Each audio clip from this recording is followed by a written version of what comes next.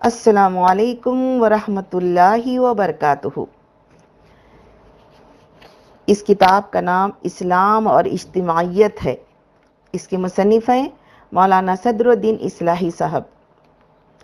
फहरिस्त मजामी सबसे पहले मुकदमा फिर उनवानात में इस्लाम में इज्तमाहीत का मुकाम, अहमियत की वजह, इस्लामी इज्तमाहीत इस्लामी इज्तमाहीत की हैत कामिला, मिली इंतशार के दीनी तकाज़े और गोशागिरी। ये उनवानात हैं। तो आइए हम किताब को पढ़ना शुरू करते हैं। बिस्मिल्लाहिर्रहमानिर्रहीम। रबिशरहली सदरी वयसरली अमरी वहलुलतम मिन लिसानी यफ़क़हु कौली। मुकदमा अमल का जवाल अगर ज़्यादा अरसे तक बाकी रह जाए तो वह सिर्फ़ अमल ही की जवाल नहीं रह जाता, बल्कि पहले जज्बात व एहसास का और फिर अफकार व तस्वुरात का भी जवाल बन जाता है।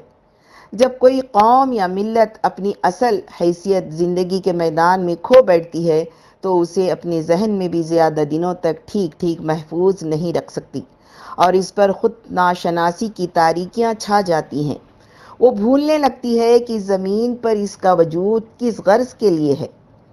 और इसको पूरा करने के लिए उसे कौन सा तर्ज फ़िक्र और तरीक़ार अपनाना चाहिए? मिलत इस्लामिया पर एक मुद्दत से यही नफसियाती अमल तारी है। अल्लाह ताला के भेजे हुए दीन को कायम करना और कायम रखना। सारी दुनिया के ऊपर हक का शाहिद और निगरान बनना मरूफ का हुक्म देना और मुनकर से रोकना और खैर कामिल की तरफ़ लोगों को बुलाते रहना। उसकी मनसबी ज़िम्मेदारी थी। यही इसके वजूद की कुल गायत थी और यही इसकी असल हैसियत थी। उसने एक वक्त तक इस ज़िम्मेदारी को इस तरह अंजाम दिया जिस तरह अंजाम देने का हक था। और सिर्फ़ इसी ने नहीं, बल्कि दूसरों ने भी सर की आँखों से देख लिया कि इस मिल्लत की गायत वजूद और इसकी असल हैसियत ये है।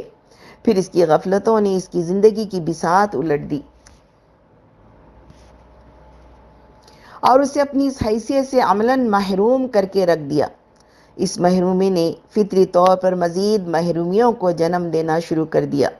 अब सूरत हाल ये है कि उसे अपना मकसद वजूद, अपने उसूल हयात और अपनी दीनी तस्वूरात लफ्ज़ों की हद तक तो ज़रूर याद रह गए हैं, मगर ये बावर करना बहुत मुश्किल है कि उनके मानी भी सही तौर पर उसे याद रह गए हैं। और अगर ये भी बावर कर लिया जाए तो कम अज़ कम ये तो किसी हाल में भी नहीं मानना जा सकता कि जज्बाती और फ़िक्री तौर पर भी उसके अंदर उनकी अहमियत का एहसास बाकी रह गया है। इन्हीं उसूल हयात और दीनी तसवरत में से एक अहम तरीन चीज़ उसके इज्तमाही किरदार और उसकी अपनी मखसूस तंजीम का मसला भी है, जो बज़ाहिर एक मसला है, लेकिन फ़िलवाक़ा मतद मसाइल का जाम है। और गलत न होगा, अगर उसे मिलत इस्लामिया की शहरक समझा जाए। इतने अहम मसले की हकीकत से, उसकी, उस, उसकी अहमियत से और उसके अमली मुतालबात से आम दिल व दिमाग अफसोसनाक हद तक बेगाना हो चुके हैं। इस बेगानगी का हाल ये है कि आज मिलत के चार चारा साजों का एक ग्रोह तो उसके तस्वर ही से परेशान हो उठता है। और दीन के इज्तमाही किरदार और मिलत की तंजीम को ज़माने का सबसे बड़ा कुफ्र समझता है। उसके नज़दीक लोग हर काम के लिए इकट्ठे हो सकते हैं। हर मकसद तंजीम की बुनियाद बन सकता है। हर मिशन और इज़्म की खातिर ग्रोह साजी की जा सकती है। लेकिन मुसलमान बहसीत मुसलमान और इस्लाम की खातिर हरगिज़ मनज़म नहीं हो सकते। दूसरे लोग अगर चह इस तरह नहीं सोचते और वो मुसलमानों के मुतहद हो जाने को अपनी महबूब तरीन तमन्ना समझते हैं। लेकिन मुसलमान मुतहद व मनज़म किस लिए हों? किस तरह हों? किन बुनियादों पर हों? और अगर न हो तो उसका हकीकी नुकसान क्या है? ये जानने और बताने वाले उनमें भी बहुत कम मिलेंगे। चुनाचा इस सिलसिले में कहने वाले जो कुछ कहते सुने जाते हैं, इससे बसा अवकात कलमत, कलमता हक के उरीद बिहल बातिल की याद ताज़ा हो जाती है। नाम तो मिलत इस्लामिया की तंजीम का लिया जाता है, मगर उसका मफहूम, उसकी गायत, उसका तरीक़ा, सब का सब उमूमन वो होता है जो इस्लामी से ज़्यादा गैर इस्लामी होता है। मुसलमान जिस चीज़ जिस मरकज़ पर और जिस तरह भी मुतहद हो जाएँ, वो उनके नज़दीक इस्लामी इतिहाद और मिली तंजीम है।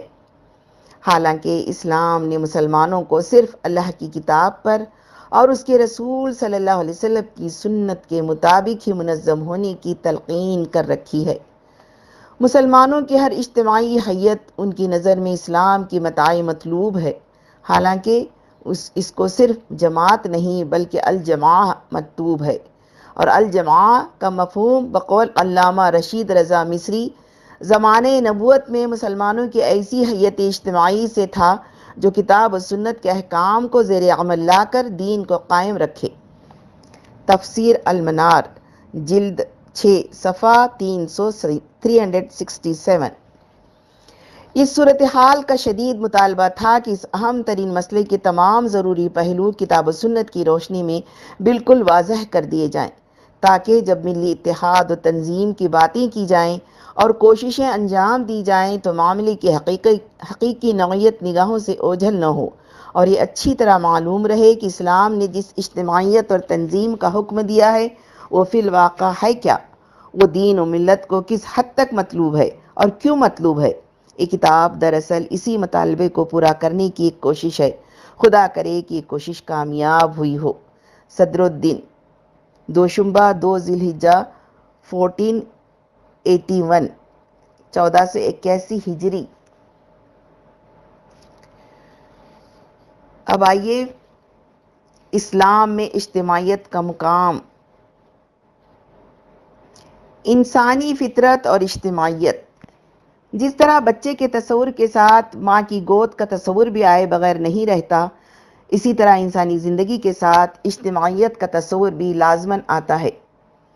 कोई ज़माना ऐसा नहीं पाया जाता जब इंसान इज्तमाहीत से अक्सर बेनियाज रहा हो।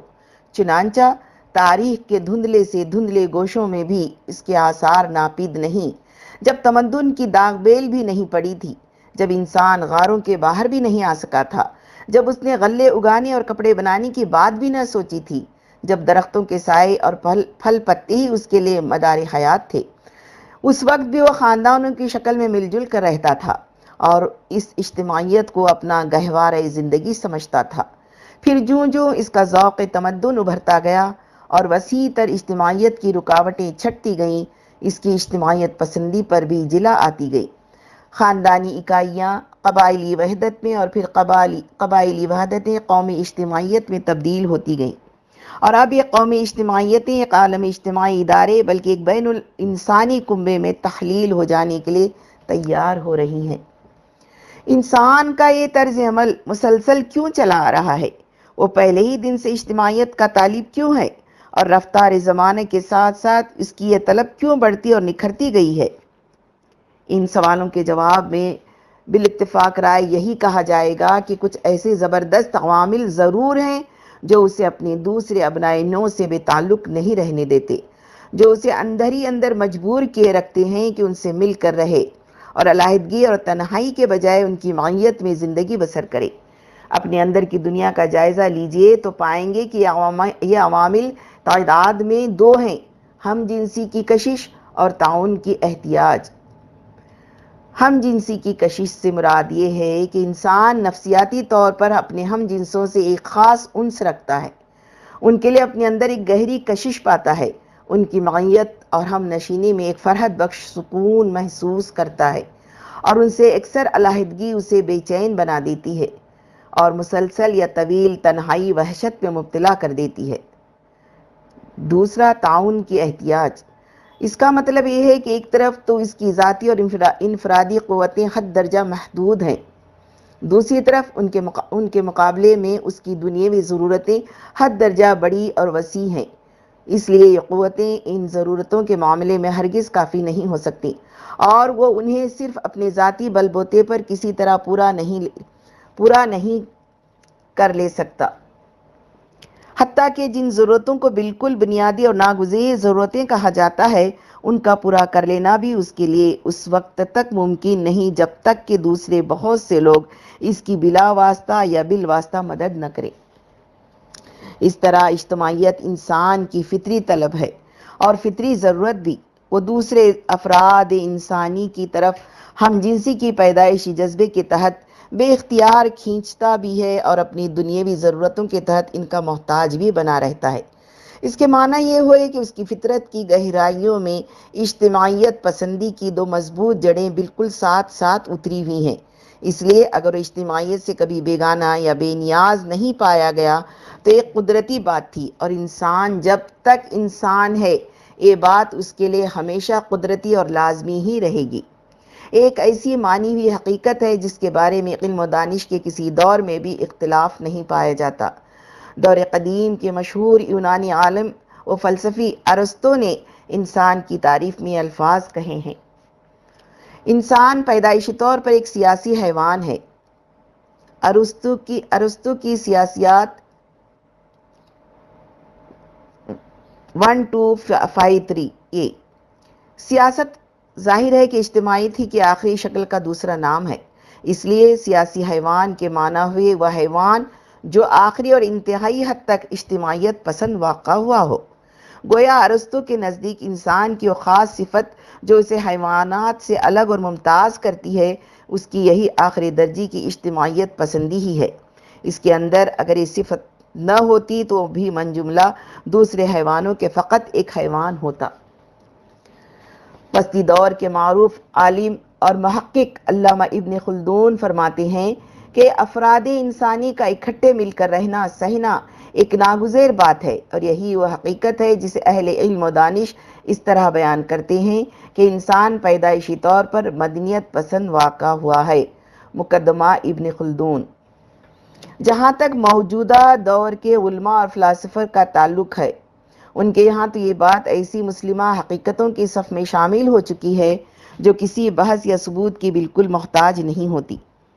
कुरान मजीद इल्मनफ्स या इल्मज्तमा की किताब नहीं कि इसमें इंसान के जज्ब इज्तमाहीत के मुतालिक कोई रास्त गुफ्तगु पाई जा सके, लेकिन इसके बावजूद अपने दायरे बहस में वो जो कुछ कहता है, उसके पीछे चूँकि दूसरी बहुत से इल्म हकीकतों की तरह इंसानी नफ्सियात के हक़ भी मलहूज रहते हैं जैसा कि मलहूज रहना चाहिए।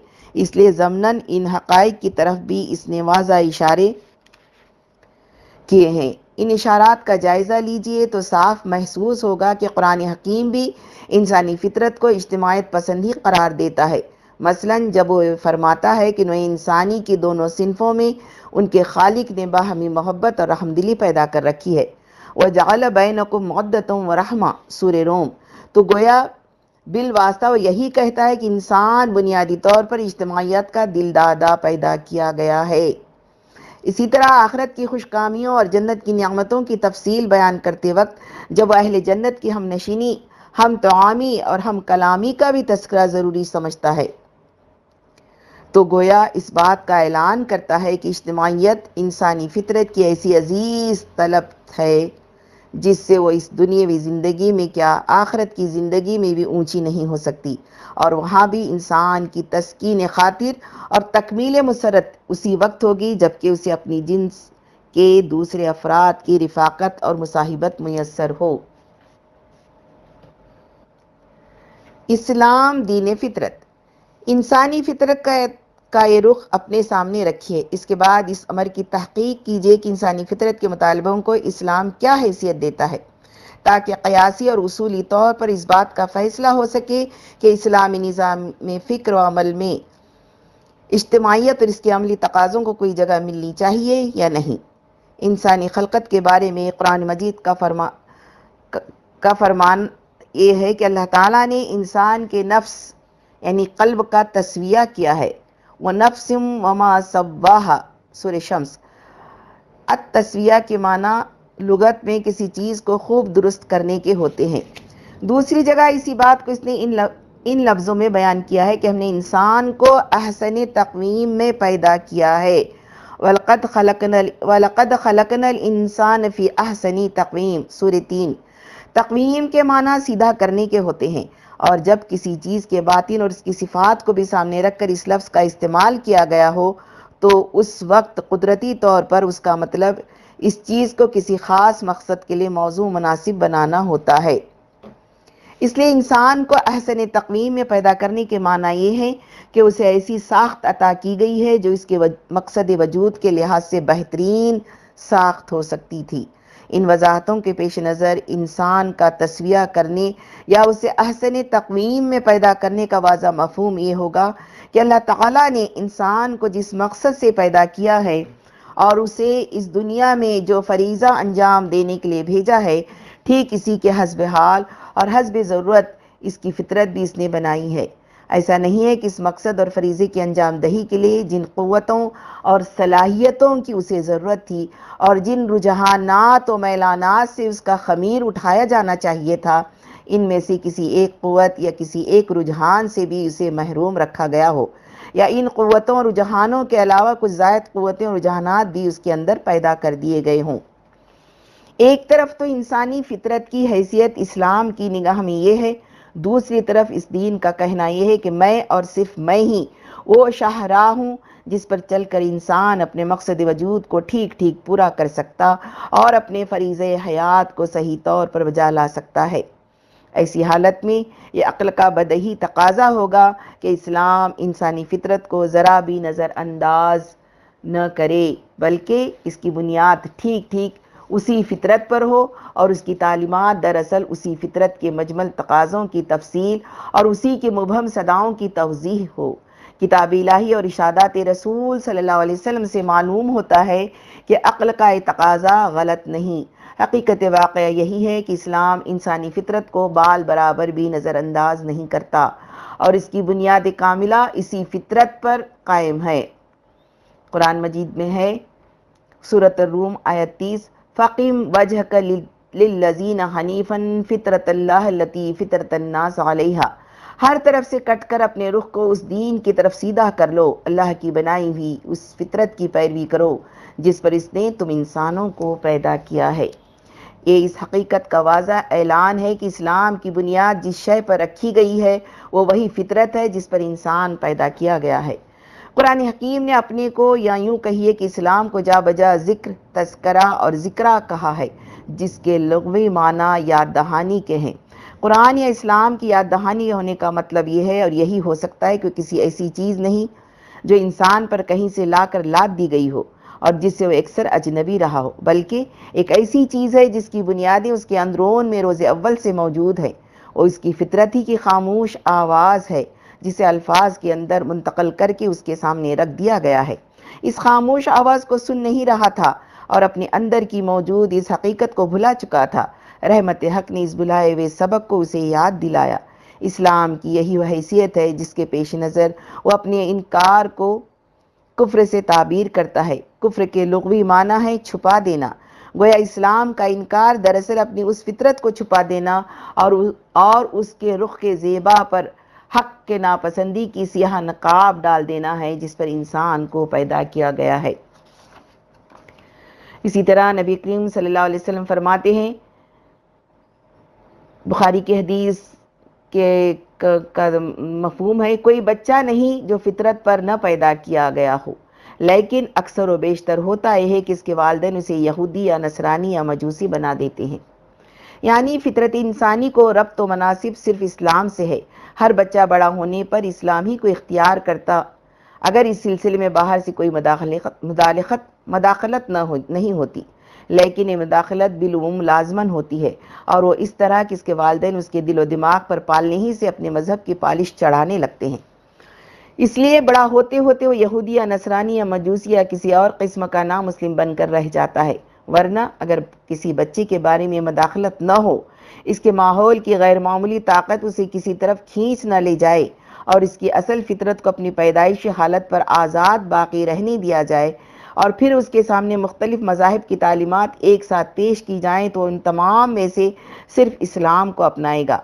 मजाहिब की इस मजमू में जब इसकी नज़र इस्लाम पर पड़ेगी तो इसकी तरफ़ इस तरह जा लपकेगा, जिस तरह एक बच्चा बहुत सी औरतों के दरमियान सिर्फ़ अपनी माँ की तरफ़ लपकता है। ऐसा इसलिए होगा कि हर दूसरा मज़हब इंसानी फितरत की शहरा से हटा हुआ है।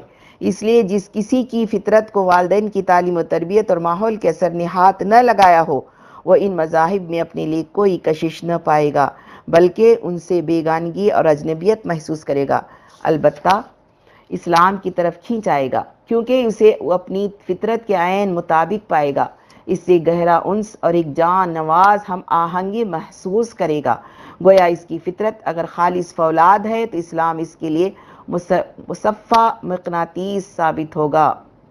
इन नसूस और दलाइल की रोशनी में इस हकीकत पर कोई पर्दा नहीं रह जाता कि इस्लाम फितरत का तर्जुमान है और इसकी बुनियाद इसी फितरत पर रखी गई है। चुनानचा हज़रत सल्लल्लाहु अलैहि वसल्लम ने ख़ुद भी इस बात की सराहत फरमा दी है कि वो फितरत जिस पर इंसान को अल्लाह ताला ने पैदा किया है, इसका यही दीन है। फितरत अल्लाह लती फतरत फितरत, फतरन्नास अलैहा। दीन फितरत होने का वाजा, तकाजा।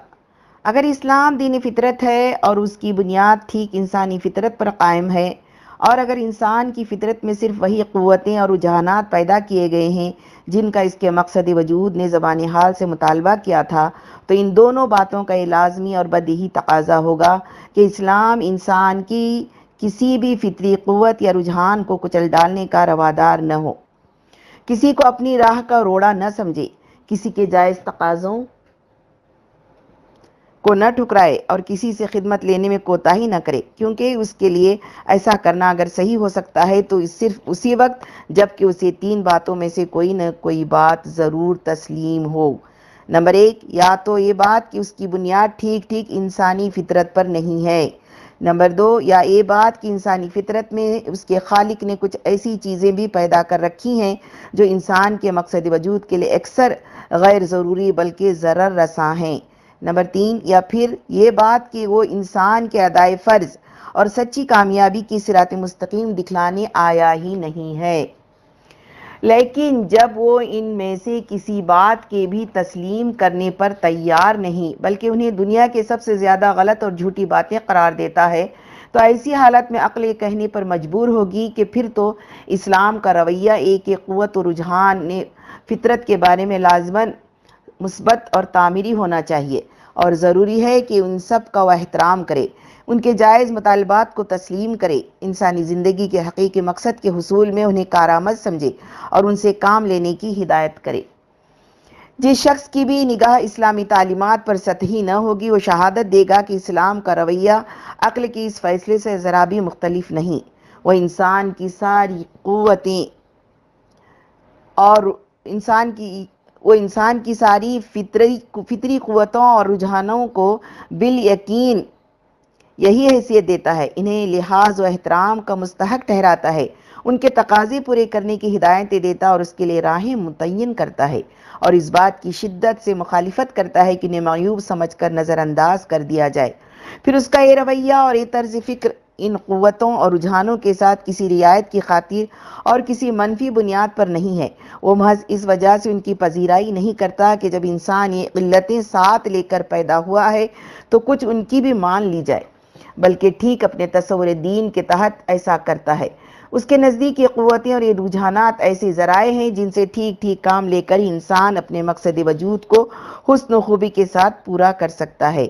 और इसीलिए वो इनके मुतालबात की सही बजावरी को दुनिया का नहीं, बल्कि दीन का काम और इबादत का फ़ेल करार देता है। मिसाल के तौर पर इंसान के अंदर खाने पीने की, जिस्मानी आराम और सुकून की बकाए नस्ल की, बीवी बच्चों की परवरिश और निगहदाश्त की, अहबाब की, खातिर मदारात की, फितरी ख्वाहिशें मौजूद हैं। इसी तरह गुस्सा, नफ़रत, सख्ती, जंग, शहवत, गवैयाई एहसास मुसरत और एहसास गम की क़वतें लेकर पैदा हुआ है। बज़ाहिर देखिए तो ये सारी चीज़ें दीन और दीनदारी के ज़ौक़ से कोई मैल नहीं खाती। बल्कि इनमें से बेशतर तो ऐसी हैं जो इसकी आइन ज़िद कही जाएँगी। मगर इस्लाम कहता है कि नहीं, ये सब इंसानी फितरत के जौहर हैं और इनमें से कोई चीज़ भी बेकीमत या बिला ज़रूरत नहीं। इंसान पर जिस तरह इसके खालिक और परवरदिगार के हकूक़ हैं, उसी तरह उसके अपने नफ्स के, अपने जिस्म के, अपनी आँखों के, अपने अहल वयाल के और अपने अहबाब के भी हकूक़ हैं। और ज़रूरी है कि इन सारे हकूक़ को अदा किया जाए।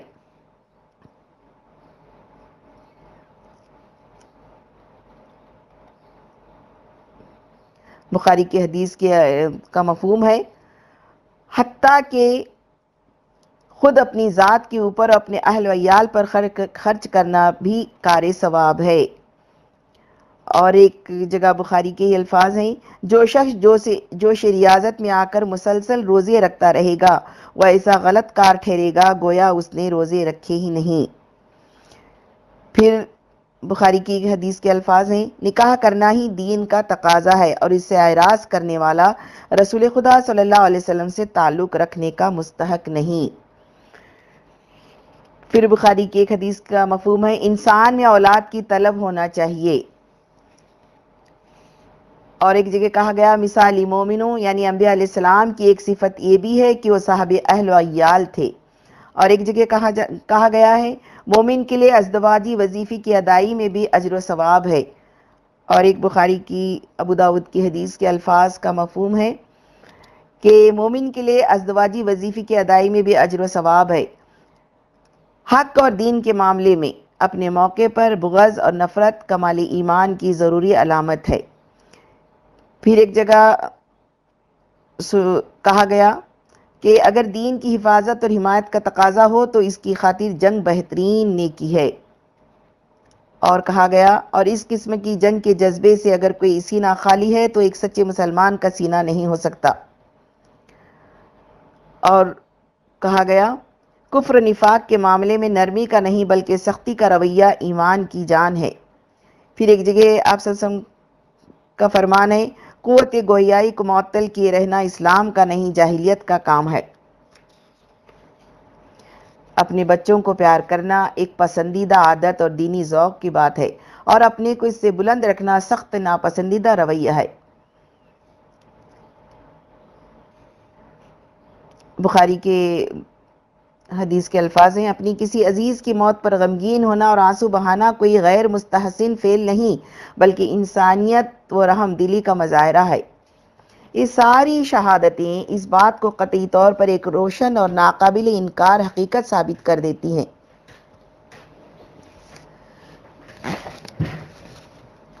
कि इस्लाम फितरी क़वतों और मैलानों को मायूब करार नहीं देता, बल्कि मायूब इस बात को करार देता है कि उन्हें अच्छी नज़रों से न देखा जाए, उन्हें ठुकराया जाए और उनकी हरकत में आने को दीनदारी के ख़िलाफ़ समझा जाए। वो इसी खालिक हकीम की तरफ़ से आया हुआ दीन है, जिसने इंसान को और इसकी सारी फितरी क़वतों को खल किया है। इसलिए इसके लिए किसी तरह मुमकिन था ही नहीं कि वह इनमें से किसी एक क़वत को भी फजूल और बेकार करार देता। दीन अल्लाह दीनुल्लाह और दीन फितरत होने की हैसियत से बुनियादी तौर पर उसका तो मकसद वजूद ही होना चाहिए कि इंसान की फितरी क़वतों और रुझानों से काम लेने में उसकी रहनुमाई करे। उसे इनके गलत इस्तेमाल से रोके और सही इस्तेमाल के तरीके बताए। न सिर्फ़ तरीके बताए बल्कि उसकी तल, तलकीन भी करे। और सच पूछे तो यही वह सबसे बड़ी मखसूस सिफत है जो दीनुल्लाह को दूसरे दिनों से और इस्लाम को गैर इस्लाम से मुमताज़ करती है।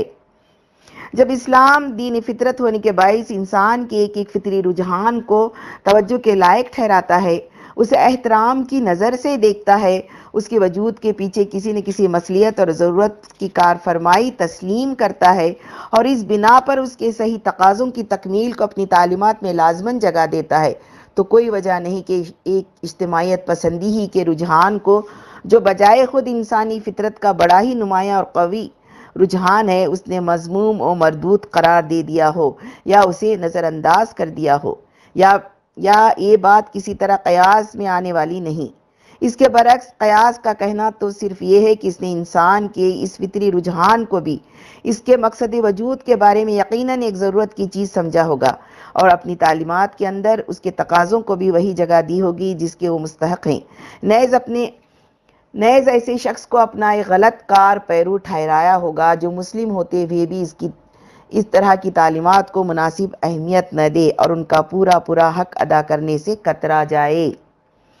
और अगर अमर वाकई यही, ये नहीं है अगर इसने इज्तमाहीत के बारे में ये रवैया इख्तियार नहीं किया है तो कोई शक नहीं कि अक्ल इंसाफ की अदालत इस पर बेवसूली और तजाद पसंदी का शदीद इल्ज़ाम लगाएगी।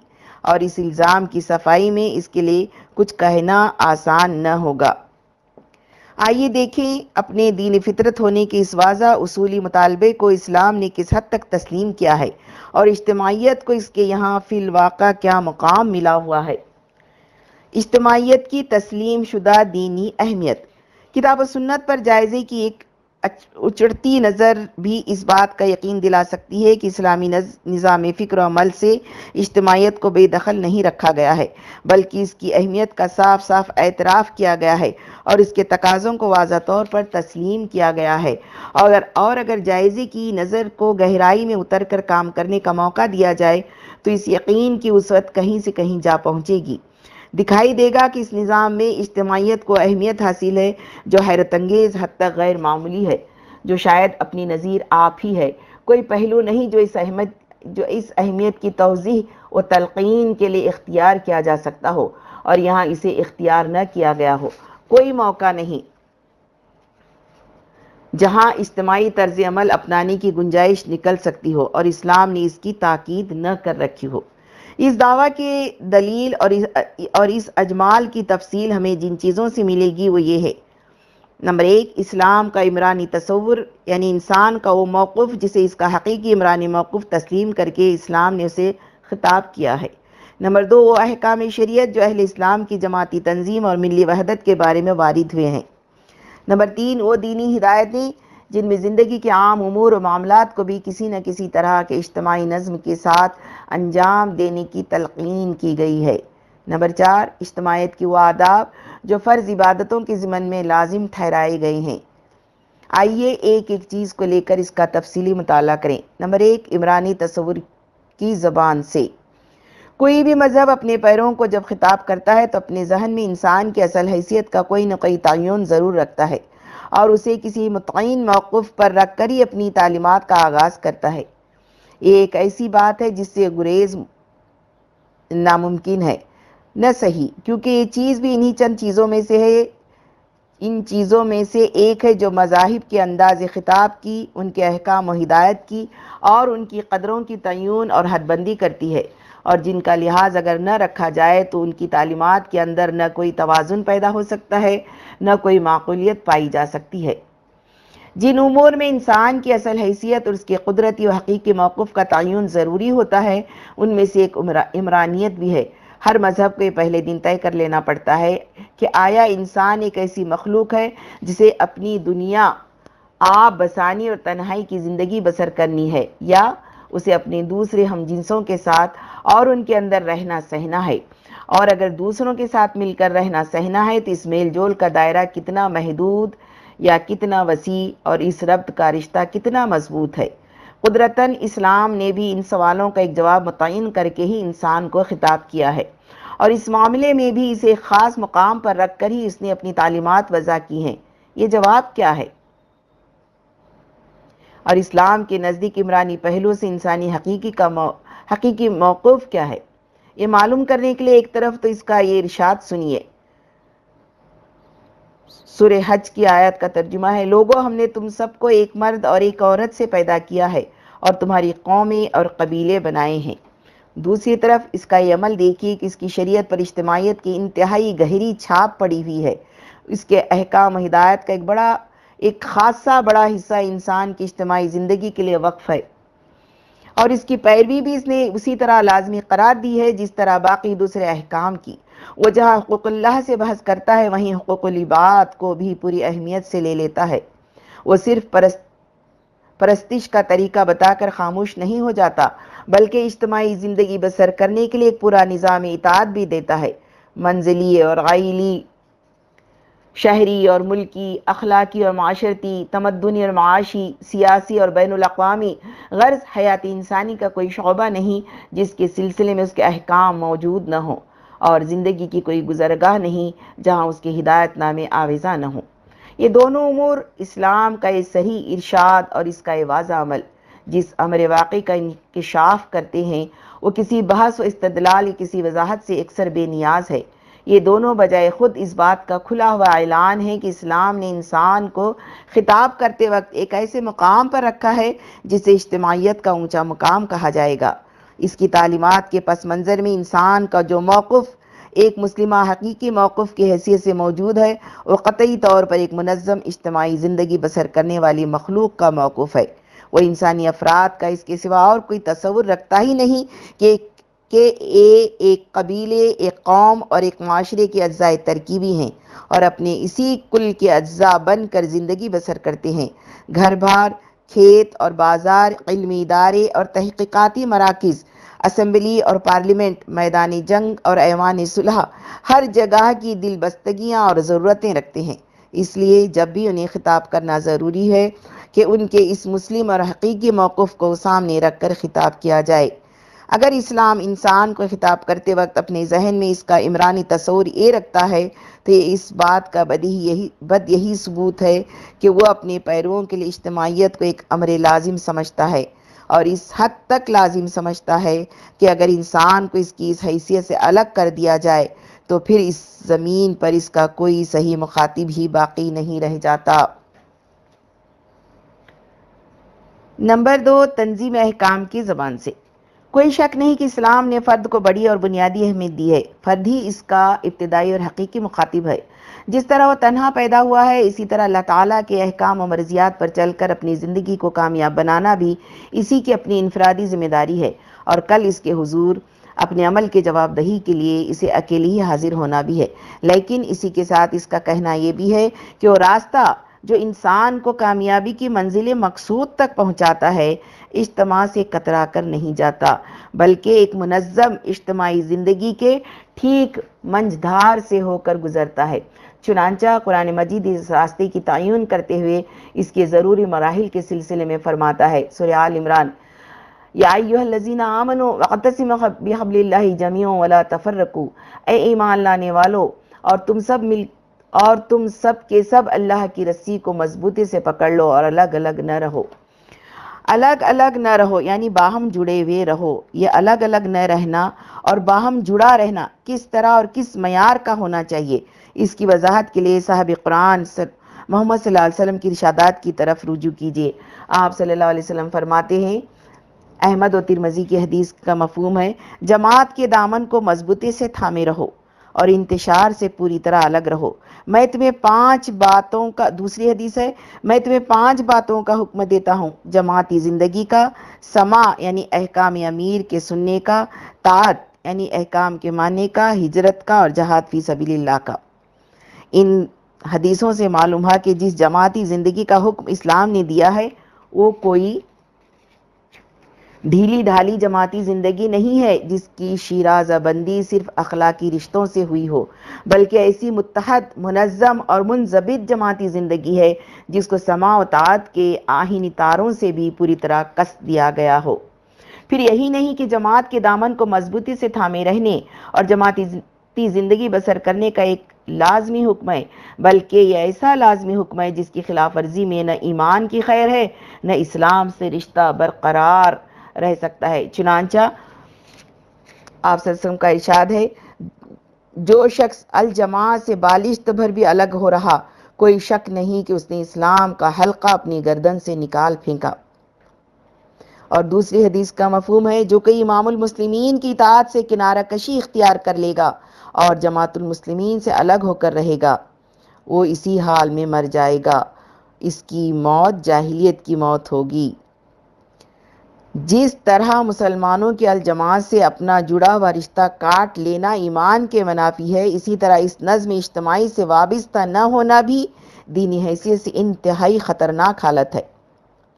मुस्लिम की हदीस है, जो शख्स इस हाल में मर जाए कि इसकी गर्दन में इमाम मुस्लिमीन की बैत का कलादा न हो, इसकी मौत जाहिलियत की मौत होगी।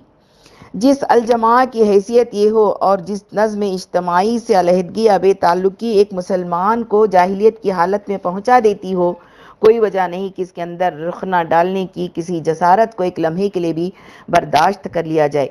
चुनाचा इस बारे में आप सल्लल्लाहु अलैहि वसल्लम की हिदायत है, मुस्लिम की हदीस है, जो शख्स इस जमात को जबकि मुतहद हो, परागंदा करना चाहे, उसे बदरज आखिर तलवार पर रख लो, ख्वाह वो कोई भी हो। दूसरी तरफ़ कुदरती तौर पर इन लोगों का अजर और मरतबा काबिल रश्क हद तक अजीम करार दिया गया है, जो इस नज़म इज्तमाही की अमली शक्ल, इस्लामी ममलिकत की हिफाजत और सालमियत के लिए जाबाजिया दिखाए। फरमाया गया, मुस्लिम के हदीस का मफहूम है, एक शब रोज़ की सरहदों की हिफाजत, एक महीने के मुसलसल रोज़ों और नमाजों से भी अफजल है। और अगर इसी दौरान किसी के वफात हो जाए तो इसका वो अमल नेक जिसे वो अपनी ज़िंदगी में अंजाम दिया करता था। बराबर अंजाम पाता हुआ शुमार किया जाएगा और उसे उसका रिस्क मिलता रहेगा। नैज़ व फितने में डालने वालों से मामून रहेगा। और दूसरी हदीस है, दो आँखों को दोजख की आग न छू सकेगी। एक वो जो खौफ खुदा से रो पड़ी हो, दूसरी वो जिसने रजा इलाही की खातिर सरहदों की निगरानी करते हुए रात गुजार दी हो। इसी तरह इस नज्म की तात को ईमान की एक ज़रूरी अलामत बताया गया और असहाब अम्र की फरमाबरदारी को अल्लाह और अल्लाह के रसूल सल्लल्लाहु अलैहि वसल्लम की फरमाबरदारी करार दिया गया है। नबी करीम सल्लल्लाहु अलैहि वसल्लम फरमाते हैं, मुस्लिम की हदीस है, जिसने अमीर की फरमाबरदारी की, उसने मेरी फरमाबरदारी की। जिसने अमीर की नाफरमानी की, उसने मेरी नाफरमानी की। इतात अमीर के लिए इस फरीज़े को इम्कान की आखिरी हद तक अंजाम देने की ताक़ीद की गई है। यहाँ तक कि उन उम्र की भी बैत और इतात से किनारा कशी की इजाज़त नहीं है, जो बुराइयों में लथपथ हो रहे हों और जिनके हाथों रियाया की पीठें ज़ख्मों से चूर चूर हो जाती हों। हालाँकि ये वो हरकतें हैं जो इस्लाम की निगाह में इंतहाई हद तक मबूज हैं, लेकिन इसके बावजूद वो अपने पीरों से कहता है कि सब्र से इन मजालिम को बर्दाश्त किए जाओ और इनकी अमारत को चैलेंज न करो, बल्कि मरूफ में उनकी बराबर इतात करते रहो। इस मामले में ऐसी गैर मामूली चश्मपोशी की पॉलिसी इसने क्यों अख्तियार की है? और ालिम फासिक उम्र के बारे में ऐसे इंतहाई सब्र इनकियात का इसने मुसलमानों को क्यों हुक्म दिया है? महज इसलिए ताकि मिलत की इज्तमाहीत महफूज रहे और मुसलमानों का इतिहाद इंतशार की नज़र न होने पाए। इमाम नूदी रहमत इस तरह की हदीसों पर गुफ्तु करते हुए फरमाते हैं कि ये हदीसें इस अमर की ताकीद के बारे में वारिद हुई हैं कि उलूल अमर के अहकाम हर हाल में सुने और माने जाएँ और उनका मकसद ये है कि मुसलमानों का इतिहाद बरकरार रहे, क्योंकि इख्तलाफ इनके लिए दीनी और दुनियावी दोनों किस्म की खराबी अहवाल का मौजूद है। ये इन ये इन अहकाम का एक मुजमल खलास, खुलासा है जो इज्तमाही नज्म और मिली इतिहाद के बारे में इस्लाम ने अपने पैरों को दे रखे हैं। अगर सिर्फ़ इन्हीं चंद इर्शादात को गौर से देख लिया जाए तो इज्तमाहीत की कदर व अहमियत जो इस इस्लाम में हासिल है, बड़ी हद तक बेहिजाब नज़र आ जाएगी। किताब सुन्नत की रूह से अगर तमाम अहल ईमान का एक ख़ास शिराज हबल्लाह में बंधा रहना और तफक्र और तफर्रुक से दूर रहना ज़रूरी है। अगर मुसलमानों पर निज़ाम खिलाफत का कायम करना वाजिब है, अगर इमामुलमसलिमीन की तात अल्लाह रसूल अलैहि वसल्लम की तात है, अगर जमातुलमसलिमीन से बालिश भर की अलाहदगी भी मोमिन की गर्दन को इस्लाम के हल्के से महरूम कर देती है अगर इमाम की बैत से बेनियाज मर जाना, जाहिलियत की मौत मर जाना है। अगर अल जमात के इतिहाद में रुखने डालने वाले के खून की कोई कीमत नहीं, और अगर मिलत के इज्तमाही निज़ाम, इस्लामी ममलिकत की हिफाजत से बड़ी कोई इबादत नहीं तो सोचिए वो कौन सा मुकाम है जो इज्तमाहीत को मिलना चाहिए था, लेकिन इस्लाम में उसे नहीं मिला। किताब इज्तमाहीत और इज्तमाही निज़ाम ज़िंदगी से। नंबर तीन, आम इज्तमाही हिदायत की ज़बान से। इज्तमाहीत और इज्तमाही निज़ाम ज़िंदगी के अल्फाज जब बोले जाते हैं तो आम तौर से उनका ऊँचे से ऊँचा और वसी से वसी मफहूम भी एक बाबा निज़ाम हुकूमत के क़्याम से ज़्यादा नहीं होता। गोया आम माशरों की हद तक यही इज्तमाहीत का मैार मतलूब और मुंतहा कमाल समझा जाता है। और हुकूमत के दायरे अमल व असर से बाहर की बाकी पूरी ज़िंदगी इज्तमाहीत के बहस से अक्सर आज़ाद और बेतल्लुक़ ख्याल की जाती है। लेकिन इस्लाम इस आम नुक़ नज़र से इतफ़ाक़ न करते हुए आगे बढ़ता है और अपने पैरों को हुकूमती दायरे अमल व असर से बाहर की ज़िंदगी भी किसी न किसी तरह की इज्तमाही नज़म के साथ ही बसर करने की तलकीन करता है। इस सिलसिले में इसने जो हिदायत दी हैं उनका एक तरतीब से मुताल कीजिए। नंबर एक, हज़रत अब्दुल्ला बिन उमर रज़ी तु से रिवायत है कि नबी करीम सल्लल्लाहु अलैहि वसल्लम ने फरमाया, ऐसी तीन आदमियों के लिए जो किसी बयाबान में हूँ, जायज़ सिर्फ़ ये बात है कि वो अपने में से एक को अपना अमीर बना कर रहें। ये इर्शादात नबी कहते हैं कि अगर तीन मुसलमान भी किसी जगह हों हती कि अगर वो किसी अलग थलग मुकाम और सुनसान बयाबान ही में क्यों ना आबाद हों तो भी ज़रूरी है कि इनमें से एक उनका अमीर हो और बाकी दो इसके मामूर व मातहत हों। इस इज्तमाहीत और तंजीम के, बल्कि यूँ कहिए कि इस नन्हे से रियासती नज़म के बगैर उनकी ज़िंदगी, इस्लामी ज़िंदगी न होगी। नंबर दो, हज़रत अबू सईद खुदरी रज़ी अल्लाह तु बयान करते हैं कि हुजूर सल्लल्लाहु अलैहि वसल्लम ने फरमाया, अबू दाऊद की हदीस है, जब तुम में से तीन आदमी भी सफ़र के लिए निकले तो चाहिए कि एक को अपना अमीर बना लें। यानी मुसलमान के लिए हिदायत यह है कि मुद्दत सफ़र जैसा आर्जी वक्त भी नज़म उम्र के बग़ैर न गुजारे। अगर तीन अशखास भी एक साथ सफ़र कर रहे हों तो मिजाज इस्लामी के सरासर खिलाफ होगा। अगर उन्होंने अपने में से एक को अपना अमीर सफ़र न बना लिया हो और इसकी सरकर्दगी में वो ये सफ़र न कर रहे हों। नंबर तीन, हज़रत अभी अबू सलबा खशनी रज़ी तु कहते हैं कि लोगों की आदत थी कि सफ़र के दौरान जब कहीं पड़ाव डालते तो इधर उधर फैल जाते और अपनी अपनी पसंद की मुख्तलफ, मुख्तलिफ़ जगहें ठहरने के लिए मंतखब कर लेते। नबी करीम सल्लल्लाहु अलैहि वसल्लम ने एक बार ये सूरत हाल देखी तो सर जनिश करते हुए फरमाया, अबू दाऊद की हदीस है, तुम्हारा इस तरह मुख्तलिफ़ घाटियों और मैदानों में मुंतशिर हो रहना सिर्फ़ शैतान की वजह से है। इस तंबिया का नतीजा ये हुआ कि लोग फिर कभी इस तरह मुंतशिर न हुए और जब किसी जगह पड़ाव डालते तो एक दूसरे से बिल्कुल लग कर ठहरते। हती के ख्याल होता, अगर उन्हें ढका जाए तो एक ही कपड़े के नीचे सब आ जाएँगे। मालूम हुआ कि बगैर किसी जमाती नज्म के पूरा सफ़र कर डालना तो दरकिनार उसके दौरान चंद घंटों का कोई पड़ाव भी अगर अपने तौर पर कर लिया जाए और इतनी सी देर की भी ज़िंदगी शान इज्तमाहीत से आरास्ता दिखाई ना दे सके तो ये बात भी इस्लाम को कतई गवारा नहीं, और उसे वो शैतान की पैरवी करार देता है। नंबर चार, एक सहाबी किसी घाटी से गुजर रहे थे, वहाँ उन्हें मीठे पानी का एक चश्मा नज़र आया, जिसने उन्हें अपना गुरवेदा बना लिया। दिल ने कहा, काश मैं आबादी को छोड़कर यहीं आ बसता इस ख्वाहिश को लेकर नबी सल्लल्लाहु अलैहि वसल्लम के हुजूर पहुँचे, और इजाज़त तलब की तो आप सल्लल्लाहु अलैहि वसल्लम ने फरमाया, नहीं ऐसा न करो, क्योंकि अल्लाह की राह में तुम्हारा खड़ा रहना घर के अंदर पड़ी जाने वाली तुम्हारी सत्तर बरस की नमाजों से भी अफसल है। यह हदीस इस हकीकत की अक्कास है कि इज्तमाही ज़िंदगी को छोड़कर तन्हाई की ज़िंदगी गुजारने में जो, में चाहे जो भी दीनी और दुनियावी फ़ायदे नज़र आते हों, लेकिन इस्लाम अपने पैरों को उधर जाने और इज्तम से कट कर रहने की इजाज़त नहीं देता। क्योंकि ये दीनी और दुनियावी फ़वाद ख्वाह कितने ही अजीम क्यों न हों। मगर इन फ़ायदों के मुकाबले में बिल्कुल हेच हैं जो एक मनज़म इस्लामी माशरे के अंदर एक मुसल, एक मुसलमान को हासिल हो सकते हैं।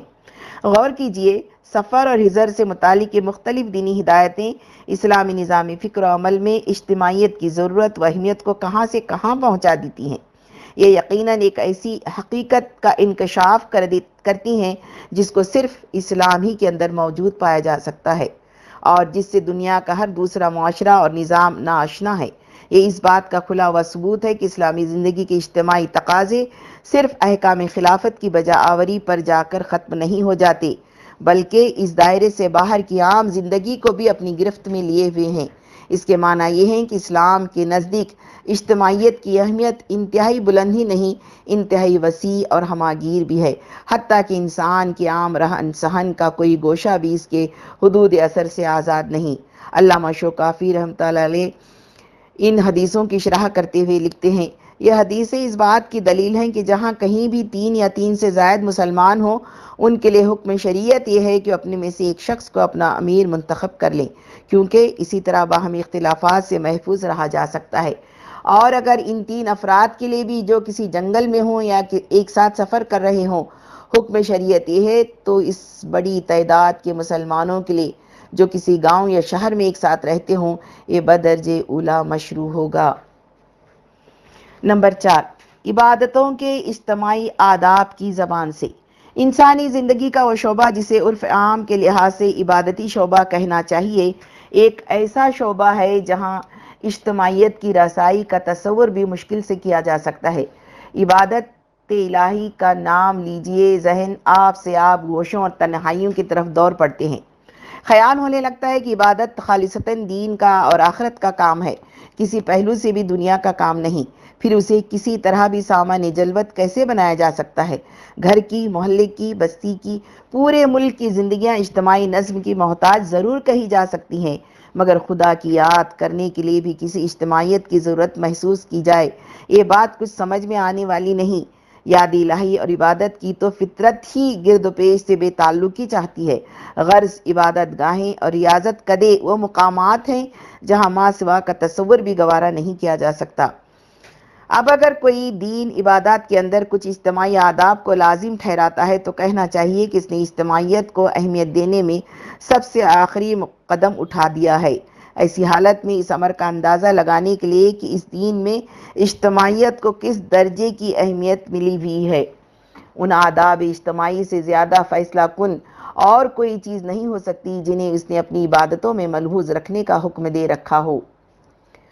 ये आदाब शुमार में जितने ही ज़्यादा होंगे और उन्हें जितना ही ज़्यादा ज़रूरी ठहराया गया होगा, कोई शक नहीं कि इस दीन में इज्तमाहीत का हासिल शुदा मुकाम इतना ही ऊँचा करार पाएगा। जहाँ तक इस्लाम का ताल्लुक है, बिल यकीन वो एक ऐसा ही दीन है जिसकी इबादतों में इज्तमाही आदाब समोए हुए हैं। किस हद तक और किस अहमियत के साथ समोए हुए हैं? इस अमर का तफसीली जायज़ा जेल के सत्रों में मुलाहजा कीजिए। नंबर एक, नमाज़। इस सिलसिले में हमें कुदरती तौर पर सबसे पहले नमाज़ को लेना चाहिए, क्योंकि सारी इबादतों में वो सबसे बड़ी इबादत है। पूरे दीन का मगज़ और बंदगी का सरचश्मा है और उसे इस्लाम का शाह सुतून, यानी इमादुद्दीन फरमाया गया है। इस इबादत को जिन शरात और आदाब के साथ अदा करने का हुक्म दिया गया है, उनमें ये उमूर भी शामिल हैं। अलीफ, नमाज़ अदा करते वक्त हर मुसलमान का रुख एक ही ख़ास मकाम, यानी काबा की तरफ़ होना चाहिए। किसी का किसी का मुसलमान तस्लीम किया जाना मौकूफ़ है इस बात पर कि वो काबा ही की तरफ़ मुँह करके नमाज़ पढ़े। एक ही ख़ास मुकाम की तरफ़ रुख करने का ऐसा ताकीदी हुक्म इस हकीकत के बावजूद है कि नमाज़ जिस अल्लाह की याद का नाम है वो हर जगह और हर तरफ़ है। किसी ख़ास जगह या किसी ख़ास सिमत में महदूद नहीं है, जैसा कि ख़ुद कुरान ने इसका ऐलान किया है और वाजा तरीन लफ्ज़ों में किया है। सूर्य बकरा में कहा गया है, बे, फ़र्ज़ नमाज़ों को, इन फ़र्ज़ों, इन फ़र्ज़ नमाज़ों को जो तमाम नमाज़ों के दरमियान फिल वाक़ा हैं इकट्ठे मिलकर अदा करने की ताकीद फरमाई गई है और नमाज़ बाजमात का सवाब इस नमाज़ के मुकाबले में सत्ताईस गुना बताया गया है जो अकेले पढ़ ली गई हो। बुखारी। नमाज़ की बाजमात अदायगी जिस हद तक ज़रूरी है, इसका अंदाज़ा सिर्फ़ इसी एक बात से लगाया जा सकता है कि नबी करम सल्लल्लाहु अलैहि वसल्लम ने कुछ लोगों के बारे में जो किसी उज़्र के बग़ैर नमाज़ बाजमात से गैर हाजिर थे, फरमाया, मेरा इरादा होता है कि किसी को अपनी जगह नमाज़ पढ़ाने के लिए मुकर कर दूँ। फिर उन लोगों के पास जाऊँ जो जो नमाज़ बाजमात में हाजिर नहीं होते और हुक्म दूँ के लकड़ियों के गट्ठर डालकर उनके समेत उनके घरों को फूंक दिया जाए। मुस्लिम। ये इस नबी के, ये इस नबी के अल्फाज हैं जो रहम शफ़क़त का पैकर था।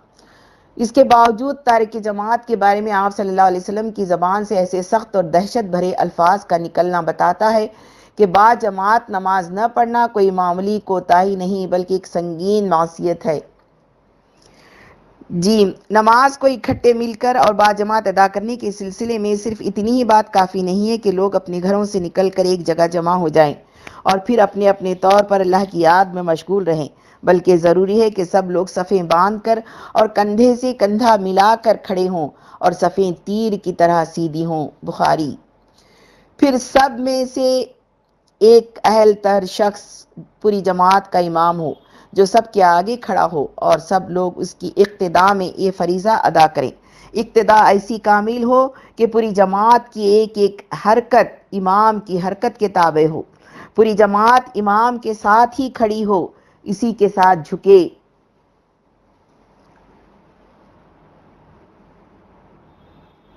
उसी के साथ सजदे में जाए, उसी के साथ कादा करे जिस वक्त तो करात कर रहा हो, पूरी खामोशी और एक सुई के साथ उसकी समात करे। नमाज़ की अदायगी में अगर वो किसी भूल चुक का मरतकब हो रहा हो तो भी उसकी इकतदा से अलहदगी इख्तियार कर लेने की कोई गुंजाइश नहीं है। बस सुबह अल्लाह कहकर उसे इस गलती पर मुतनबा कर दिया जाए। ये दोनों बातें सफ़बंदी और इमाम की पैरवी महज फ़जाइल नमाज़ का मरतबा नहीं रखती, बल्कि वो नमाज़ बाजमात की शर्तों में दाखिल हैं। इनमें अगर नुक्स रहा तो ये नुक्स नमाज़ को भी नाकिस, बल्कि बेसूद बनाकर रख देता है। और इससे सिर्फ़ आखिरत ही नहीं, दुनिया की ज़िंदगी भी तबाहियों के ख़तरात में घिर जाती है। एक शख्स का सीना सबसे ज़रा बाहर निकला हुआ था, रसूलुल्लाह सल्लल्लाहु ने तंबिया फरमाई। अल्लाह के बंदो, अपनी सफ़ों को ज़रूर ही दुरुस्त और सीधी रखो, वरना अल्लाह तुम्हारी रुख एक दूसरे से खिलाफ कर देगा, मुस्लिम। एक और मौके पर आप सल्लल्लाहु अलैहि वसल्लम ने फरमाया, जो शख्स नमाज़ की किसी सफ़ को जोड़ेगा, उसे अल्लाह जोड़ेगा और जिस, जो किसी सफ़ को काटेगा, अल्लाह उसे काट देगा। अबू दाऊद। इसी तरह इमाम की इक्तदा के सिलसिले में आप सल्लल्लाहु अलैहि वसल्लम का इशाद है कि जब तुम में से कोई शख्स इमाम से पहले ही मसलन रुकू से अपना सर उठा लेता है तो क्या उसे उस वक्त, उस उस बात का डर नहीं रहता कि अल्लाह ताला इसके सर को गधे का सर बना देगा, मुस्लिम? नंबर पाँच, नमाज़ को जमात के साथ दाल, नमाज़ को जमात के साथ और एक इमाम की इब्तदा में अदा करने का हुक्म आम ज़ाहिर है कि मोहल्लावारी नौीयत का है। यानी इस हुक्म का मंशा यह है कि बस्ती के हर मोहल्ले के लोग अपनी पाँचों फ़र्ज़ नमाजें अपने मोहल्ले की मस्जिद में बाजमात अदा करें। लेकिन इस सिलसिले में शरीयत इस पर बस नहीं करती, बल्कि अभी और आगे जाती है और हिदायत देती है कि हफ़्ते में एक नमाज़ इस तरह पढ़ी जाए कि बस्ती के तमाम बाशिंदे एक ही मस्जिद में इकट्ठे हो जाएँ और पूरी बस्ती एक जगह, एक इमाम के पीछे एक साथ अपने रब के हुजूर झुके। ये जुमा की नमाज़ है। इस नमाज़ की अजमत और अहमियत सुर जुमा का नज़म कलाम ये बताता है कि उम्मत मुस्लिमा अपना फ़र्ज़ मनसबी उसी वक्त ठीक ठीक अदा कर सकती है जबकि उसका तर्ज फ़िक्र अमल अपनी हकीकी शान के साथ बाकी हो और इस तर्ज फ़िक्र अमल का अपना हकीकी शान के साथ बाकी रहना जिन बातों पर मौकूफ़ है, इनमें से एक नमाजी जुमा की इकामत है। अगर मुसलमानों ने इस नमाज़ का हक ना अदा किया तो भी इस, इसी कानून खुदाबंदी की जद में आ सकते हैं, जिसकी जद में आकर पिछली मिलतें खसूस मिलत यहूद, ज़िल्लत की मौत मर चुकी है। ऐसी कुछ ऐसी ही हिदायत और तंबिया नबी करीम सल्लल्लाहु अलैहि वसल्लम ने भी फरमाई है। आप सल्लल्लाहु अलैहि वसल्लम का सरीह इरशाद है कि लोगों को जुमा की नमाज़ छोड़ने से बाज ही आ जाना चाहिए वरना ऐसा ज़रूर होगा कि अल्लाह ताला उनके दिलों पर मोहर कर देगा और फिर वो हक से गाफिल होकर रह जाएँगे मुस्लिम। है नमाज़ में जो कुछ पढ़ने की तलकीन की गई है, इसमें कसरत से जमा के सेगे इस्तेमाल किए गए हैं। मसलन ईया के नकबदू खुदाया, हम तेरी ही बंदगी करते हैं। ईया का नस्ताइन हम तुझी से मदद मांगते हैं। एह दिन सिरातलमस्तकीम हमें सीधी राह पर चला। रबना लकल हम ए हमारे परवरदिगार, हमद तेरे ही लिए है। अस्सलाम वाला इबादुल्लाहिन सलामती हो हम सब पर और अल्लाह के सारे नेकुकार बंदों पर वगैरह। इसका साफ़ मतलब ये है कि नमाज़ अदा करते वक्त लोगों को जिस तरह ज़ाहरी तौर पर इकट्ठे और सफ बस्ता होकर रहने की हिदायत है, इसी तरह जहनी तौर पर भी बाहमी वहदत और एगानगी का एहसास रखने का हुक्म है। ये उमूर ऐसे हैं जिनके बगैर नमाज़ नमाज़ होती ही नहीं।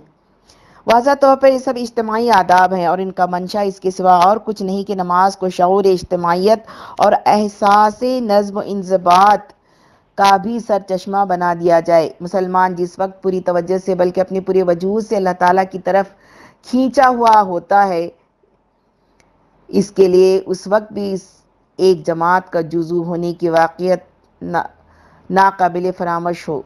वो हुजूरी के इन मखसूस तरीन लम्हात में भी अपने को ऐसा मुस्तकिल और बेहमा फ़र्द न तस्वुर करे, जो अपने फ़रज़ अपने मकसद हयात और अपने मफादात के लिहाज से दूसरे तमाम अहल ईमान से बिल्कुल अलग थलग हो।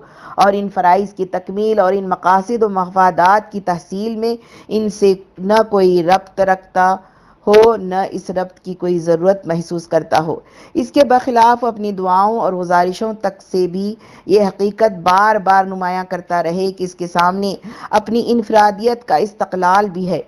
और जमात का नाकबिल फरामोश इरतबात भी। वो खुशकी का मुसाफिर नहीं है कि अकेली ही मंजिल मकसूद तक पहुँच जाए, बल्कि कश्ती का मुसाफिर है, जो आम हालात में सारे अहल अहल कश्ती के साथ ही साहिल मुराद पर कदम रख सकता है। अब नमाज़ के इन सारे इज्तमी आदाब को और इनके पीछे काम करने वाले इस मंशा को सामने रखकर अंदाज़ा लगाइए कि इस इबादत में इज्तमाहीत की रूह किस ज़ोर व के साथ रचा बसा दी गई है। और इससे इज्तमाहीत का मुकाम कितना अजीम दिखाई देने लगता है। लेकिन ये अंदाज़ा सही और मुकम्मल न होगा, जब तक कि नमाज़ के बुनियादी मकासद और इसकी असल गर्ज गायत और इन आदाब की मुनासिबत का हाल भी नज़र में न हो। नमाज़ की असल गर्ज खुदा के दरबार की हाजिरी और इसका ज़िक्र है। और इसकी ज़िक्र, और इस ज़िक्र की जान दिल का आजिजाना झुकाव है। ये दोनों जानी बूझी हकीकतें हैं। गौर कीजिए कि नमाज़ की इस असल मकसूद को हासिल करने के लिए कौन सा मुकाम ज़्यादा साजगार हो सकता है? गोशे तन्हाई या मजम आम? याद इलाही का इस्तराक खलवत का सुकून चाहता है या जलवत की हमाहमी? दिल को खुशू की दौलत ज़्यादा आसानी के साथ सुनसान फिजा में मैसर आया करती है या महरूम सुकूत माहौल में? इस सवाल का जवाब कोई शक नहीं कि सिर्फ़ एक ही होगा। हर शख्स यही कहेगा कि अल्लाह की याद दिल की कामिल एक सुई चाहती है और दिल की कामिल एक सुई तन्हाई का सुकूत मांगती है। अब एक तरफ़ तो नमाज़ का ये असल मकसद और इस मकसद के हासिल हो सकने की मतलूबा शक्ल देखिए। दूसरी तरफ़ शरीयत का ये फरमान सुनिए कि फ़र्ज़ नमाजों के लिए इज्तम ज़रूरी है और तन्हाई नाकबिल माफ़ी जुर्म, फिर इज्तम भी इज्तम महज नहीं बल्कि इंतहाई मयारी और पूरी तरह कसा बंदा इज्तम। सफ़ें बांधना ज़रूरी, सफ़ों को तीर की तरह सीधा रखना ज़रूरी, लोगों को बाहर मिलकर और जुड़ कर रहना, खड़ा रहना ज़रूरी। एक शख्स का इमाम और बाकी तमाम लोगों का इसका मुक्तदी होना ज़रूरी। इमाम की पैरवी में और इसके इशारों के मुताबिक ही सबका एक साथ खड़ा होना, एक साथ झुकना, एक साथ बैठना, एक साथ सजदा करना और फिर एक ही साथ नमाज़ ख़त्म करना सब ज़रूरी। बात बज़ाहिर कितनी अजीब मालूम होती है कि नमाज़ की इकामत ऐसे आदाब व शरात पर मौकूफ़ हो, जो दिल की यकसुई और बातिन की खुशू में रह कर खलल डाल सकते हैं। सोचने की बात है कि आखिर ऐसा क्यों किया गया? और जो चीज़ें नमाज़ के असल मकसद तक में खलल डाल सकती हों, इन्हें फ़ेल नमाज़ के अंदर गवारा ही नहीं, बल्कि उल्टा ज़रूरी तक कैसे करार दे दिया गया है? इस गौर फ़िक्र के बाद आप जिस नतीजे पर भी पहुँचे, इसके अंदर ये हकीकत भी लाजमन दाखिल होगी कि शार इस्लाम को मुसलमानों के अंदर मुनज़म इज्तमाहीत का शूर बेदार और मुस्तक मुस्तहकम रखना इंतहाई और गैर मामूली हद तक अज़ीज़ था। इतना अज़ीज़ कि नमाज़ के असल मकसद तक के हसूल में दुशवारियाँ पैदा हो जाने के खुले हुए अमली इम्कान पर इसने इस शूर की बेदारी और istहकाम को तरजीह दी। बिलाशुबा, ये इस अमर की भी दलील है कि मिलत में मनज़म इज्तमाहीत के शूर को बेदार रखना बजाय ख़ुद इकामत नमाज़ का एक झेली मकसद है। नंबर दो, ज़क़़त। नमाज़ के बाद दूसरी अहम तरीन इबादत ज़क़़त है। ज़क़़त का अदा करना इस्लामियत की इन दो बुनियादी बातों में से एक है जो किसी गैर मुस्लिम के दार इस्लाम में दाखिल करार पाने या न पाने का सियासी तौर पर फैसला करती है। इस इबादत की, इस इबादत के सिलसिले में रसुल्ला अलैहि वसल्लम का इरशाद है। मुस्लिम की हदीस, अल्लाह ने मुसलमानों पर ज़क़़त फ़र्ज़ की है, जो उनके मालदारों से ली जाती है और उनके ज़रूरतमंदों पर बांट दी जाती है। इस इरशाद नबी से दो ख़ास बातें मालूम हुई एक ये, एक तो एक इस अहम इबादत की जो गर्ज वायत है, इसका एक रुख खारजी रुख इस्लामी माशरे के इकतसादी मसाले की तरफ़ है। यानी ये जिस मकसद से फ़र्ज़ की गई है, इसके अंदर ये बात भी शामिल है कि मिलत के हाजतमंद अफराद अपनी माशी मजबूरियों और परेशानियों से निपटने के लिए बेसहारा न रह जाए। दूसरी ये कि ये तरीका इस इबादत का ये है कि माल ज़क़़त मालदार मुसलमानों से लिया और वसूल किया जाए। और फिर तंग हाल मुसलमानों में तकसीम कर दिया जाए। ये नहीं कि मालदार मुसलमान खुद ही ज़क़़त निकाल कर गरीबों को दे दिया करें। वसूल किए जाने और तकसीम कर दिए जाने तो खजू तो की बात चाहती है कि लाजमन कोई हाथ हो जो वसूल करने और तकसीम करने का फरीज़ा अंजाम दे। वाज़ा तौर पर यह हाथ हुकूमत ही का हो सकता है, जैसे कि, जैसा कि कुरान मजीद के अल्फाज, वल आमिलीन अलैहा से मालूम होता है और दौर नबी वो दौर खिलाफत राशिदा के तामुल से साबित होता है। एक मुसलमान को अपना माल ज़क़़त हुकूमत के हवाले करना जिस दर्जा ज़रूरी है, इसका अंदाज़ा इस बात से हो सकता है कि अहद सिद्दीकी में जब कुछ लोगों ने ऐसा करने से इनकार किया तो खलीफ रसूल हज़रत अबू बकर सिद्दीक रज़ी तु ने उनके ख़िलाफ़ तलवार खींच ली और पूरी अजीमत के साथ फरमाया मुस्लिम की हदीस के अल्फाज का मफहम है। खुदा की कसम, अगर उन लोगों ने ऊँट बांधने की एक रस्सी को भी, जिसे वो नबी करम वसल्लम के हवाले किया करते थे, मेरे हवाले करने से रोक रखा तो मैं उसके लिए उनसे जंग करूँगा। ज़क़़त के मुतालिक शरीयत के इन दोनों फरमानों पर नज़र डालिए, साफ़ महसूस होगा कि इसने इस इबादत को भी इज्तमाहीत का सरचश्मा बनाया है। एक तरफ़ इसके मकासद ही हैं ही में दूसरों के साथ हमदर्दी और अमासात शामिल है। और ये वो अमल और जज्ब अमल है जो साल इज्तमाहीत इज्तमाहीत का सबसे अहम बुनियादी पत्थर है। दूसरी तरफ़ इस इबादत के तरीके अदा को इसने हुकूमती निज़ाम के साथ वाबस्ता कर दिया है, जो इज्तमाहीत की कामिल तरीन शक्ल है। फिर इसने ऐसा इस हकीकत के बावजूद किया है कि ज़क़़त के असल मकसद और इसकी बुनियादी गर्ज वायत के लिए ये बात कुछ नासाजगार ही हो सकती है। साजगार किसी तरह नहीं हो सकती। ज़क़़त का असल मकसद और इसकी बुनियादी गर्ज वायत नफ्स का तस्किया तुतहिरहम बिहा, ताकि अल्लाह की रज़ा हासिल हो। वजह ज़ाहिर है कि इसका मकसद, इस मकसद का, तकाजा यही कि ज़क़़त हाजतमंदों को बतौर ख़ुद दी जाए और इस तरह दी जाए कि देने वाले का बायां हाथ भी ये न जाने कि दाएँ हाथ ने क्या और किसी दिया है? वरना खुले तौर पर और वो भी हुकूमत की इकतदार, नज़म जवाबित के तहत ज़क़़त देने की शक्ल में खलूस वलाहियत के मुतासर हो रहने का अंदेशा एक नाकबिल इनकार हकीकत है। इसके माना ये है कि इस्लाम ने नमाजी की तरह ज़क़़त की ज़बान से भी अपनी इज्तमाहीत पसंदी की शिद्दत का मुजाहरा किया है, क्योंकि इबादत के असल और बुनियादी मकसद के मुतासर हो रहने के इम्कान और अंदेशे पर इज्तमाही आदाब और मसाले को इसने यहाँ भी तरजीह दे रखी है। नंबर तीन, रोज़ा। तीसरी इबादत रोज़ा है, एक मनफी किस्म की इबादत है। यानी इसमें नमाज़ या ज़क़़त या हज की तरह कुछ किया नहीं जाता कि इसे देखा जा सकता हो, बल्कि कुछ ख़ास कामों से रुका जाता है। ज़ाहिर बात है कि जिस अमल की नौीयत मनफी किस्म की हो, इसको इज्तमाहीत का जामा पहनाना दुशवार और शूर इज्तमाहीत की बका व तरक्की का ज़रिया बनाना दुशवार तर है। लेकिन रोज़े के सिलसिले में शरीयत ने जो अहकाम दिए हैं, इनसे साफ़ आया होता है कि उसने इस मनफी इबादत को भी इज्तमाहीत का हादी और मौलम बना दिया है। हुक्म है कि तमाम मुसलमान एक ही मुतन महीने में रोज़े रखें, हर रोज़ तकरीबन एक ही वक्त सहरी खाएँ और फिर एक ही मुतन वक्त पर अफ्तार करें।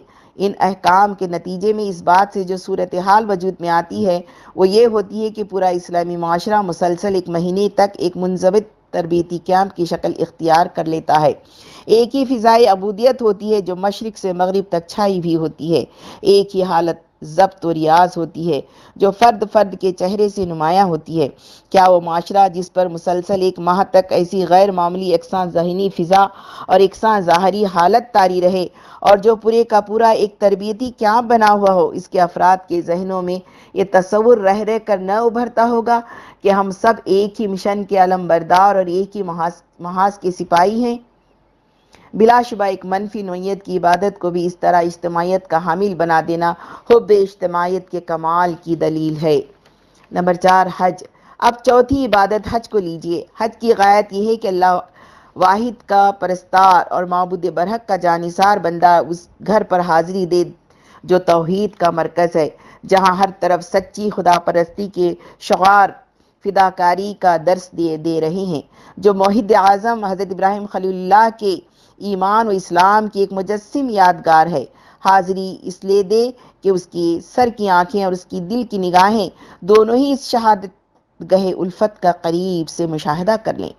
और वो जान ले कि कौल ला इलाहा की अमली तफसीर क्या है। फिर खुदा परस्ती के सच्चे जज्बात से सरशार होकर बंदगी के मैदान अमल में एक नए जोश के साथ वापिस आए। इस इबादत के अरकान में सबसे बड़ा रुख मैदान अरफात की हाजिरी है। यहाँ दुनिया की गोशे गोशे से आए हुए मुख्तलिफ़ नस्लों, कौमों, ज़बानों और रंगों के लाखों मुसलमान इकट्ठे होते हैं। इन सब का एक अमीर हज होता है। ये अमीर पूरे मजमे को खिताब करता है और उसे ईमान के हक़ इस्लाम के मुतालबात और बंदगी के आदाब की तलकिन करता है। इससे मालूम हुआ कि हज भी नुमाया हद तक इज्तमाहीत के कालिब में ढाल दिया गया और शूर इज्तमाहीत का एक ज़बरदस्त ज़रिया बना दिया गया है। अगर गौर कीजिए तो दूसरी इबादतों की तरह यहाँ भी दिखाई देगा कि हज की जो असल गायत है, इसका हसूल किसी इज्तम की ज़रूरत से अक्सर बेनियाज है। यही नहीं, बल्कि बाज़ पहलुओं से वो इसके लिए नामसाइद भी हो सकता है, क्योंकि तन्हाई का सुकून और एक सुई किसी हंगामी इज्तम के मुकाबले में इस अमर का बेहतर मौका फराहम कर सकती है कि इंसान काबा और अतराफ़ काबा के शार शायर अल्लाह से ईमान की शायर अल्लाह से ईमान की ताजगी हासिल करे। लेकिन इस हकीकत के बावजूद शरीयत कहती है कि हज इज्तम के बगैर नहीं हो सकता। गोया, दूसरे लफ्ज़ों में वो ये कहती है कि इज्तमाहीत की दीनी अहमियत बताने और जहन नशीन कराने में दूसरी इबादतों से किसी तरह पीछे नहीं है, बल्कि बाज़ एतबारात से इन सबसे आगे ही है। इस्लाम ने अपनी इबादतों में जिन इज्तमाही आदाब को मलहूज रखने की हिदायत की है, उनकी ज़रूरी तफसील आपके सामने आ चुकी और इनके अंदर उन आदाब की जो अहमियत है, वो भी आप मुलाहजा फरमा चुके। इसके बाद आपका एतराफ़ इसके सिवा और क्या होगा कि इन इबादतों में इज्तमाहीत की रूह जिस हद तक उतार दी गई है, उसके आगे किसी और हद का वजूद अमली इम्कान से बाहर है। ये है इज्तमाहीत के नुक़ निगाह से इस्लामी तालीमत के मुख्तलिफ़ शोबों का जायज़ा। इस जायज़े के बाद ये कहना किसी तरह गलत न होगा कि इस्लाम में इज्तमाहीत को जो बुलंद तरीन मुकाम अता किया गया है, इसकी नज़ीर किसी और मज़हब में तो क्या किसी और निज़ाम में भी नहीं पाई जा सकती।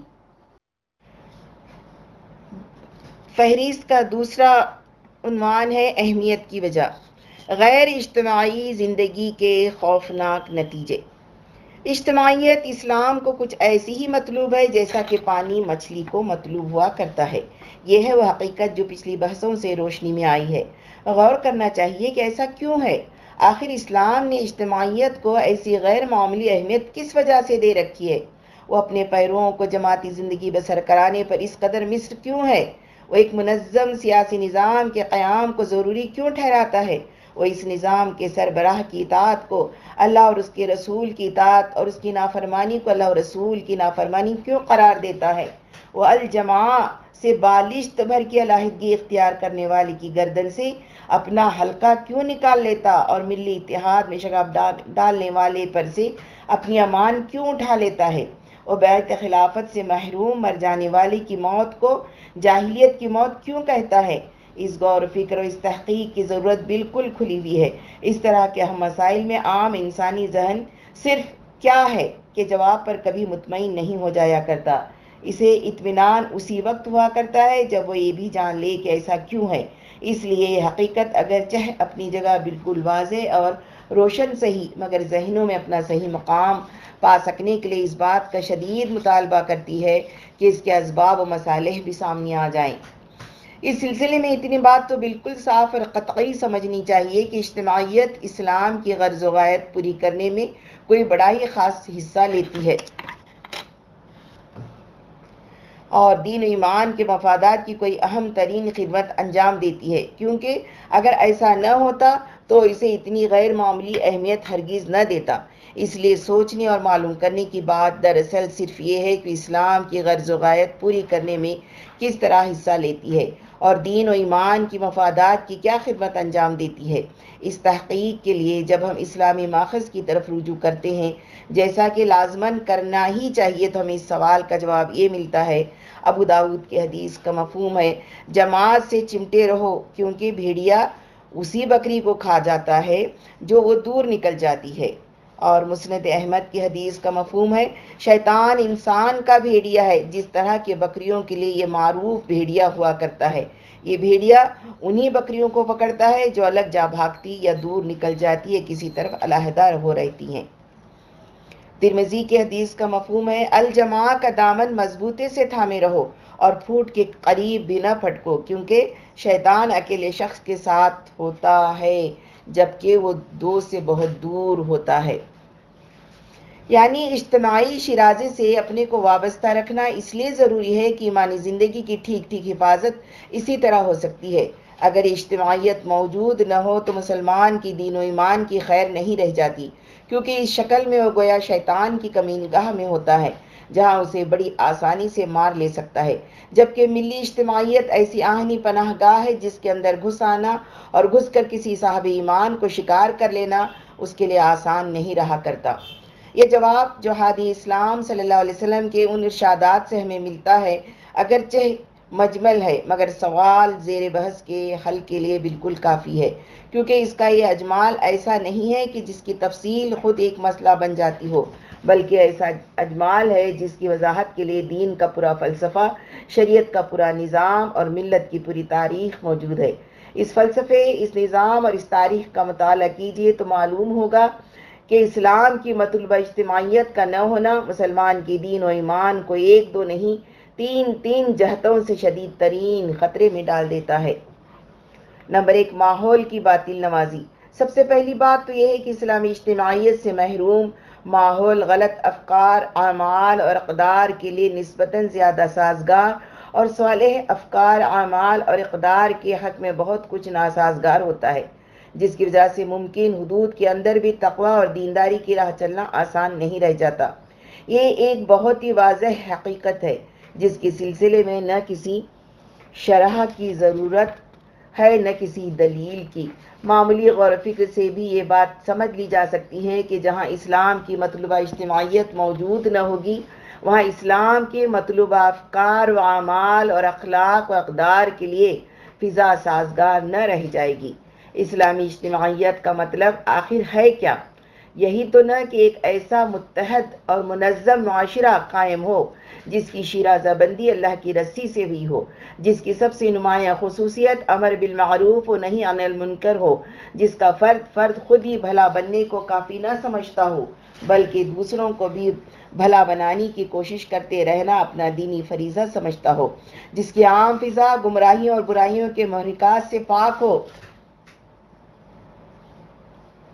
जिसमें खुदा तरसी ही इज़्ज़त का मैार हो और नेकी के कामों में एक दूसरे से आगे बढ़ना और एक दूसरे की मदद करना ही जिसका ख़ास इम्तियाज़ हो।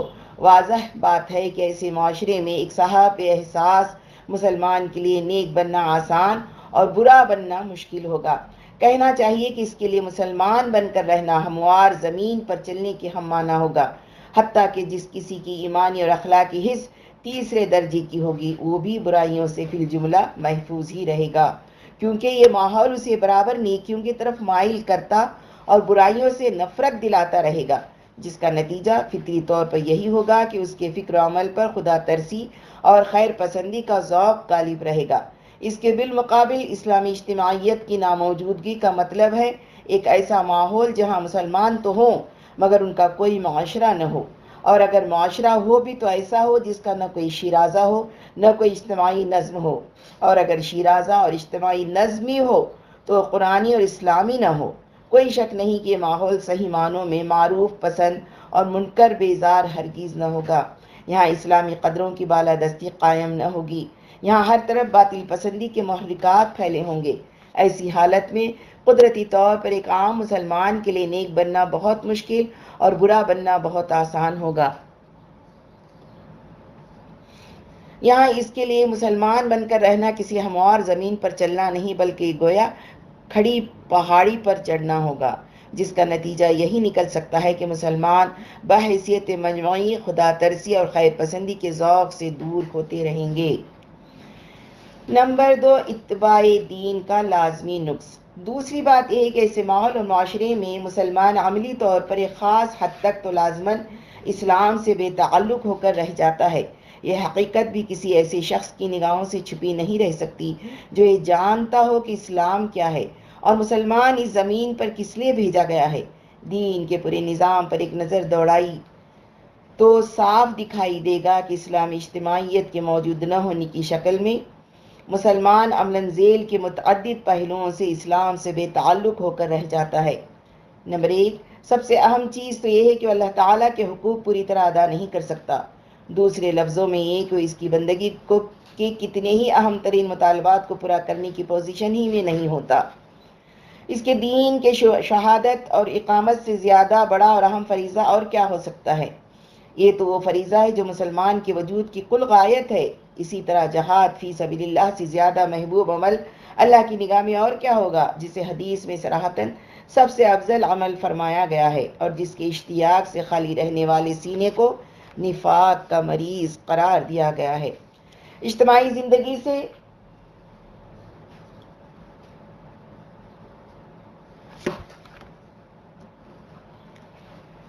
इज्तमाही ज़िंदगी से महरूम रहकर क्या इन फ़राइज से अहदा बरा होने की कोई शक्ल मुमकिन भी है?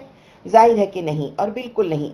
अच्छा इन उमूर को भी छोड़िए और उन अहकाम दीन को लीजिए जिनकी इबादत और हुकूकुल्ला होने में अल्फाज की हद तक भी दो राय नहीं हो सकती। ये नमाज़, ये ज़क़़त और ये हज भी तो इज्तमाहीत के बगैर उस मैारी शक्ल में अदा नहीं हो सकती, जिस शक्ल में अल्लाह रसूल सल्लल्लाहु अलैहि वसल्लम ने उनको अदा होते देखना चाहते हैं। और इन सारी हकीकतों के होते हुए कैसे मुमकिन है कि इस्लाम की मतलबा इज्तमाहीत तो मौजूद ना हो और अल्लाह ताला के हुकूक तल्फ होने से बच जाएँ? अब यही हशर बंदों के हकूक़ का भी होता है। किसी दुखियारी की मदद, किसी बेकस की खबरगिरी, किसी मजलूम की फरियाद रसी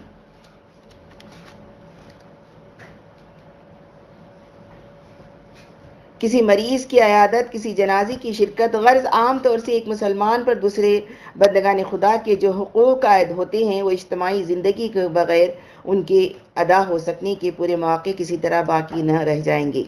और उसकी ज़िंदगी इस इज्तमाहीत से जितनी ज़्यादा दूर होगी, उतनी ही ज़्यादा ये मौके भी कम होकर रहेंगे। यहाँ तक कि अगर ये दूरी कामिल अलहदी और तन्हाई की हद को पहुँची हुई हो तो ये मौके सिरे से नापीद हो जाएँगे। अखलाकियात का हाल भी कुछ मुख्तलिफ़ नहीं रहता। दीन के अच्छे अखलाक की जो अहमियत है, वो कुछ ढकी छुपी नहीं। एक तरह से गोया वही हासिल दीन है। पैगंबर इस्लाम सल्लल्लाहु अलैहि वसल्लम का फरमाना है कि मुझे इसलिए भेजा गया है ताकि मैं महासिन अखलाक की तकमील कर दूँ। बगैस्तली उतमी हसन अखलाक। मोता की हदीस है। लेकिन इतनी अहम चीज़ भी गैर इज्तमाही ज़िंदगी में अपने जहूर के लिए तरसती रह जाती है। हती कि जहाँ गैर इज्तमाही ज़िंदगी अपनी आखिरी शक्ल यानी तन्हाई का रंग इख्तियार कर लेती है, वहाँ रास्तबाजी, अमानतदारी, पाकदामनी, हया वफाए अहद, रहम, शफ़क़त खैर ख्वाही ईसार सब तहमुल संजीदगी, नरमखुई खुश गुफ्तारी और फ़राख दिली जैसे बेशुमार इंसानी फ़जाइल इस्लामी अखलाक और ईमानी अवसाफ अमलन, मुजरद तस्वुरात बनकर रह जाती हैं। क्योंकि इन चीज़ों का ताल्लुक तमाम तर इंसानों के बहमी रवाबित और मामला से होता है। मारूफ मानों में अखलाक कहते ही इस रवैये को हैं, जो एक इंसान दूसरे इंसान के या एक ग्रोह दूसरे ग्रोह के साथ इख्तियार करता है। अब अगर कोई शख्स किसी ऐसे मकाम पर जा रहता हो, जहाँ इसका किसी और शख्स से सबका ही न पेश आता हो तो वहाँ वो आखिर किस तरह इन दीनी मुतालबात पर अमल कर सकेगा? इसी तरह जहाँ कोई मनज़म माशरा और उसका मुकम्मल इज्तमाही नज़ भी मौजूद न हो, वहाँ कौन सी चीज़ होगी जो मुसलमान से इस्लाम की इज्तमाही और बैन अवी अखलाकियात का मुजाहरा करा सकेगी? अगला, जहाँ तक मुसलमान की आम तमदनी और समाजी ज़िंदगी का ताल्लुक है, उस पर तो उस सूरत हाल का बड़ा ही गहरा और गैर मामूली मुखालिफाना असर पड़ता है, क्योंकि ऐसी हालत में ज़िंदगी के मुख्तलिफ़ शोबों से इस्लाम तो रुखसत हो ही रहता है साथ के साथ ये भी होता है कि वहाँ इस्लाम की जगह कुफ्र आ मौजूद होता है। एक जानी बूझी, बल्कि आँखों देखी हकीकत है। ज़ाहिर बात है कि मुसलमान अगर किसी गार में जाकर गोशा नशीन नहीं हो गया है, बल्कि उन्हीं बस्तियों और आबादियों में रहता सहता है तो इस्लाम की मतलबा इज्तमाहीत के मौजूद न होने का मतलब ये है कि वह लाजमन एक गैर इस्लामी निज़ाम के तहत ज़िंदगी गुजार रहा है। और किसी गैर इस्लामी निज़ाम के तहत ज़िंदगी गुजारने के माना इसके सिवा और कुछ नहीं कि मुसलमान की ज़िंदगी कम अज़ कम बड़े इज्तमाही मामला में तो यकीन गैर इस्लामी खतूत ही पर बसर हो रही है। बल्कि ये कहना भी खिलाफ वाक़ न होगा कि इसके शख्सी कवानीन, यानी पर्सनल लाज की हरमत भी पूरी तरह बरकरार रह जाने वाली नहीं। इतने सारे पहलुओं से और इस हद तक इस्लाम से अमली बेताल्लुकी कोई मामूली बात नहीं हो सकती।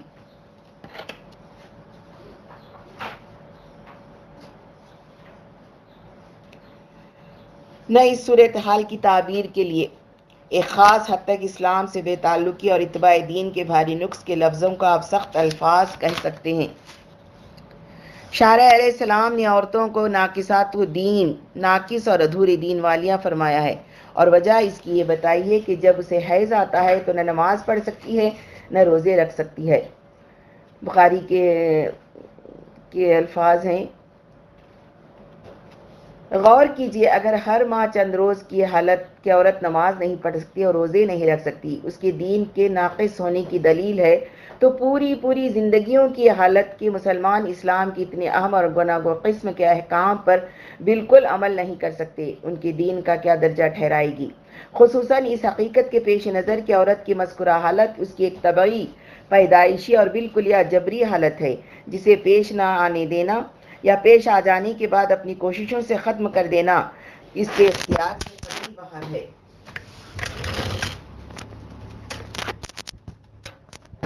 और इसी वजह से उसके सिलसिले में उस पर किसी तरह की कोई ज़िम्मेदारी भी नहीं आती। जबकि इज्तमाही ज़िंदगी से अलग या महरूम रहने वाले मुसलमानों की ये हालत तबई और पैदाइश तो क्या होगी? इस तरह की जबरी भी हरगिज़ नहीं होती। बल्कि बसा अवकात तो उसके पैदा करने या बाकी रहने के खुद ही ज़िम्मेदार होते हैं। ऐसी शक्ल में क्या यह मुमकिन है कि इस हालत की मौजूदगी में उनके दीन को नाकस न कहा जाए? और क्या ये गलत बात होगी कि उन्हें उन अहकाम दीन की हद तक, जिन पर गैर इज्तमाही और गैर मनज़म ज़िंदगी बसर करने के बायस अमल नहीं कर सकते, दीन से बेताल्लुक़ करार दिया जाए? इंसाफ तो ये फैसला देने पर मिस्र है कि उनके दीन को नाकिसी नहीं, बल्कि नाकिस्तर करार दिया जाए। और उन्हें ख़ास हद तक दीन से बेताल्लुक़ ही नहीं, बल्कि अक्सर हालात में काबिल मवाखज़ा भी समझा जाए।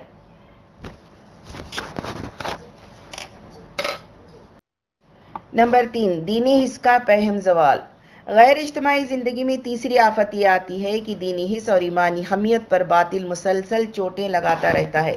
यहाँ तक कि उसे बेजान करके रख देता है। बातिल को यह भरपूर मौका इस इकतदार की बदौलत मिल जाता है, जो इसे इस्लामी इज्तमाहीत से महरूम मुसलमानों पर हासिल होता है। क्योंकि जैसा कि अभी अर्ज़ किया जा चुका, इस्लाम की मतलूबा इज्तमाहीत और इज्तमाही नज़म के मौजूद न होने के लाजमी माना बिलूम यही होते हैं कि मुसलमान की ज़िंदगी एक गैर इस्लामी निज़ाम के तहत बसर हो रही है। यानी एक ऐसे निज़ाम के तहत जिसमें ज़िंदगी का आम इज्तमाही कारोबार काफिराना बुनियादों पर चलता हो, जिसमें इकतदार आला का मालिक और असल कानून साज अल्लाह ताला के बजाय कोई और हो, जिसमें इंसानी खिलाफत का तस्वुर बुनियादी तौर पर एक गैर आइनी तस्वुर हो, जिसमें अखलाक के इज्तमाही कदरें किताब इलाही और सुन्नत रसूल सल्लल्लाहु अलैहि वसल्लम से नहीं, बल्कि किसी और ही सरचश्मे से अखज़ की गई हूँ, जिसमें वसी तर इज्तमाही मामला के अंदर इस्लाम को मुसलमानों की रहनुमाई करने का कोई हक न हो, जिसमें मारूफात और मुनकरात की तयन में शरीयत का फ़ैसला कोई आखिरी फ़ैसला न हो, और इस्लाम की कितनी ही मारूफ, मुनकर और मुनकर मारूफ बना दिए गए हों, जिसमें इंसानी और बैन ताल्लुक की बुनियादें अदल इंसाफ और ताउन अलबिर के इस्लामी असूलों के बजाय किसी कौम, किसी नस्ल, किसी वतन किसी तबक़े या किसी इज़्म के मादी मफादात पर उठाई गई हों, जिसमें अदालतें शर्य कवानीन ही के मुताबिक फ़ैसले करने के मतलब पाबंद न हों हती कि जिसमें मुसलमान अपने इनफरादी मामला में भी इस्लामी अहकाम और जवाबित पर अमल करने में पूरी तरह आज़ाद न हों।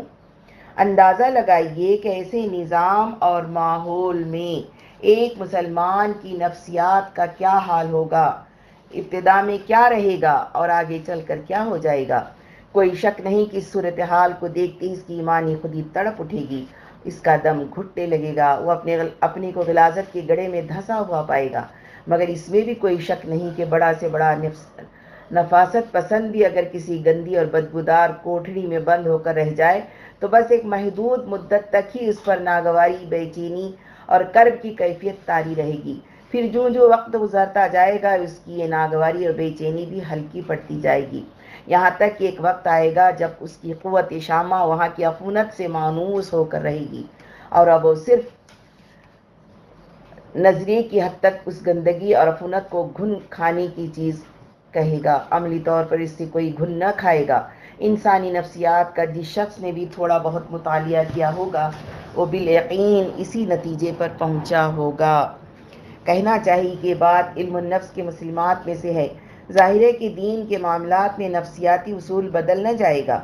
आप चाहें तो लाखों के ग्रोह में से कुछ अफराद को मुस्तना कर दें, लेकिन तजुर्बे और मुशाहे की गवाही बताती है कि निन्यानवे फ़ीसद से भी बढ़कर, यानी नाइन्टी नाइन परसेंट से भी बढ़कर बड़ी अक्सरियत पर कतन इसी उसूल का इतला होगा। यानी होगा ये कि जिस वक्त मिलत अपनी इज्तमाहीत खोप कर या उसके बंद ढीले करके किसी गैर इस्लामी निज़ाम को अपने ऊपर मुसलत कराएगी, उस वक्त तो अहल ईमान को ऐसा मालूम होगा जैसे बिस्तर अंगारों का अलाव बन गए हैं, जैसे उनके आगे पीछे दाएँ बाएँ हर तरफ़ आबले डाल देने वाली गैस के बम पर बम फट रहे हैं।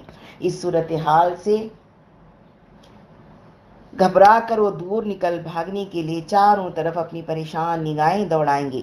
जोश इस तरह में हाथ पाँव भी हिलाएँगे, मगर ज़ाहिर है कि जो निज़ाम और जो इकतदार ज़िंदगी के इज्तमाही दरोबस्त पर काबिज हो चुका होगा, वो इस जहनी बगावत से मुतासर होकर अपना कब्ज़ा उठा लेने से रहा। वो तो पूरी मजबूती और अज़म के साथ बदस्तूर अपना सिक्का चलाता रहेगा। और मिलत के मुसलमान होने के बावजूद उस पर इन अकदार, इन मसाले, इन अफकार, इन नज़रियात और इन अहकाम कवानीन के तहत हुकूमत करता रहेगा, जिनका कि इसकी ना मुसलमान फितरत और इसकी सियासी मसलियत तकाजा करेगी। आखिरकार आँखें आहिस्ता आहिस्ता इस सूरत हाल की आदि होने लगेंगी। जज्बात की बेकरारी और जहनी बगावत पर थकावट और फिर अफसरदगी तारी होने लगेगी। इस तरह आप एहसास गम की सतह पर आ जाएगा और बगावत की आग हसरत की राह में तब्दील हो जाएगी। फिर ये दौर भी ख़त्म होगा और अब दीनी हमियत से दिल खाली होने शुरू होंगे। गैर इस्लाम से तबीयतें मानूस होने लगेंगी। जहनी और जज्बाती लड़ाई सुलह और रवादारी से बदलने लगेगी और गैर इस्लाम से मुसलमान की कोई अमली मुखालिफत बाकी न रह जाएगी। होते होते चौथा और आखिरी दौर आ जाएगा। जब गैर इस्लाम खूब बन जाएगा, जो कभी इंतहाई नाखूब था। मुसलमान इस निज़ाम और इकतदार को जो इसके दीन को देश निकाला दे चुका है, या कम अज़ कम ये कि जिसने उसे कैद खाना बना रखा है, सलामियाँ देगा। उसकी बारगाह में इज़्ज़त का तालीब होगा, उसकी चाकरी में फ़ख्र महसूस करेगा, उसकी खीमा बरदरी का हक हासिल करने के लिए दौड़ पड़ेगा। वो मुसलमान होगा मगर गैर इस्लामी निज़ाम के ख़िलाफ़ ज़बान से भी कोई ना इजहार, नागवारी न करेगा। इंसान अल्लाह ताला का खलीफा है। उसके अहकाम व मर्जियात के तहत ही वो इस दुनिया का निज़ाम चलाने का ज़िम्मेदार है। वही इसका मुख्तर आला और असल कानून साज है। इस्लाम एक मुकम्मल निज़ाम हयात है। दुनिया और आखरत दोनों की फलाह इसी निज़ाम की पैरवी पर मौकूफ़ है। यह और इसी तरह के दूसरे बहुत से ऊँचे हक़ के मजहबी इज्तमायात में मजहबी इज्तमात में जेब दास्तान के तौर पर बयान होते रहेंगे, मगर दुनिया के वसी अमली मैदान में मिल्लत अपनी ज़िंदगी की गाड़ी उस इज़्म की पटरी पर रवा दवा चलाती रहेगी, जिसे मुल्क के गैर इस्लामी निज़ाम और काफिर इकतदार ने अपना दीन बना रखा होगा। मिलत की मौजूदा हालत इस हकीकत का ज़िंदा सबूत बनी हुई सामने मौजूद ही है। जिसके होते हुए किसी नजरी और मनतकी दलील की ज़रूरत ही क्या रह जाती है। वाक़ात की स्वाजा तरीन गवाही को होश के कानों से सुनिए और अंदाज़ा कीजिए कि बातिल इकतदार गैर इस्लामी निज़ाम, ईमानी अहमियत और दीनी हिस्स पर किस तरह की चोटें लगा सकता है और चोटें लगाते लगाते इस पर कैसी सकते की बल्कि मौत तक की हालत तारी कर दिया करता है। इस्लामी इज्तमाहीत से महरूम ज़िंदगी जिस मुसलमान की दीन और ईमान पर ऐसे सख्त हमले करती और उन्हें ऐसे अजीम ख़तरात में डाल देती है, सोचिए भला वो कब तक और किस हद तक सच्चा मुसलमान बाकी रह सकता है। इसलिए मानना पड़ेगा कि शैतान की हज़ार कोशिशों पर उसकी एक एक कोशिश भारी है कि मुसलमान को इज्तमाही ज़िंदगी से महरूम कर दे। एक एक मुसलमान को अगर वो अलग अलग शिकार करना चाहेगा तो उसे उतने ही गढ़े खोदने पड़ेंगे जितने के मुसलमान होंगे। लेकिन अगर वो इंतशार या गैर इज्तमाही ज़िंदगी का गढ़ा खोद लेता है तो ये अकेला ही एक ही घड़ा, गढ़ा उनकी भारी अक्सरियत के लिए काफ़ी हो जाएगा। इसलिए अगर इस जमात से अलग या महरूम रहने वालों को हज़रत सल्लल्लाहु अलैहि वसल्लम ने शैतान का बेबस और आसान शिकार फरमाया है तो ये एक ऐसी ताबीर है जिसे बेहतर ताबीर इस सूरत हाल की और कोई हो ही नहीं सकती।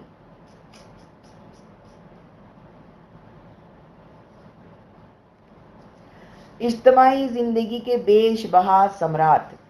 गैर इज्तमाही ज़िंदगी तो दीन ईमान के लिए ऐसे शदीद ख़तरात पैदा कर देती है और मुसलमान को शदीद का सैद ज़बू बना देती है। मगर इज्तमाही ज़िंदगी उनके लिए क्या साबित होती है? ये जानने के लिए हादी इस्लाम सल्लल्लाहु अलैहि वसल्लम का इरशाद सुनिए। तिरमजी की हदीस है अल्लाह का हाथ जमात पर होता है। यानी इज्तमाही ज़िंदगी वो ज़िंदगी है जिसमें मुसलमान अल्लाह की नवाजिशों और नुसरतों के फिल वाक़ सजावार बनते हैं। अगर यहाँ भी ये सवाल किया जाए कि ऐसा क्यों है तो अब ये एक गैर ज़रूरी सवाल होगा। क्योंकि गैर इज्तमाही ज़िंदगी के अमली नतज अगर वो सब कुछ हैं जिनका हाल हम अभी जान चुके हैं तो उसका मतलब वाजह तौर पर यही है कि इज्तमाही ज़िंदगी के समराट ठीक उन्हीं की ज़िद होंगे। इस्लाम की मतलबा इज्तमाहीत से जो माशरा बेबहरा होता है वो अगर गलत अफकार व अमाल को परवान चढ़ाता और सवाल अफकार व अमाल पर ख़ज़ा की कैफियत तारी कर दिया करता है, जिसके नतीजे में मुसलमान के लिए बर व तकवा की राह दुशवार से दुशवार तर होती जाती है। तो वह माशरा जो इस इज्तमाहीत से बहरावर होगा, कतअन एक मुख्तलिफ़ सूरत हाल को वजूद में लाएगा। सहल अफकार व अमाल को परवान चढ़ाएगा, बातिल अफकार व अमाल को पनपने से रोकेगा। नेक रवि की तरगीबें देता रहेगा, जिसके नतीजे में लोगों के कदम आप से आप नेकी और खुदा तरसी की तरफ़ उठते रहेंगे। इसी तरह अगर उस माशरे में मुसलमान अपने दीन के नाकस पैरवी के लिए मजबूर रहता है तो इसमें उसे ऐसी किसी कोफ्त भरी मजबूरी से कोई मुसाबका पेश न आएगा। अला हाजिल कयास, अगर इसके अंदर दीनी हिस्स और ईमानी हमियत पर मुसलसल हथौड़े चल रहे होते हैं तो उसके अंदर दीन और ईमान को ऐसी किसी जानलेवा आफत का सामना बिल्कुल न करना पड़ेगा। मुख्तसर एक इज्तमाही ज़िंदगी वो ज़िंदगी होती है, जिसके अंदर मुसलमान अपने मौला की तात व बंदगी का ठीक ठीक हक अदा कर सकते हैं। और अल्लाह ताला अपने बंदों से चाहता भी सिर्फ़ यही है कि इसकी तात व बंदगी का हक अदा किया जाए। यही इसका मुतालबा है और इसी में इसकी रज़ा है। इस तरह हकीकत वाकई ये करार पाई कि अल्लाह ताला की रज़ा पूरा होना सही जमाती ज़िंदगी पर मौकूफ़ है। फिर ये जमाती ज़िंदगी और सिर्फ़ ये जमाती ज़िंदगी ही उसे महबूब क्यों ना होगी? और जो ज़िंदगी उसे महबूब होगी बद यही बात है कि उसकी रहमतों, नवाजिशों और नुसरतों का रुख भी उसी की तरफ़ होगा। मालूम हुआ कि सही इज्तमाही ज़िंदगी ही में दीन व ईमान को पूरी पूरी नशोनुमा मिलती और मुसलमान की दुनियावी व उखरवी फलाह महफूज रहती है। सोचिए कितने पेश कीमत हैं इज्तमाही ज़िंदगी के ये सम्राट? और कितनी ज़रूरी है इस्लाम और अहल इस्लाम के लिए इज्तमाही ज़िंदगी? गोशा नशीन बुज़ुर्गों का मसला। इस मौके पर वाक़ात की बाद शहादतें जहन में एक उलझन पैदा कर सकती हैं, इसलिए ज़रूरी है कि इसे भी दूर कर लिया जाए। उलझन ये हो सकती है कि कितनी बुजुर्गान दीन हैं जिनकी ज़िंदियाँ इस बात की तायद नहीं करती, इसके बरखिलाफ़ वो इस अमर का सबूत मुहैया करती हैं कि जमाती ज़िंदगी से बिल्कुल कट कर भी बंदगी और खुदा परस्ती का ऊँचे से ऊँचा मुकाम हासिल किया जा सकता है। क्योंकि इन बुज़ुर्गों ने ऐसी ही ज़िंदगी गुजारी, लेकिन इसके बावजूद शैतान उनकी तरफ़ रुख करने की भी ज़रूरत न कर सका, चाहे जाएगा, उन्हें शिकार कर लेता। इस उलझन का जवाब यह है कि दुनिया में शाहिदी कोई कुलिया ऐसा होगा जिसमें इस्तना न हो। जब ये कहा जाता है कि फलां बात का ये नतीजा निकला करता है तो उसका मतलब अमूमन ये नहीं हुआ करता कि कभी इसके सिवा कोई और नतीजा निकल ही नहीं सकता, बल्कि ऐसा सिर्फ़ गालिब सूरत हाल के पेश नज़र कहा जाता है। और कहने का मंशा ये होता है कि आम तौर से ऐसा ही हुआ करता है। इसलिए जब ये फरमाया गया कि जमाती ज़िंदगी से अलहदगी इख्तियार करने वाले को शैतान बड़ी आसानी से शिकार कर लेता है तो दरअसल बयान हक़ के इसी मरूफ उसलूब में फरमाया गया। और मतलब इसका यह है कि अमूमन ऐसा ही हुआ करता है। चुनाचा जहाँ वाक़ात इस अमर की शहादत देने को तैयार हैं कि बाज़ अफराद जमाती ज़िंदगी छोड़ कर भी बड़े खुदा तरस और आबिद व जाहिद गुजरे हैं।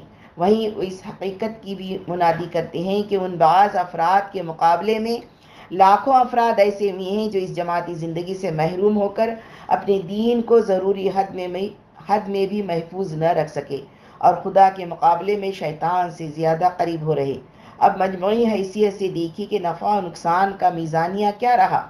और जमाती ज़िंदगी का वजूद और अदम वजूद दोनों उम्मत मुसलमा के हक़ में अपनी अपनी जगह क्या साबित हुए? जहाँ तक दीन के अहकाम और हिदायत का ताल्लुक है वह आम इंसानियत, आम हालात और आम हक़ को पेश नज़र रख कर दिए गए हैं। न कि मखसूस हालात और मुस्तना अफराद को सामने रख कर इसलिए इज्तमाही ज़िंदगी बसर करने का जो हुक्म उसने दिया है, आम इंसानों के पेश नज़र ही दिया है। और इस सिलसिले में इसने जो कुछ फरमाया है, आम सूरत हाल को सामने रख कर ही फरमाया है। और ज़ाहिर बात है कि जब इसने एक बात फरमा दी है तो अब अवाम और ख़ास सभी के लिए वाजिब तस्लीम हो चुकी है। क्योंकि शरीयत के अहकाम बिला तफरीक सभी के लिए होते हैं। और कोई फ़र्द भी चाहे वो कैसी ही मखसूस रुझानात या क़वतों का मालिक क्यों न हो, उनकी पैरवी की जिम्मेदारियों से मुस्तना नहीं रह सकता। फिर यह एतराज़ या शुबा असलन भी गलत है। ये सही है कि जमाती ज़िंदगी से कट कर भी लोगों ने खुदा परस्ती के ऊँचे ऊँचे मकाम हासिल किए हैं। लेकिन ये बात जमाती ज़िंदगी की अहमियत और इफादियत के ख़िलाफ़ कोई दलील नहीं बन सकती। क्योंकि इससे किसी तरह साबित नहीं होता कि ये लोग खुदा परस्ती के जिन ऊँचे मकाम पर पहुँचे थे, इज्तमाही ज़िंदगी के अंदर वो इनसे भी ज़्यादा ऊँचे मकाम पर नहीं पहुँच सकते। नहीं पहुँच सकते थे। इसके बखिलाफ़ अमर हक ये है कि अगर सही इज्तमाही ज़िंदगी की गनतें और बरकतें भी इन बुज़ुर्गों के शामिल हाल रही होती तो इस्लामियात के और ज़्यादा बुलंद मकाम पर फाइज हो गए होते। तन्हाई की गोशों में ज़्यादा से ज़्यादा फरिश्तों के दर्जे तक पहुँच सके होंगे। लेकिन इस्लामी इज्तमाहीत की निगाह हंगामों में रहकर वह अबू बकर उमर होकर गुजर गुजरे होते। कहने का मतलब यह है कि इज्तमाही ज़िंदगी से दूर रहकर एक शख्स चाहे कुछ भी बन जाए, लेकिन मैारी तौर पर वो इंसान नहीं बन सकता, जिसके सर पर अल्लाह ताला ने अपनी खिलाफत का ताज रख कर इस दुनिया में भेजा था और जिसे फरिश्तों का भी मसजूद बनाया था। इस्लामी इज्तमाहीत अगला उनवान है, इस्लामी इज्तमाहीत मकसद इज्तमा। दुनिया का हर मुनज़म इज्तमा अपना कोई न कोई मुतन मकसद रखता है, बल्कि ये कहना चाहिए कि मुतन मकासद ही इज्तमाहीतों और तनजीमों को वजूद में लाया करती हैं। इसलिए कोई इज्तमाहीत बजाय ख़ुद मतलूब नहीं होती, बल्कि किसी मकसद के हासिल करने का सिर्फ़ ज़रिया हुआ करती हैं। और इसकी जो कदर व अहमियत भी होती है इसी मकसद की बुनियाद पर होती है। अगर किसी तंजीम से पेश नज़र मकसद का हासिल होना सही मानों में मुतव हो, तब तो इसे जो कदर अहमियत भी दी जाए कम है। लेकिन सूरत हाल अगर ये न हो तो चाहे ये तंजीम सीसा पिलाई हुई दीवार ही क्यों न हो, एक हकीर तिनके के बराबर भी कीमत न पा सकेगी। ये बात अगर दूसरी तमाम इज्तमाहीतों और तंजीमों के बारे में एक मुस्लिमा हकीकत है तो इस्लाम की मतलबा इज्तमाहीत के सिलसिले में महज ख्याल बनकर न रह जाए। महज ख्याल बनकर न रह जाएगी। कोई वजह नहीं कि इसके मामले में इस बदही और मुस्लिमा असूली हकीकत से इख्तलाफ किया जा सके। इसलिए अक्ल कहती है कि इसने अपने पैरुओं को जिस इज्तमाहीत जिस वहदत और जिस तंजीम की हिदायत फरमाई है इससे मुराद मुतलक इज्तमाहीत बेक़ैद, वहदत और तंजीम बर तंजीम हरगिज़ नहीं हो सकती, बल्कि वो लाजमन एक मखसूस कस्म की इज्तमाहीत एक ख़ास तर्ज की वहदत और एक बामकसद तंजीम ही होगी। यकीनन कोई ना कोई मुतन मकसद होगा जिसकी खातिर ही लोगों को मुतहद और मनज़म ज़िंदगी बसर करने का ये हुक्म दिया गया है। नेज़, यही मकसद वो चीज़ होगी जो मुसलमानों की किसी इज्तमाहीत और तंजीम के बारे में फ़ैसला कर सकती है कि वो इस्लामी इज्तमाहीत और तंजीम है या नहीं। अगर इस मकसद के हासिल होने का वाकई ज़रिया बन सकती हो तो तब तो इसे इस्लामी इज्तमाहीत और अल्लाह उसके रसूल सल्लल्लाहु वसल्लम की पसंदीदा तंजीम करार पाने का हक होगा। और दीनी हैसियत से वो इस अहमियत की मालिक ज़रूर तस्लीम की जाएगी, जिसकी निशानदही पिछले और आने वाले सफ़हात कर रहे हैं।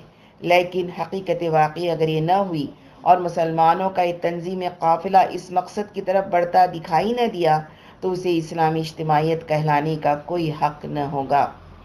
न उसे उन अहकाम दीन की पैरवी समझा जाएगा जो मिली इज्तमाहीत और तंजीम के बारे में दिए गए हैं।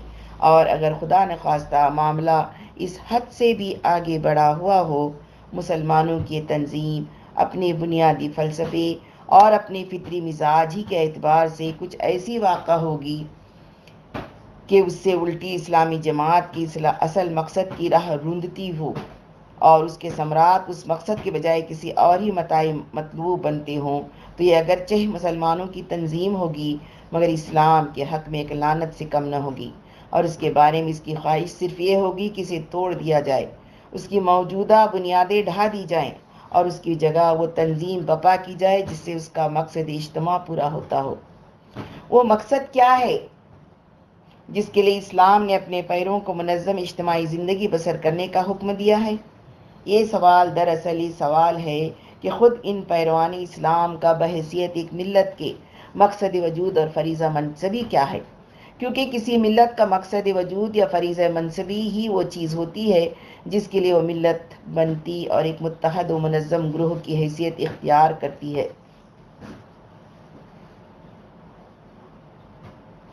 इसलिए मिलत इस्लामिया का मकसद वजूद और फरीज़ मनसबी मालूम कर लीजिए। इस्लाम की मतलूबा इज्तमाहीत का मकसद वाजा हो जाएगा। कुरान मजीद ने इस सिलसिले में मुख्तलिफ़ मौक़े पर जो कुछ फरमाया है वो ये है। सूरत बकरा 143 और इसी तरह हमने तुम्हें एक बेहतर उम्मत बनाया है ताकि तुम दूसरे तमाम लोगों पर हक के शाहिद रहो। सुर Aal Imran one one zero. तुम एक बेहतरीन उम्मत हो जिसे दूसरे इंसानों के लिए बर्पा किया गया है।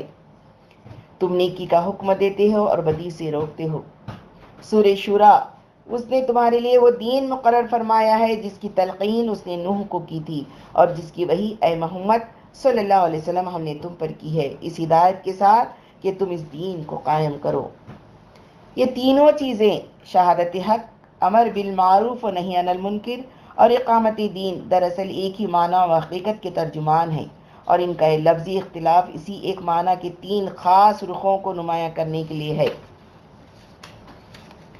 कुरान हकीम के इन बयानों से बिल्कुल वाजह तौर पर मालूम हो गया कि वह फरीज़ा या मकसद जिसके लिए मुसलमान इस ज़मीन पर एक जमात की हैसियत से मौजूद हो और एक उम्मत की हैसियत से मामूर हैं। अल्लाह के दीन की कामत और शहादत है। इसलिए इन्हीं बयानों से बिलवास्ता ये बात भी वाजा हो रही है कि इस्लामी इज्तमाहीत का मकसद इकामत दीन, अमर बिलमूफ और शहादत हक के सिवा और कुछ नहीं है।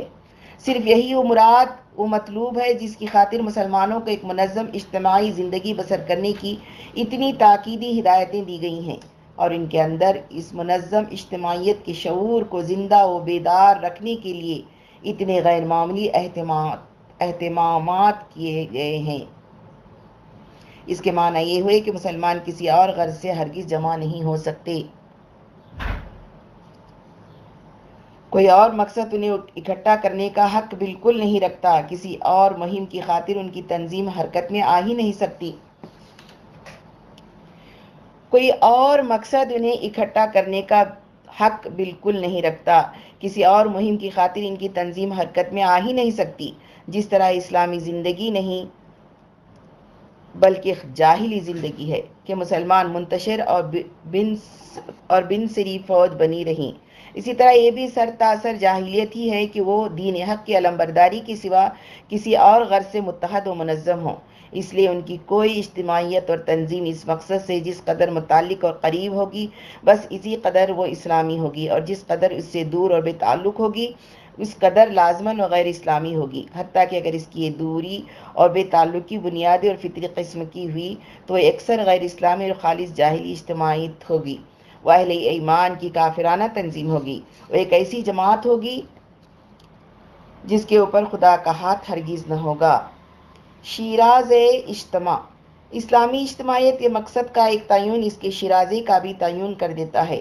अगर इस इज्तमाहीत का मकसद वहीद सिर्फ़ अल्लाह के दीन की कामत और शहादत है तो ये इस बात का भी फैसला है कि इज्तमा का मरकज़ सिर्फ़ यही दीन और सिर्फ़ ये दीन ही हो सकता है। चुनानचे कुरान मजीद ने अहले ईमान को एक मुतहद मनज़म ग्रोह बनकर रहने की हिदायत देते वक्त जो अल्फाज इस्तेमाल किए हैं वो ये हैं। सुर आल इमरान, वातसिम बहबल जमी वला तफर्रकू तुम सब मिलकर अल्लाह की रस्सी को मजबूती से पकड़ लो और टोलियों में न बटे रहो ये इर्शाद रब्बानी, जिस तरह इस बाब में बिल्कुल सरी है कि सारे मुसलमानों को बाहम जुड़ा हुआ रहना चाहिए, उसी तरह इस बारे में भी कुछ कम सरी नहीं है कि उनको जोड़ने वाली चीज़ सिर्फ़ अल्लाह की रस्सी हो। मालूम कि कुरान ने अहल ईमान को जिस मुतहद मनज़म इज्तमाहीत का हुक्म दिया था। उसके लिए नागुजीर ठहराया था कि इसकी हर इकाई अपने कुल से सिर्फ़ अल्लाह की किताब के रिश्ते से और महज उसके दीन की खातिर आकर मिली और जुड़ी हो। इसके सिवा इस कुल को कुल बनाने वाला और इसके अज्जा को आपस में जोड़ने वाला कोई और रिश्ता न हो।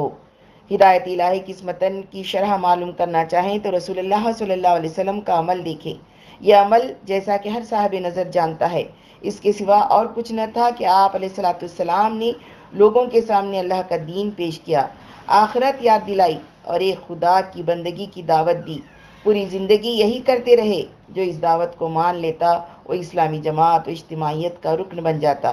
ख्वाह इसकी नस्लियत, इसकी वतनीत इसकी रंगत और इसकी ज़बान कुछ भी होती हो, और जो इसे न मानता वो इसी इज्तमाहीत के करीब भी न फटक पाता, चाहे वो कुरेशी हो और हाशमी क्यों न होता हो। जिस तरह इस दावत के सिवा और कोई चीज़ न थी जिसकी तरफ़ आप सलाम ने कभी किसी को लाया हो। इसी तरह इस रिश्ते